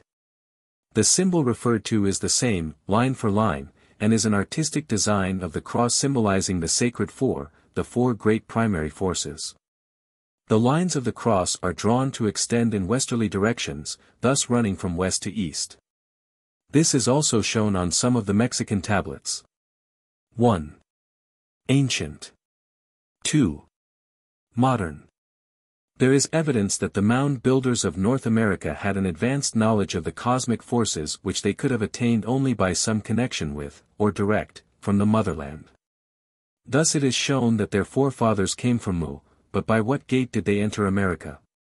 I find among the traditions and lore of the Indians who now are on the lands where the mounds are found that, the mound builders came to the Mississippi Valley from Mexico. Can these traditions of the Indians which say that the mound builders came to North America from Mexico be proven? I already have shown one example where an ancient prehistoric people of Mexico had the same symbols as the mound builders, conveying identically the same meaning in both cases. By comparing other symbols of the mound builders with those found carved on Niven's Mexican tablets it appears to show some definite connection between them, and that these Indian legends are history, orally handed down. Water Bottle From a mound, Mississippi County, Missouri. As an example, I will take the symbols found on another mound builder's water bottle and compare them with some of the symbols on the Mexican tablets. Here we find an exceedingly strong link connecting the American mound builders with the prehistoric race of Mexico, heretofore referred to. Symbol of the construction and workings of the sun. This symbol is one of many found on a mound builder's water jar in Mississippi County, Missouri. And is a diagram showing how the forces of the sun are generated and carried throughout the solar system. The dissection of it shows that the Sun has a hard crust and a soft center. That the Sun is being revolved by her superior Sun from west to east. The revolving hard crust carries around the soft center in the same direction, but not at the same velocity, thus forming a frictional line, a magnet. This is shown by the soft material in the center being curved. It is shown to refer to the four great primary forces by the central soft material being divided into four arms forming a cross, the first and original symbols of the four great forces. The form of the rays of the sun are in the shape of the symbol for activity, thus saying that the rays are active in carrying the forces somewhere, i.e. The generated forces are taken from the hard crust by the rays and delivered in a manner to carry out certain functions not shown in this diagram. This diagram of the American mound builders is the only one I have come across so far that fully carries out the writings about this phase of the sun, which are found in the books of the Golden Age. And thus showing the excellence of the scientific knowledge of the mound builders of America. Many of the Mexican tablets give parts of it but none in whole as does this one. Writings from Egypt show that they understood the cosmic forces in 1200 B.C., but how much later I cannot say. The mound builders of America date back to when? This brings forward a question since when were the cosmic sciences lost to the world? Yet, they have never been entirely lost. The old Rishi understood them. Scraps of them still are known in the Orient and among the Polynesians, and I am not so sure that some scraps are not known among some of the tribes of the North American Indians. I have good reasons for saying this. In this diagram the sun is drawn as representative of kin, the celestial orb, and not as Ra, the monotheistic symbol of the deity. The foregoing are definitely the teachings found in the sacred writings. This is a compound cross symbolizing the sun as the celestial orb with a white cross in the center surmounted with a red cross. The white open cross reads Ulumil, which translated is the country of, the land of, the empire of and being within the sun, reads the empire of the sun, Mu. The plain cross surmounting the white open cross is the oldest and original symbol for the four great primary forces, sometimes depicted with the swastika, subsequently termed the good luck symbol. Mound Builders Mexican Showing the four primary forces moving from west to east. I have selected just one of the Mexican tablets to show beside a mound builder's symbol, Niven's number 1331. I have taken this Mexican tablet for comparison as I have hitherto, in various of my writings, stated that this tablet was one of the most important among Niven's collection of over 3,000, and one of the most important finds in any part of the world. In both cases the mound builders and the Mexican show the four great primary forces emanating from the Creator, and are said by the ancients to be his commands, his desires, his wishes. They are, in both symbols, shown moving from west to east, thus causing the whole universe to revolve from west to east, and all living moving spheres to revolve on their axes from west to east. This is a universal symbol found in all ancient countries throughout the world. It is a picture of the sun as Ra, the monotheistic symbol of the deity. Mound Builders Symbols. Line 1. Figures 1 to 5. All these symbols are pictures of the sun, and are universal, that is, they are found among the writings of all ancient peoples. Line 2. Figures 6 to 10. These five symbols are all recording the four great primary forces, and that they emanate from the Creator. Figs. 6, 7, and 8 are frequently found among Niven's Mexican tablets, and in the Mexican they are always shown as originating from the demand or order of the Creator. Figures 9 and 10 are more universally found among ancient writings. Mound Builders Symbols. Line 3. Figures 11 to 15. These figures symbolize the Earth's forces and their origin and the manner in which they work. Figures 11 and 12 are skeleton, or outline, drawings of 13 and 14. These four figures show the Earth's molten center being carried around and grinding against the Earth's hard crust. This grinding forms a frictional line between the two, which in turn forms a magnet. The magnet has two divisions, one affecting forces, the other, elementary matter. The division, having control over elements, is what is commonly known as the force of gravity, therefore, what is known as the force of gravity is the power of the cold division of the Earth's great central dual magnet. The division, having power over forces, affects the Earth's forces only. It has no control over any forces emanating from beyond the Earth's atmosphere. Fig. 15 shows the Earth's forces passing out of her body into the atmosphere, they are thus drawn out by their affinitive forces carried in the sun's rays. Earthly forces like elements become exhausted, and when exhausted the sun's affinitive forces have no further attraction or control over them. The central magnet then proceeds to draw them back into the great frictional line where they are regenerated and again sent to perform the duties required of them by nature. I may say further that this example of the workings and origin of earthly forces may also apply to all revolving bodies throughout the universe, and thus show that a single divine system is controlling the universe. Line 4. Figures 16 to 20. These are also symbols of the four great primary forces. Figures 17, 19 and 20 are shown as emanating from the deity. Fig. 16 is the original and oldest symbol for the sacred four or the four great primary forces as it is found in the sacred writings of Mu, which are more than 70,000 years old. All of these symbols are found embodied in the Mexican tablets. Fig. 19 is an exact duplicate of what I have heretofore given as the pyramid cross. Line 5. Figures 21 to 24.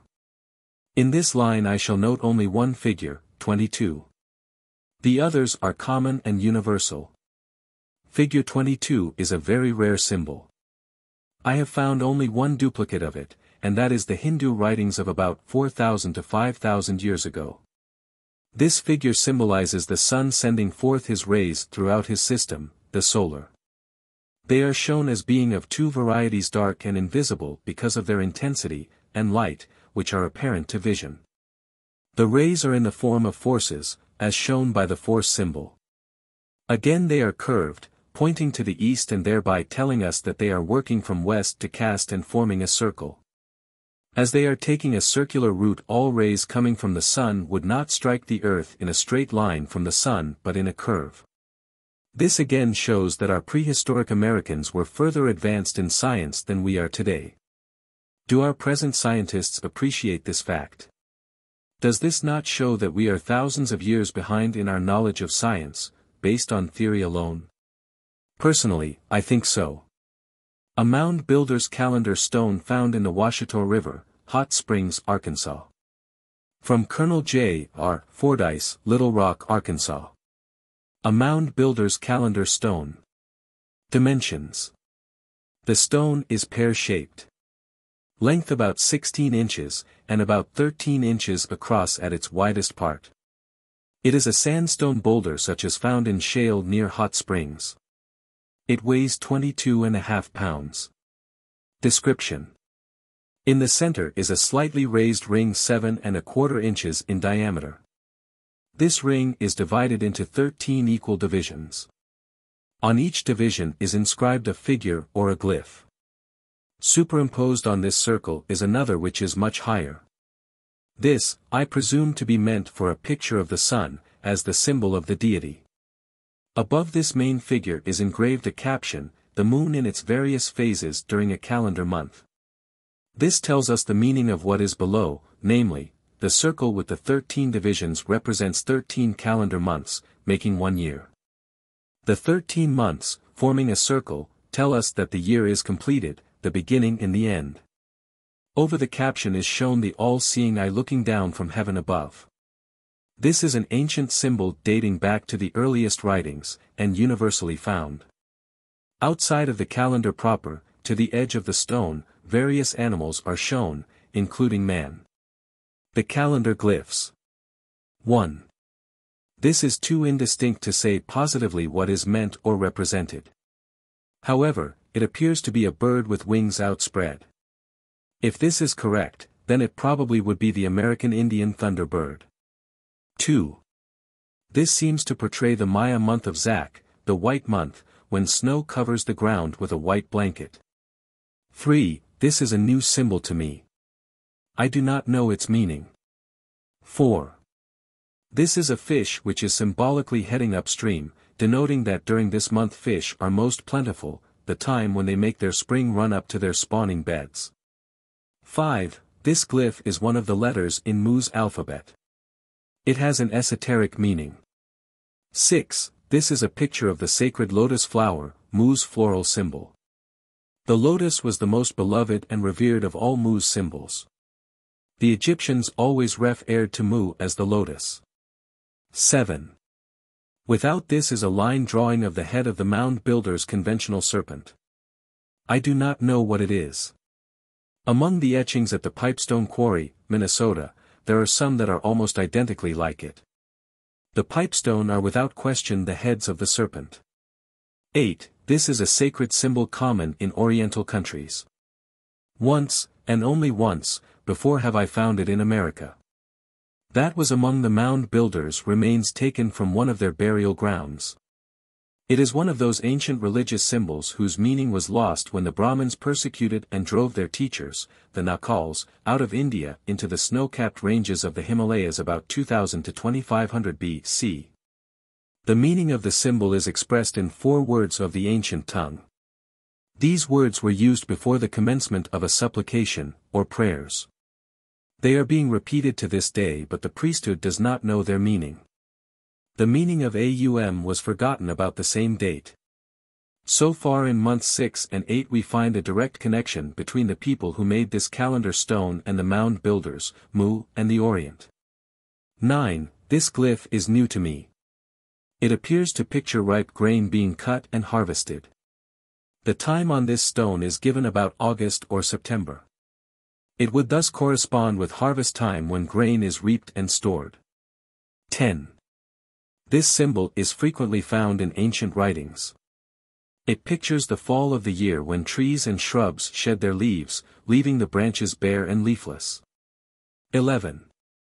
This is one of the most conclusive symbols on this stone and directly connects the makers of this stone calendar with the mound builders, the Polynesians, and therefore, Mu, as their ancestors came from the motherland. The symbol is the gray and black pointed spider, which is discussed later in this chapter. I have received information that similar spiders have been found among the treasures recovered by Schliemann in ancient Troy, Asia Minor. These, however, I have not seen. 12. This symbol is questionable. Is it the outline of a deer? 13. This is certainly an outline drawing of a bison. It is now the last month in the year, the head of this buffalo is pointing in. Is this the time of the year when food has become scarce further north and he is now working into the south where conditions for the time being suit him better? I think so. The same question applies to the twelfth, the deer. Comments. There are various animals shown on the outer side of the stone. These I have not taken into account although two are very prominent in ancient picture writings and in Indian legends. It must be apparent that the designers of this calendar stone were acquainted with the cosmic forces and the cosmic sciences as taught during the first great civilization. Therefore, America at one time was enjoying the highest civilization the earth has ever known.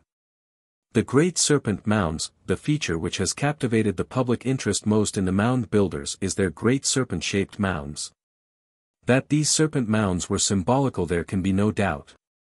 Serpents of various patterns and designs have always, from the beginning of religion, played an important part in religious ceremonies, not among one particular race but among all ancient people from the time symbols were first used. One of the most important of the American serpent mounds is situated at Brush Creek near Peebles, Ohio. I cannot say definitely in what way this serpent mound was symbolically used whether as the seven great commands of creation, the waters, or the destruction of Mu, the motherland. Possibly it may have included two of the foregoing. That it, or ceremonies connected with it, referred to Mu there is ground for belief for the following reason, it is stated that some of the serpent mounds have sacrificial stones or altars upon them. With the possibility that all had them originally. As Mu went down it was into a fiery abyss, fires of the underneath. It became a custom among all surviving peoples thereafter at various times and occasions to commemorate her destruction by fire. Fire is shown to have been used in commemorative services by the Mayas and Quiches who had their fiery house, and the Egyptians who used a fiery tank, and others who used burnt sacrifices of some description. In England near Stonehenge there is a serpent mound said to be an exact duplication of the American at Peebles, Ohio. Thus, we find in England a specialized symbol of the same as used by the mound builders of America, and in both cases the same meaning and conception is conveyed. What is a reasonable deduction? Common origin, without doubt. By what route did the mound builders get into England? It is questionable when we trace the various symbols that have been found in England, and the still more pronounced display found in Egypt. Spiders. While the great serpent mounds have captured the most public interest among the mound builders' relics, the spiders have the greatest fascination for me, personally. While exploring among the South Sea Islands some 50 years ago I constantly came across legends about the gray and black pointed spider. These legends showed that the spider was symbolic of something, and that it was a sacred symbol, but of what I could not determine. The legends were all too obtuse. As examples. There the gray and black pointed spider would have mounted to heaven, but he was held back by the bitterness of the cold. The roads were cunningly constructed to represent the web of the grey and black pointed spider, and no man could discover the beginning or the end thereof. Now after waiting fifty years and having given up all hope of ever solving the riddle of the grey and black pointed spider I find the answer given at our very doorstep. Truly, here in America lies the key to unlock the great past history of man. These spiders were brought to my notice by my friend, Dr. Thomas M. Stewart, of Cincinnati, Ohio. They are engraved on circular pieces of shell, and on each of their backs is a symbol showing what they represented. These peculiar relics have been found in the burial vaults of the mound builders of Missouri, Arkansas and Tennessee. Because of the location of the places where they have been found Dr. Stewart suggested that they might have been used in the same manner as the scarab in the Egyptian burial chambers. The symbols on the backs of these spiders are duplications of the symbols found as ornaments on the water bottle shown on page 241. Number 1 is the original symbol for the four great forces shown in number 2 on page 241. Number 2 shows the forces working from west to east as in number 3 on page 241. Number 3 is the same compound symbol as shown in number 2, page 241. Some of these symbols are shown on pottery recovered from the ancient ruined cities in Crete, Cyprus and ancient Troy too in Asia Minor. Although exceedingly rare, I think that the gray and black spider, as a symbol, had a wide range at one time and we still may find many of them on pottery that have been overlooked because their import was unknown. I think that the foregoing bears out my assertion that merely digging up old remains, symbols, inscriptions and writings is not archaeology, that archaeology is the reading of these symbols and writings when found. A builder, digging a foundation for a structure, who unearths a stone bearing an ancient inscription does not make the builder an archaeologist he is only a builder. A farmer, plowing his ground, turns over an old stone with an inscription on it. This does not make the farmer an archaeologist he is only a cultivator of the soil. Or his son may be digging potatoes and unearth an old piece of pottery. The sun is only a potato digger, not an archaeologist. The mound builder's symbols, before they are read, are only artistic ornamentations and mean nothing, just potatoes on a piece of pottery.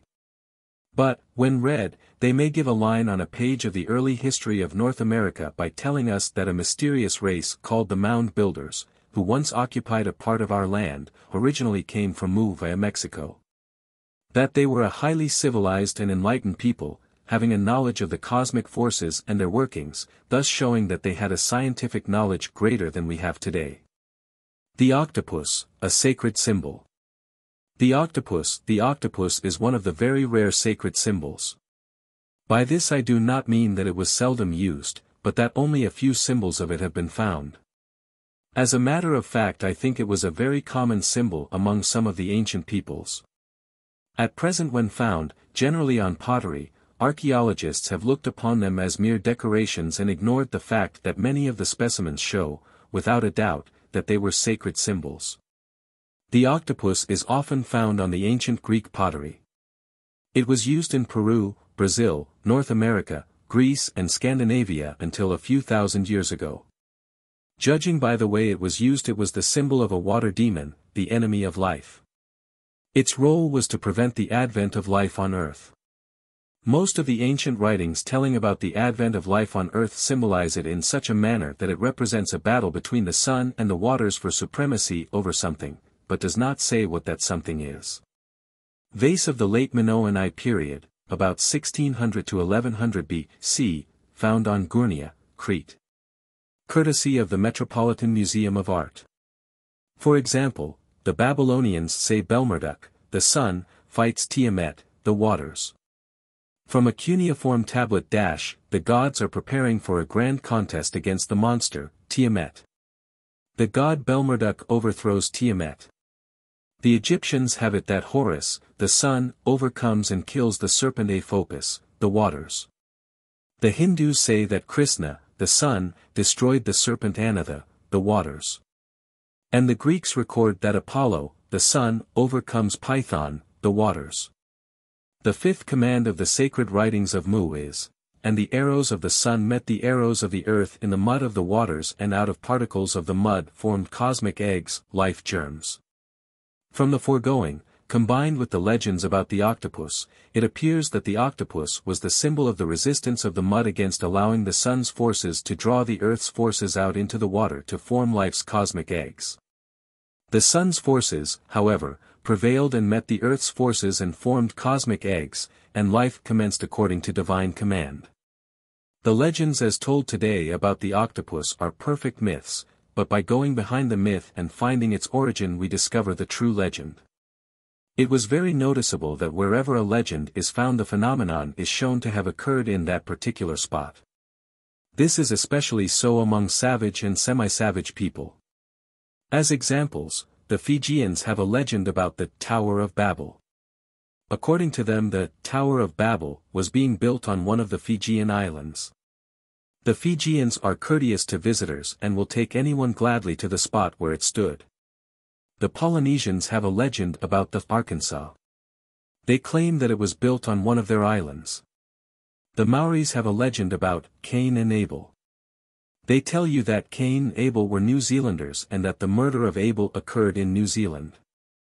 The symbolic octopus, like the sun, is known by many names, its name being taken from the language of the people where it is found. With all people the octopus was a water demon and the enemy of life. It had no other meaning. Shadows from Greece and Asia Minor. From the ancient cities of the Grecian archipelago in Asia Minor, which have been and are being unearthed, many pieces of pottery have been found which have the octopus either engraved, raised or painted on them. Making prominent and striking decorations. In Crete, Cyprus and Troy many fine and perfect specimens have been discovered. Fortunately, the motif designs vary considerably which gives one a fair chance to read their correct meaning, as for instance, on vases B and C in the Cyprus group. On both the tentacles and body are intact. Here the octopus is simply a reminder of that which it symbolizes. Vase A, from the same ruined city, shows a totally different phase.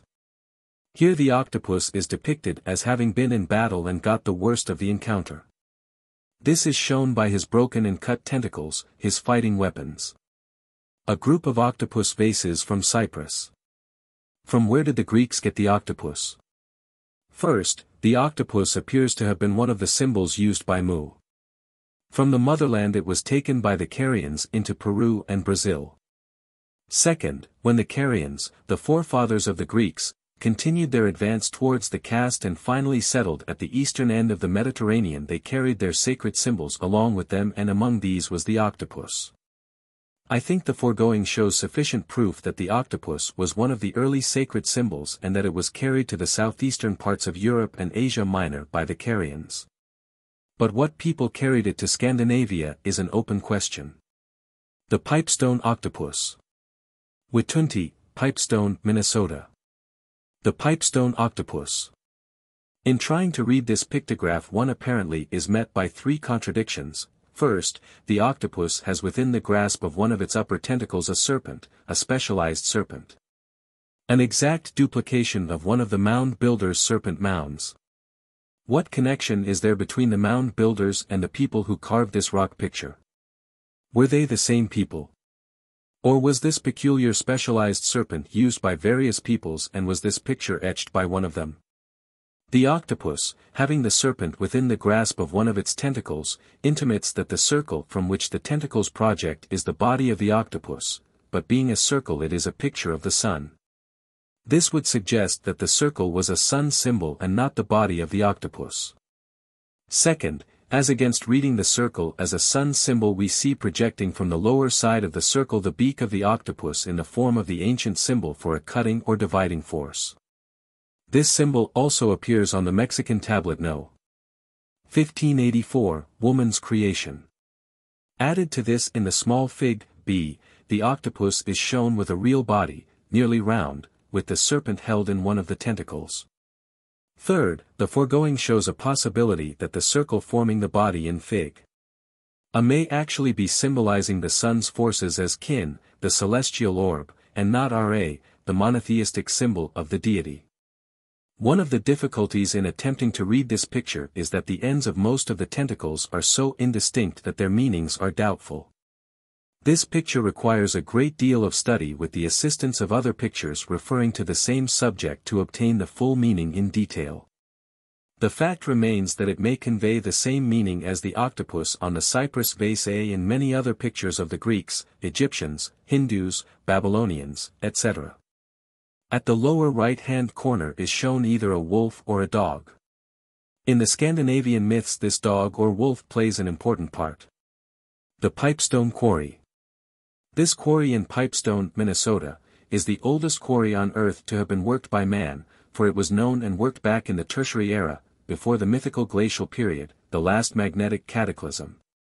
Gilder's Pipe, Omaha, Nebraska, over 15,000 years old, made out of the red mottled stone of Pipestone Quarry. The age of the Pipestone Quarry is proven by two facts. First, by Gilder's pipe which was found among the remains of man who lived during the Tertiary era. The clay from which this pipe is made is found only at one spot on Earth, as far as is known to geology, and that is at Pipestone. The geological name of this stone is catlinite. It has been claimed by some that catlinite is also found at Feurt Farm about 3 miles from Portsmouth, Ohio. The only way that this can be decided satisfactorily is by comparing the chemical analysis of the to the Pipestone deposit and that found at Portsmouth. According to Indian traditions the location of the Pipestone quarry was lost for a long period of time. Its rediscovery forms one of the Sioux legends. The Indian legends about the pipestone and other subjects are fascinating, and when shorn of their mythical adornments tell us that the first Americans came from Mu.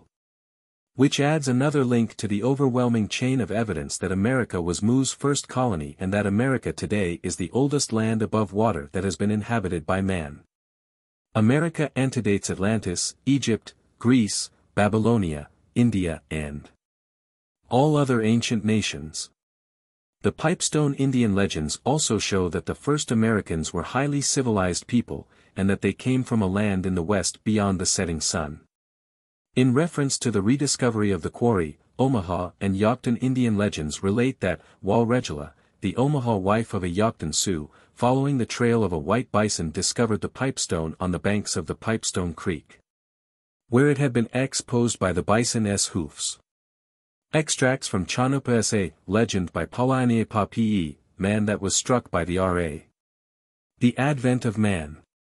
In the far-off past. A million, million, million moons ago. The first of mortals to this earth below. By great Wakan was cast. The first Dakota molded from a star. He tossed and watched him fall. Down through the dark. Till he alighted there. Upon soft ground. He was not hurt at all.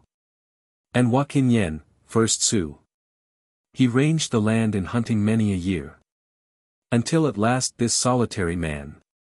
Where afar we see the sunset.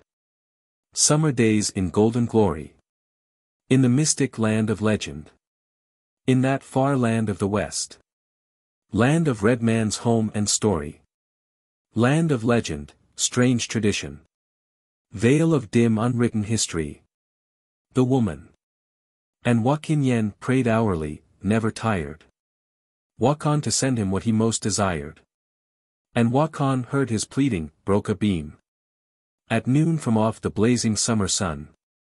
And molded, fashioned beauteous as a dream. The first of all her sex the longed for one. Sweet Kotanka. The demon octopus. Waitung Ti, he that stayed. By day in the river's mud. Waitung Ti, he that feared. Wakin Yen's bow and shaft. A monster he. Then Wakanda, vengeance taking. For the murdered Sunbeam's daughter. Then he seized a blazing tail star. Formed another mighty arrow. Sent it flying to Wakinyen. The Wakinyen rose up quickly. By the blazing shaft he sighted. Twang! Behold it forward flying. See it flare and flash and hurtle. Through the rain of fiery sparks. Through Waitunta. This appears to me to be another version of the fight between the sun and the waters, for the creation of life, so frequently found in the ancient writings on the creation. While other Indian legends refer to Mu none of them say what she and her people were like or where she lay except that she was, beyond the setting sun. This Sioux legend goes further it describes the land as being tropical, summer days in golden glory. That the teller of the legend was cognizant of the fact that Mu had disappeared and was no more is shown in the passage, the mystic land of legend. It also tells us that legends about her greatness and civilization were being orally handed down. Land of Red Man's Home and Story, informs us that the Indians know that originally they came from Mu. Dim unwritten history, tells us that as far as the Indian knows there is no written history of Mu, only legendary. Another interesting bit of pipestone lore is the symbolic bird of creation. Here at Pipestone among the Sioux legends we again find the bird of creation the symbol of the creative forces throughout the world. Catlin, in 1836, recounting his visit to the Pipestone, says, Not far from us, in the solid rock, are the deeply impressed footprints of the Great Spirit in the form of the tracks of a great bird. See Fig. C. page 242. The following are extracts from a Sioux legend, before the creation of man, the Great Spirit, whose tracks are yet to be seen on the stones of the red pipe in the form of that of a great bird.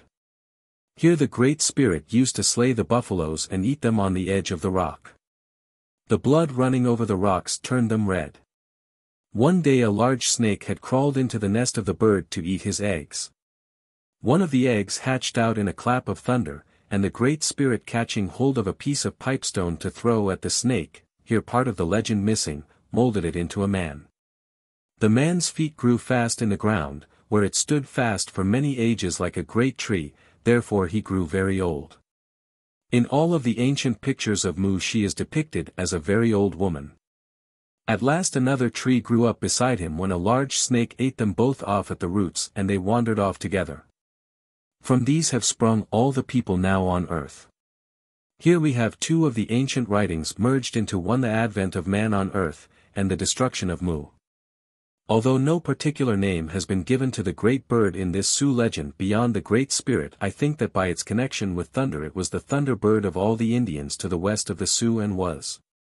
As told by the old Haida chief, the symbol of the creative forces.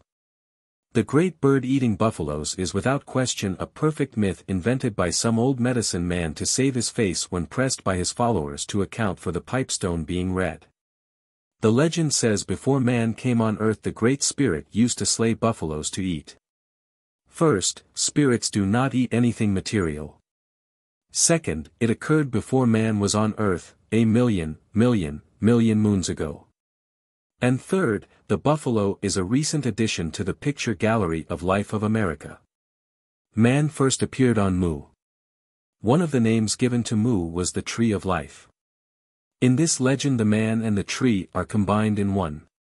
Yet this is not so far wrong, for the sacred writings of Mu tell us that Mu was the tree of life and that man was its fruit. This is corroborated where the Sioux legend tells of a great serpent biting off the trees at their roots. A serpent was always the symbol for the waters and when Mu was destroyed she was swallowed by the waters. Biting, in the Sioux legend, is a correct word to use symbolically, for Mu was certainly bitten off from the rest of the land above water. From these have sprung all the people that now inhabit the earth, clearly shows that this refers to the migrated children of Mu and is confirmed by the saying, they wandered off, for they had left the land of their birth where they grew up. To go to other lands where they might find living easier. All extracts, pictures and information about the Pipestone are taken from a booklet entitled, The Pipestone Indian Shrine, by Miss Winifred Bartlett, president of the Pipestone Indian Shrine Association. Who kindly and courteously sent me the booklet from which to make notes, with a view of placing America where it belongs on the ancient map, and to give the redskin his just due. The translations of the Indian legends are by D. Ivan Downs. Chapter 9 Religion in Egypt and India The Egyptian pantheon Many of our religious conceptions today are strong reflections of the old Egyptian. One might say indeed that our present-day religion came to us from Egypt via the Jews. For that reason I have decided to give in this book an Egyptian pantheon, which I have made up from the Egyptian Book of the Dead. In many cases, it will be seen that the symbol of a certain belief or conception is represented by more than one god shown in the pantheon. Under different guises and different names they, however, symbolize but a single conception. This comes from the scrambling of two sets of symbols when Upper and Lower Egypt were joined and became one kingdom. I am giving 24 figures placing them 6 on a page for easy reference. There are many others which I have not included. These are the principal ones only. I can only give an outline description, space will not permit of more. If more data is required about them, it will be found in many books written about Egypt. Amen was the great god at Thebes, and was addressed as the King of the Gods. The Latinized form of the name is Ammon. The Romans identified him with Jupiter. The Greeks called him Zeus. He is also called the hidden god. Before the 18th dynasty he was worshipped at Thebes as Amen simply, but was afterwards merged into Amen Ra, the hidden sun. His color was a light blue. Neph was called the Molder. He was known by the Greeks as Nonphis. Neph is one of the oldest of the Egyptian gods and was especially worshipped in Nubia and Philae. His headdress is a ram's head surmounted with a solar disk and uraeus. Neph is spoken of as the soul of the universe and the creator. His color was bright green. Neph's female consort was Suti.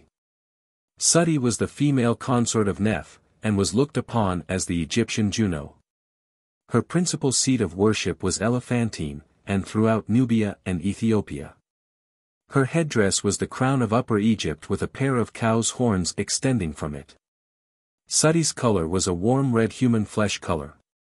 I think that there can be no question but what Neph and Suti were intended to symbolize the two principles of the Creator, male and female.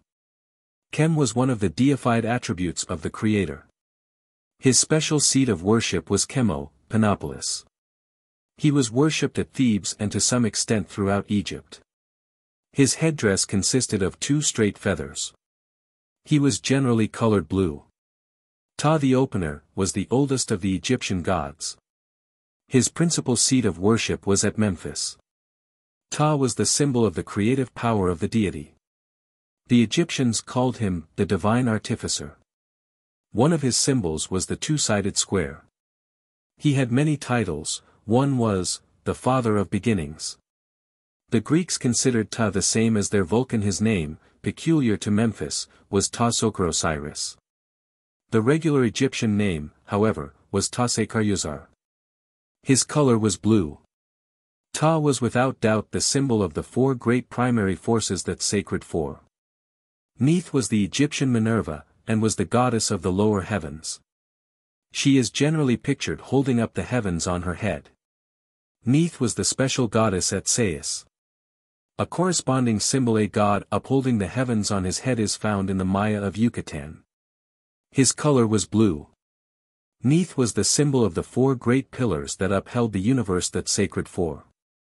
Maut called the Mother was the consort of Amen-Ra at Thebes, and in this capacity represented the Mother of all, thus in Amen-Ra and Maut we find another symbolization of the dual principle of the Creator. Maut was especially worshipped at Thebes in connection with Amen and at Chons with Amen-Ra. She was also honored throughout Nubia and Ethiopia. Her color was warm, flesh-colored red. Ra was the name of the sun as the monotheistic symbol of the creator monotheistic or collective. In the Litany of Ra, he is called the Supreme Power, the Only One, etc. To the initiated, he symbolized the power of the deity. But to the populace he was stated to be a created god, the son of Ta and Neith. More errors have been made about this symbol by historians than any other symbol used by the ancients. His color was red. Khepra. Although this symbol is found in the Egyptian pantheon, it did not originate in Egypt but in the motherland and was brought to Upper Egypt by the Nagas from the motherland via Burma and India. The symbol is the scarab beetle, which is placed over the head of a human figure in the Egyptian symbol. The scarab symbolizes creative energy. From the Papyrus Ani. King's companion to Seti II, among the Egyptians, the scarabous beetle is no god, but one of the emblems of the Creator, because it rolls a ball of mud between its feet and sets therein its eggs to hatch. As the Creator rolls the world around, and causes it to produce life. The foregoing passage is one that should be especially studied by students of the ancient past, for it shows us that the Egyptians up to the time of Seti II understood the ancient sciences and the workings of the great cosmic forces. Both of which are unknown to the scientists of today. Before our sciences can advance to any perceptible degree the present grotesque myths, the orthodox scientific teachings, must be abandoned and a study of the four great primeval forces made. On them the true sciences must be built up sciences which teach us what life is and how it originates, the workings of the four great forces throughout the universe, with their origin, etc. The vignette shows an engraving which I found in a very ancient Maya carving in India. It is thousands of years older than the first occupation of Egypt by man. The engraving is symbolical, as it shows the Creator symbolized by a scarab, which is placed within rays of glory and rests on the symbol of Mu. Kneeling in adoration on either side of the rays is first man shown by his symbol Ki the deer. This vignette is taken from the Egyptian sacred book, the Book of the Dead. It symbolizes man in adoration of the scarab beetle as the symbol of the Creator. The Egyptian god Khepra undoubtedly comes out of the Nagas Ki. Adam or Tum was the god of the setting sun, otherwise Amenti the sun below the horizon. Shu was the firstborn of Ra and Hathor and brother of Tefnut. Shu was looked upon as a symbol of the celestial forces. His color was generally black. Mentu was one of the deified attributes of the sun and often bears the name Mentore. He was merely a phase of Ra who with Adam symbolized the rising and the setting sun Mentu was the special protector of Egypt. Osiris was one of the oldest of the Egyptian gods. Later in this chapter one shall give the history of Osiris and show who he was. In the text of the Book of the Dead it is stated that he was the son of Seb and Nut. Hathor was simply another name for Isis and is represented with the attributes of Isis. She was sometimes called Isis Hathor. Hathor personified nature with all that was true and beautiful in it the female principle of the Creator. Isis is the goddess of the triad Osiris, Isis and Horus. In the triad she was the wife of Osiris. Horus was the son of Osiris and Isis and symbolized the sun. Seb was the father of Osiris and Isis and was called the father of gods. Tefnut was his consort. In Seb and Tefnut again we find the dual principles of the Creator symbolized. Khons was worshipped at Thebes, and, with Amen and Maut, formed the Theban triad. Khon symbolized the moon, he wears the disk and crescent moon. Thoth was the god of writing, learning, and medicine. It was he who composed the early and most important portions of the Book of the Dead. Thoth is supposed to be the Egyptian Hermes. Nephthys was the sister of Isis and Osiris and consort of Set. Anubis was the god of embalming and embalmed his father Osiris. Tefnut was the goddess of the rain and dew. She held a conspicuous place among the contemporary deities of Thebes. Ma or Mot was the goddess of truth. She represents the truth and justice of the supreme God. Nu or Nut. Nut is the feminine form of Nu. Nu was the father, Nut the mother the life-givers. Bast was the wife of Ta and with their son Tum or Adam formed the great triad of Memphis. Set was the son of Nut and brother of Osiris. According to the myth he murdered Osiris. Anuka was the third member of the triad of Thebaid, composed of Khnum, Neph, Suti and Anuka. Osiris Osiris was one of the oldest of the Egyptian gods. His worship was universal throughout Egypt at all times. Osiris was the representative of all that was good. The myths in Egypt about Osiris are bewildering. They claim that Osiris was once the monarch of Upper and Lower Egypt. It is claimed that Osiris was buried at Philae other towns claim his remains. According to all these myths, Osiris must have lived since the union of Upper and Lower Egypt was accomplished under Menes about 5000 B.C. Against this we find that Thoth, the founder of the Lower Egyptians taught at Sais the Osirian religion and this was 14,000 B.C. There were no kings of Egypt for an immensely long period after Thoth's time. Egypt was a sub-colony of the motherland under direct control of the colonial empire Atlantis. Osiris. Now let us see who Osiris actually was and the time when he lived. In two Himalayan monasteries one in India, the other in Tibet there are two Naacal tablets belonging to the sacred inspired writings of the motherland, they are identically the same, word for word. Were copied from the originals in the motherland and brought to the continent of Asia by Naacal missionaries. They belong to the historical section of the sacred books. They relate. Osiris, when entering manhood, left the home of his birth, Atlantis, and came to the motherland where he entered one of the Naacal colleges. Here he studied the religion and cosmic sciences of the motherland. When he passed his degree of master and adept, he returned to his own country, Atlantis. There he devoted his life to the teachings of the people, the first religion of man, and to weeding out and eliminating extravagances, inventions and misconceptions that had crept into the religion of Atlantis under a rank priesthood. Osiris became the hieratratic head of religion in Atlantis which office he held during a long life. The people loved and worshipped him for his gentleness, goodness and kindness. They wished to dethrone Auranes the king and place Osiris on the throne. This Osiris would not allow to be spoken of and so condemned the idea that it was abandoned. He was murdered by a brother on account of jealousy this was about 20,000 B.C. His name was so revered, and he so beloved, that at his death he was deified, and as a lasting monument to his name religion was called after him, viz., the Osirian religion, just as today we have the Christian religion. I could not find the name of the brother who murdered him, so the probability is the Egyptians invented the name. Nor do I find anything about Isis and Nephthys, but it is mentioned that he had a son, who became the hieratratic head of Atlantis at the death of his father. I do not, however, find his name. Osiris and Christ taught identically the same religion. Some of their preachings are word for word, line for line, and sentence for sentence the same. Both learned from the same book that sacred inspired writings of the motherland.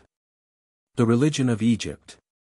The first we know about the religion of Egypt is where an ancient record states that about 16,000 years ago Thoth, the son of an Atlantean priest, planted the Egyptian colony at the mouth of the Nile. And at Sais on the banks of the Nile built a temple and taught the Osirian religion. The Osirian religion as I have previously shown was the religion of Mu after Osiris had cleansed it of all the extravagances that had crept into it in Atlantis, 22,000 years ago, the religion being then called after him the Osirian religion. When he died his son became the hieratical head and was supposed to be called Horus, but whether Horus was his actual name or a title I cannot say.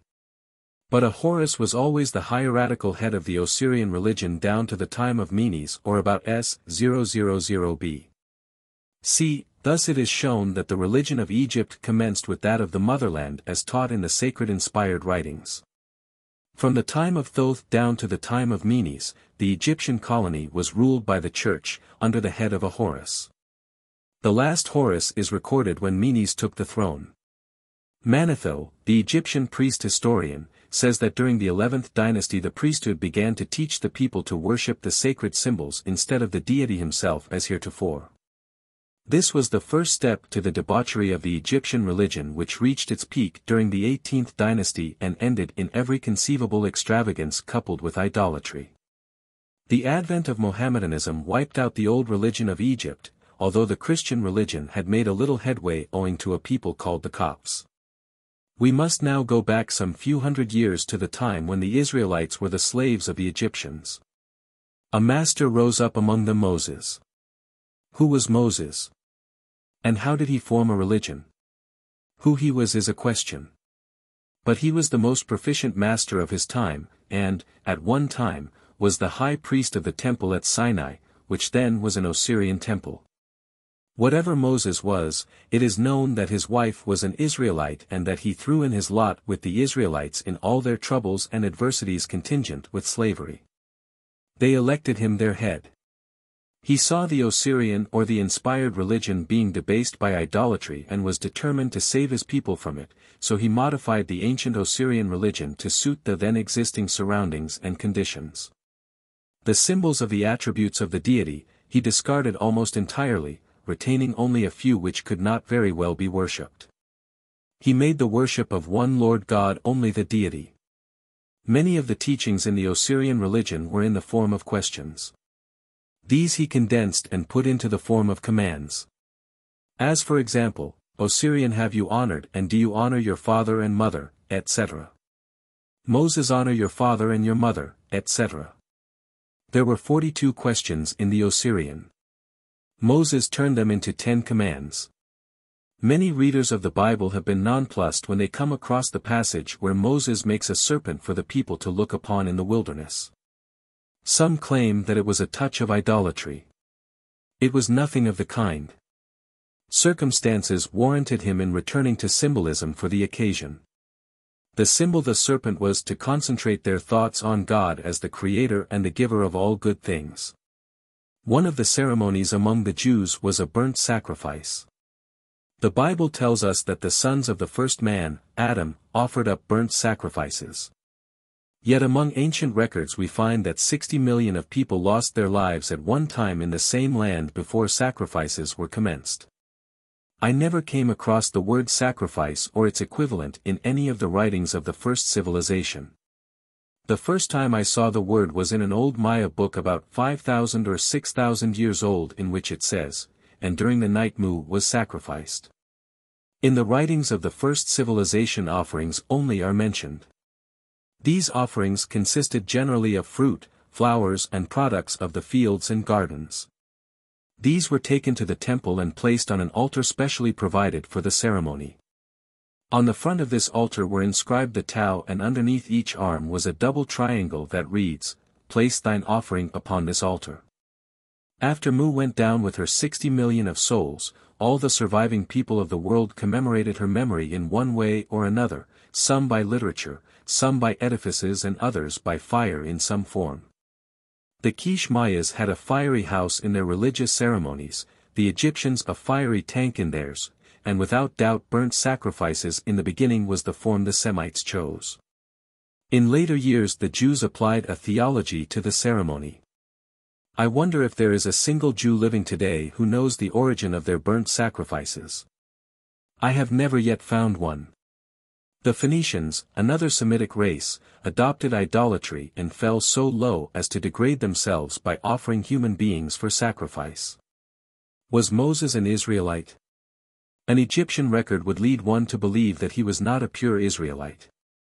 The record I refer to says, Moses was the son of an Egyptian princess who afterwards became the great queen Hatshepsut. Not a word is said about the bulrushes. As an example of the gross extravagances in symbols and teachings of the Egyptian priesthood I shall take the triad Osiris, Isis and Horus. Let us see who they were and what was taught from them. Osiris was a man who lived on earth and about whom there are many Egyptian myths. There is also a short authentic history about him, showing that he was a great master and lived about 22,000 years ago.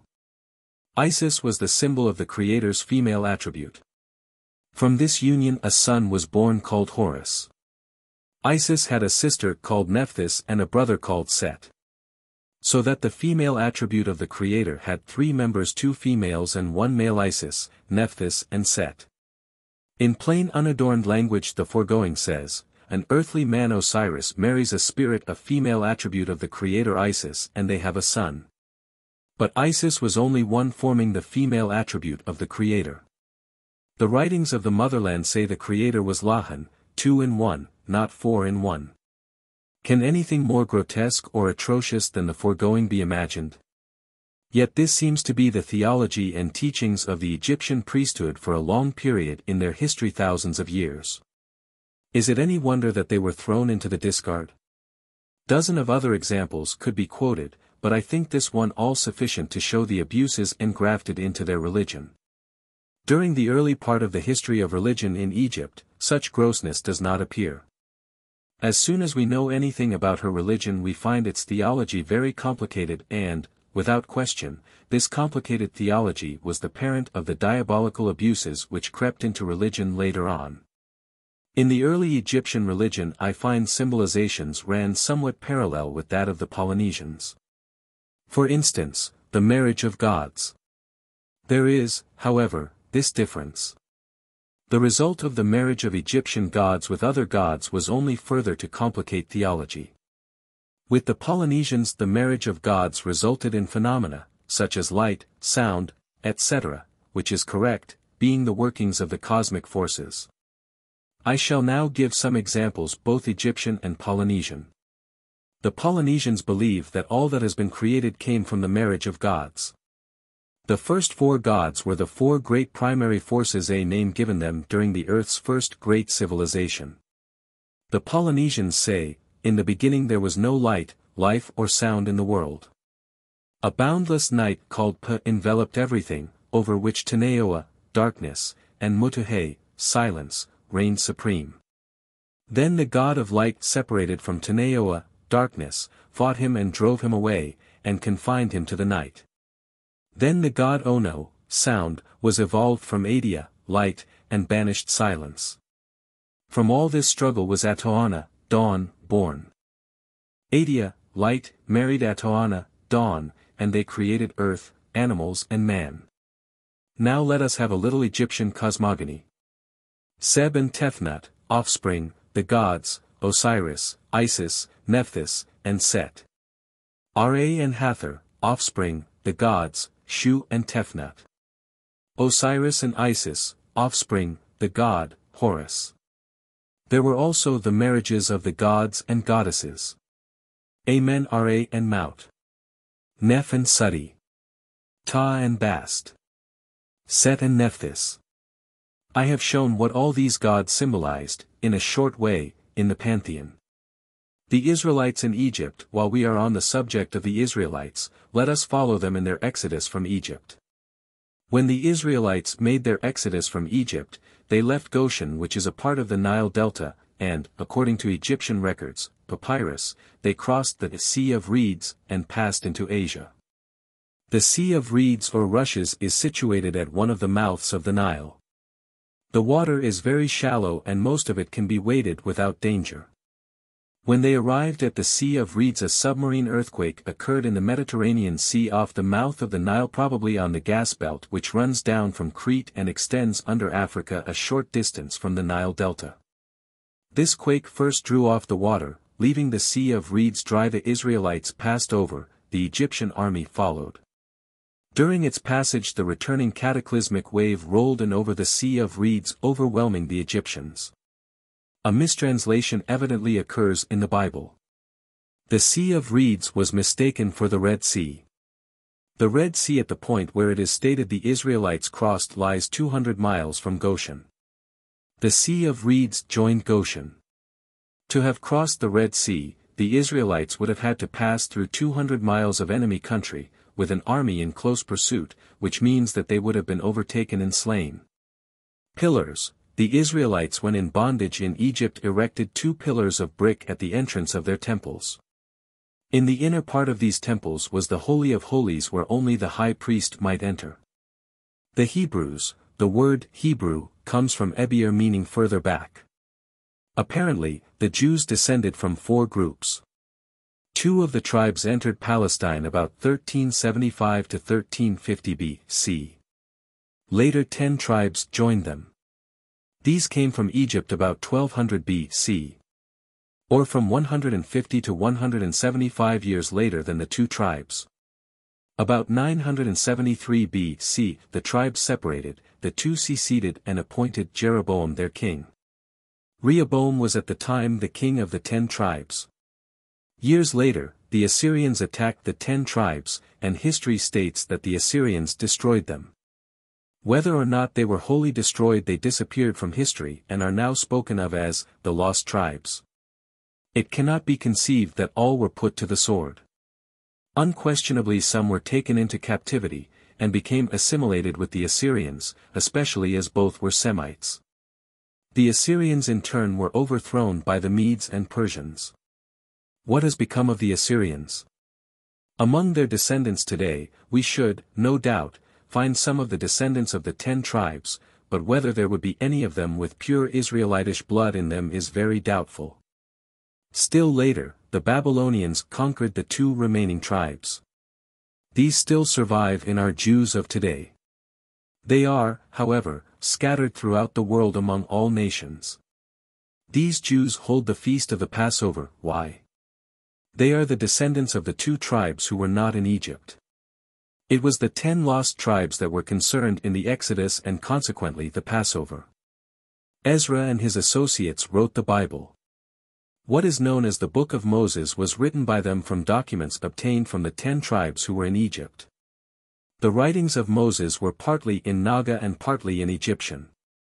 Ezra obtained a slight knowledge of Naga in Akkadi during the time he was in captivity, but neither Ezra nor any of his associates were Egyptian scholars. Is it any wonder they made so many errors in translating the Egyptian? Yet for all their errors their work was wonderful. The religion of India, the religion of very ancient India was that of the motherland, brought there from Mu by the Naacals, a holy brotherhood. These men were taught religion and the cosmic sciences in the motherland and when proficient were sent to the colonial empires to form colleges and perfect the local priesthoods, who in turn taught the people. About 5,000 years ago, a race of Aryans began to drift down into India from the bleak valleys of the Hindu Kush and adjoining mountains. Their first settlement was among the Nagas in the Saraswat Valley. They were just hardy mountaineers, uncouth and uneducated. The Nagas, the most highly educated race in the world, took compassion on them, welcomed them into their schools and colleges, educated and advanced them. The Nagas received them too well for their own good, for, it called from the mountains nearly all who had multiplied there since the destruction of the great Uyghur Empire of whom they were descendants. In time these Aryans dominated the whole of the northern parts of India including their schools and colleges. Thinking they had learnt from the Naacals all there was to be learnt, they proceeded to drive their gentle, kindly instructors out of the country into the snow-capped mountains of the north. After a period a sect was formed which was called Brahmins who took or usurped the charge of religious teachings. To attain their own ends, they introduced into religion perverted, incomprehensible theologies having all kinds of extravagance. This was the commencement of the downfall of India, which gained impetus as time went on. They introduced caste, commencing with three only. The caste system was extended, until at last the lowest caste was looked upon as untouchables, and for a touch of an untouchable, the receiver of a higher caste must go into a purification before he could be received again by his own people. The result of this was the final step which brought India down from the high position of leading the world in religion, arts and sciences. All that was left were a few embers where at one time was the bright light of a fire representing everything worthwhile in life. Then a great one sprang up among them, a Prince Gautama. He went back to the original teachings of the sacred writings. A vast throng followed his teachings and these became the Buddhists. Buddhism was carried throughout the Orient and was the universal religion. It was only a question of time before a crafty priesthood began its negative work. The Buddhist priesthood of northern India fell away from the gentle teacher, Gautama Buddha, and introduced all sorts of impossible theologies and theories for the sole purpose of enslaving the people. Only those in the south remain true to Gautama's actual teachings. Today the center of Buddhism is a little unostentatious temple at Kandy, in the central mountains of Ceylon. But with all these priestly traps and pitfalls common to religions today a spark of the truth has been again kindled and will soon shine throughout the world. Priesthoods and politicians never have seen nor ever will see the writing on the wall, until those walls are falling on them and it becomes too late to escape. This has been the history of the world for the past 12,000 to 15,000 years. The people rise and crush the politicians and the Lord, in his own way, weeds his garden. AUM is an inscription that has baffled scholars and scientists throughout the world, the Hindus included, for more than 2,300 years. Its import was lost when the Naacals were driven out of India by the Brahmins. Many scholars have attempted to fathom its meaning. None, however, arrived at any satisfactory conclusions, even the oldest are indefinite. Examples Manava Dharma Sastra an ancient Hindu book. Book 2. Sloka 74. In the beginning the infinite only existed called Aditi. In this infinite dwelt a UM whose name must precede all prayers and invocations. Book of Manu, Sloka 77. The monosyllable AUM means earth sky and heaven. I. T. Wheeler, History of India, Volume 2. Page 481 says. As regards the three letters AUM little can be gathered, excepting, that when brought together in the word AUM they are said by Manu to form a symbol of the Lord of created things Brahma. H. T. Colebrooke in Asiatic Research says, according to Naruka which is an ancient glossary of the Vedas the syllable AUM refers to every deity. The Brahmins may reserve for their initiates an esoteric more ample than that given by Manu. Naruka must have been reading a Brahminical version of the Vedas, which they stole from the Naacals, changed it to suit their own vile purposes and then foisted it on the world as their own writings. The original Vedas are a Naacal writing. The Naacals acknowledged one deity only. Therefore, when Naruka mentions every deity, it shows without the possibility of contradiction that the Vedas which he refers to were altered and doctored and were not the original writings. AUM conveys identically the same meaning and conception as the mysterious writing in Niven's Mexican tablet number 2379. The difference between these and AUM is in the form of the writing. The mysterious writing and the Mexican tablet are in the Old Temple esoteric numeral writing. The Hindu AUM is written in alphabetical symbols which reads Ahau. Masculine father. U. Feminine mother she. M. Mehen. The engendered the son man. Note, you is here used as the feminine pronoun she. M would have been used but it would have been confounded with the following M for Mehen. The Brahmins formed a complicated theology around this conception, introducing a confusion absolutely incomprehensible to the people. It became a wonderful breeder of awe and superstition. Biblical symbolisms taken literally. Tower of Babel, the biblical Tower of Babel has been literally taken as a structure of stone or brick. From some old writings, I am brought to believe that it is a purely symbolical term, that confusion of tongues is the crux of the legend. This legend was not written during the life of Mu. It came later, many years later, when ancient history was being recorded again and mankind once more widely populated the earth. It was therefore a product of the new civilization. Extravagances in theology and technology in the various temples, colleges and schools were the cause of the confusion of tongues, and the whole structure of religion and science was the tower. Each temple had its own terms and words for its theology. Each college and school had its own particular words and terms for its technical teachings. So that no temple or college could understand the teachings of another. All in fact spoke different languages, no one understanding another. This made a tower of confusion, a babel of tongues, so that the name given to the condition was the only one which would adequately describe it. Today we are running headlong into another such storm, another such confusion of tongues. We have over 100 sects of Christianity, yet there is only one God. Each sect declares all others are in error. They cannot comprehend each other's language. In Mu there were no sects, no theology. All teachings and wording were so simple that the most uncultivated mind could comprehend them. Mu's religious teachings lasted 200,000 years. When the present Tower of Babel comes crashing to the ground, a new structure will arise on its ruins. And that structure will be the simple religion of Mu. The flood, the biblical legend of the flood is not a myth nor is it symbolical. It has been wrongly described. Those who wrote the biblical description simply failed to understand the writings of Moses. There was a flood which destroyed about one half of the earth and all life thereon, but it was not due to a heavy rain. The flood resulted from magnetic influences. The last magnetic cataclysm, the biblical flood and the geological myth, the glacial period, are all one and the same thing. Chapter 10 The Twin Sisters Religion and Science In the writings of the Earth's first great civilization it is distinctly shown that the ancients considered religion and science as necessary one to the other. This is shown by their using the same symbols both for religion and science. These symbols, in the early days, were all geometrical figures. Pythagoras, on his return to Athens from Egypt, taught his pupils, to honor numbers and geometrical designs with the name of God. Whence did these ancients get their geometrical designs of figures? And what induced them to use identically the same figures to teach both religion and science?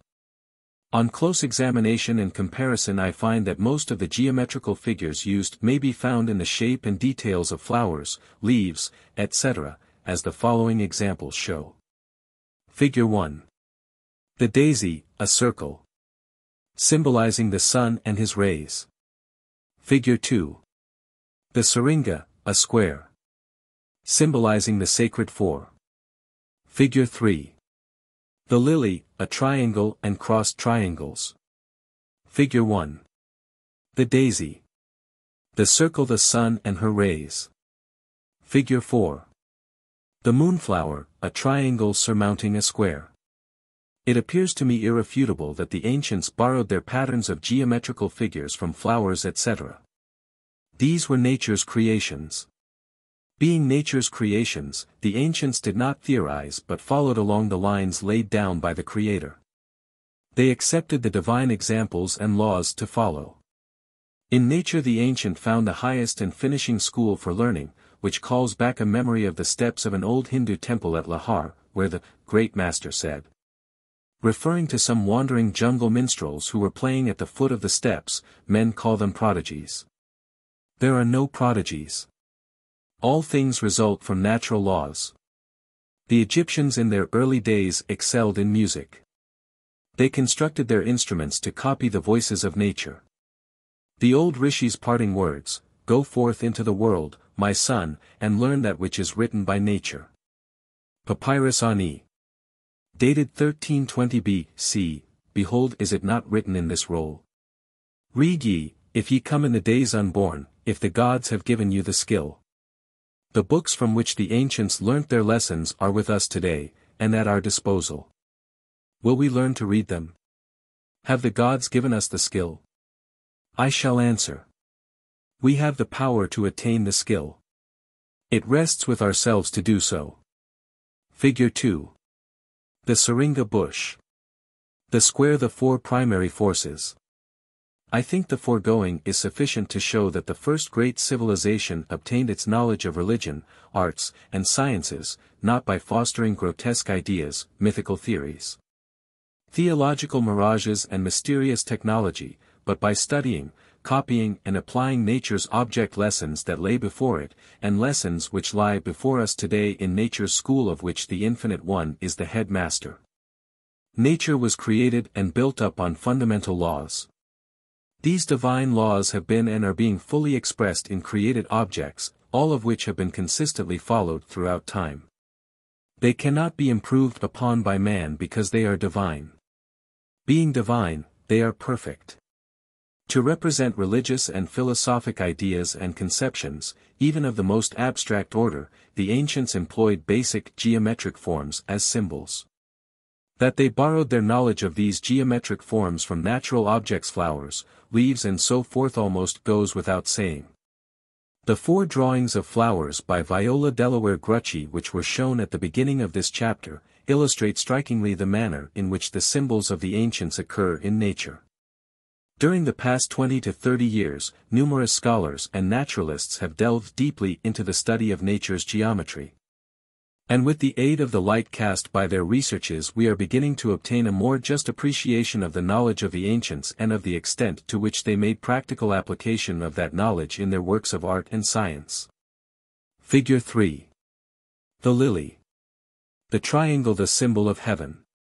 A. H. Church, on the relation, of phyllotaxis to mechanical laws, T. Cook, The Curves of Life, and D'Arcy W. Thompson, on growth and form, are but three of the many who have in this century contributed to the rapid development of morphology into an advanced science. And one of the most amazing and valuable results of their researches has been the discovery that the natural laws they reveal were not only understood by the ancients, but applied to an extent unheard of in this civilization of ours. Which we too readily accept as the most advanced that has ever graced this earth. Floral symbols were frequently used by the ancients. Many of these floral symbolizations became myths simply because those of later date of the new civilization did not comprehend the symbols of the ancients. Something had been forgotten or something was purposely changed for priestly purposes. As an example and applicable to this work I will quote from, The Human Side of Plants by Royal Dixon, from the earliest history down to the present day, there have been races and individuals who believed implicitly in the spirituality of plants. Spirituality is a condition of responsiveness to and membership in the universal spirit of the Creator. The infinite substance God. Figure 4. The moonflower. The pentagon the full Godhead. The old Greeks and the Romans gave to the trees and plants the spirits of gods and men, and many more in modern times have lavishly bestowed souls on plants as did Adamson, Bonnet, Hedwig. And Edward Smith with Martens and Fechner in Germany defending these views and being very liberal in their supply of souls to plants. Surely there is a suggestion of some existent truth, which should cause this universal interest and investigation into the possibility of plant spirituality. In commenting on the foregoing paragraph, I shall say that there is not only a suggestion, but an actual truth, which is shown in the ancient writings known and understood by the priesthoods 5,000 years ago and probably only half of that time. Originally nearly all of the prominent attributes of the deity had several symbols, or perhaps it would be better to say more than one symbol. A principal symbol for each was either a flower or a tree. Flowers were given the preference for symbolizing divine forces and trees for lands and countries. Flowers were very popular to symbolize each of the four great primary forces. They were also called the gods, being the command, desire, or will of the Creator. On a few occasions I have found them called his executive children. These forces have also prominent geometrical symbols. Take the geometrical symbol and place it on the floral symbol of the gods and it will be seen that the geometrical symbol is on the lines of the sacred flower. One of the two oldest known bronzes in the world. It is a symbolical figure of Mu as the mistress and ruler of the whole earth. It was made in either Mu or in the Uyghur capital city over 18,000 years ago. Courtesy of George N. Leeper. In the Greek and Roman myths, it is shown that the ancients used flowers as patterns for the designs of geometrical symbols. The flower was the foundation, the geometrical figure the superstructure, so that by using flowers as symbols for something divine it was quite consistent with the ancient teachings to call these flowers divine. With souls or spirits or whatever the inner self may be for, the ancients were not referring to the flower itself but to the divine attribute, which it represented in their minds.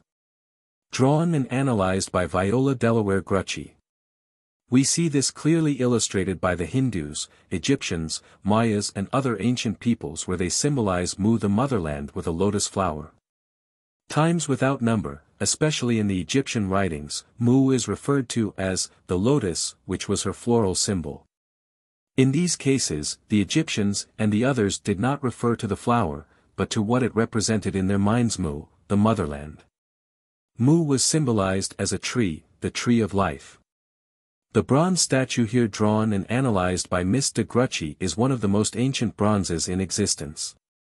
It is more than 18,000 years old. Its basic design theme is the equilateral triangle, and the skill and rigid consistency with which the whole and its parts are made to adhere to that theme are remarkable. Is it only a coincidence that the triangle, symbol of heaven, was employed in the design of this figure representing the mother goddess Mu? We can take any of the ancient statues, carvings, pictures and designs, found in either India, China, Mexico, Central America, Greece or any other of the old civilizations. And on test it will be found that they all have the foundation of their designs in the first of the sacred symbols, prominently the oldest for the circle, the triangle, the square and the pentagon. My next and last example will relate to science pure and simple. We all know that our modern geometry has been handed down to us by Euclid, the ancient Greek. Euclid obtained his knowledge of geometry in Egypt. The Egyptians inherited it from their forefathers who came to Egypt from the motherland. When the science was fully developed in the motherland, it is hard to say. In India there are exhibits which show that it was perfected 35,000 years ago.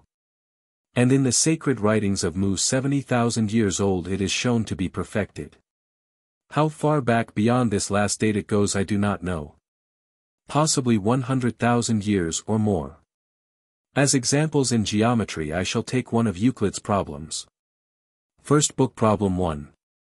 To describe an equilateral triangle upon a given finite straight line. The lines of this problem consist of the first two of the sacred symbols the circle and the triangle. Euclid's works were only one of the dying embers of the Earth's first great civilization. Hundreds of other examples might be given involving most of our modern sciences. I think, however, that the foregoing are all sufficient to prove my assertion that during the time of the first great civilization which received its death blow with the destruction of Mu, religion and science were completely intertwined in their teachings. Problem 1 to describe an equilateral triangle upon a given finite straight line. There can be no perfect religion without science, for science unfolds nature, and nature is the mouthpiece which unfolds the Creator and gives the proof of God. Confucius 556 B.C. Does God speak?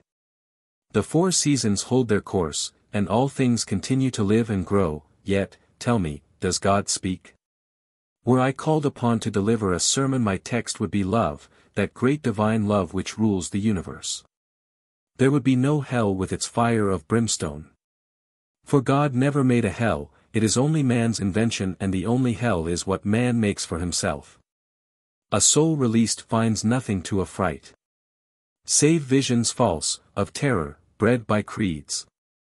And deep remorse, that gnaws at evil deeds. Love is eternal, hell never existed. With the great divine love implanted in the hearts of man all would be a great brotherhood of love. This would end all discord, turmoils and wars among God's family. These turmoils are with us today, caused by greed, selfishness, envy, hatred, malice and distrust.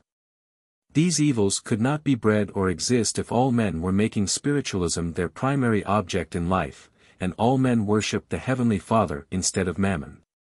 With the divine love supreme the lion and the lamb could lie down together. God himself is all love and is in control of the hearts of man. Without the great divine love chaos, with all of its attendant evils, must exist. Chaos reigns supreme throughout the world today. Where earthly love exists we see the reflection of the great divine love. Walking along the jungle paths of the Polynesian islands one may meet a company of these children of the sun. When passing they accost you with Koahai, which means, my love to you. They do not know our phrases, good morning, or how do you do. They do not come in their language for our phrases are of modern civilization and their language comes down to them from the ancient, but while the words may have become altered the conception remains the same. If you meet one of the F-air daughters of the islands her Koahai does not invite a flirtation. It is an inherited form of greeting from her ancient forefathers of 12,000 years ago, the time that Mu, her motherland, sank to form the bottom of the ocean that surrounds her. Where the teachings of her forefathers were love God and love one another. The ancients in Mu were never taught to fear God. On the contrary, they were taught that the Heavenly Father was all love and that he could therefore be approached with love and confidence. The ancient religion was based on this. The recent religious teachings have been the reverse of this in general. This condition certainly calls for attention and gives food for thought, that is, for those who are not too busy to think, and for those who are not too egotistical to think. Materialism is responsible for the present chaotic state of the world, if we can believe in the prophecy of Ra Mu at the time Mu was going down into the flames of the underneath. You shall all die together with your servants and your riches, and from your ashes new nations shall arise. If they forget they are superior, not because of what they put on, but what they put out, a similar fate will befall them. For the past 12,000 years, since Ra-Mu uttered these words, his prophecy has been carried out and will continue to be carried out to the end. How many empires have arisen during the past 12,000 years? Where are they? What has become of them? Why did they fall? They are gone according to the prophecy of Ra-Mu. I now ask what is going to become of our present civilization. One of the pearls from the teachings of my dear old friend, the Rishi, which he uttered during one of our conversations was, My son, the brain of man is his storehouse for knowledge, but the holding capacity of this storehouse is limited. Therefore, never put anything into it that is not valuable for your spiritual progress, or that which is not absolutely necessary for the development and continuance of your material body to the end of this incarnation in order to prepare for your entrance into the world beyond. Learn and store the wisdom of the teachings of nature, for nature is the great schoolhouse for attaining wisdom, nature is God's voice speaking. Materialism, generally, is not worth storing, only that which appertains to the elevation of your mind and soul, that which will raise you to a higher plane, thus preparing you for the continuance of your life in the world beyond. A step in your eternal life. And remember, that when you enter the world beyond, you will leave all materialism behind. You can take nothing with you, nor will you remember anything about it, only love you will remember, for love, like your soul, is everlasting, it cannot die. Approach the Heavenly Father with full confidence and love. His loving arms are always stretched out to welcome you. If you slip or fall by the way, yet approach Him in confidence and penitence, he will forgive and welcome you because he, himself, is all love. The great Master Jesus explained this in his parable about the return of the prodigal son where he said, Joy shall be in heaven over one sinner that repenteth, more than over ninety and nine just persons which need no repentance. Once again I ask what is to be the end of this present civilization,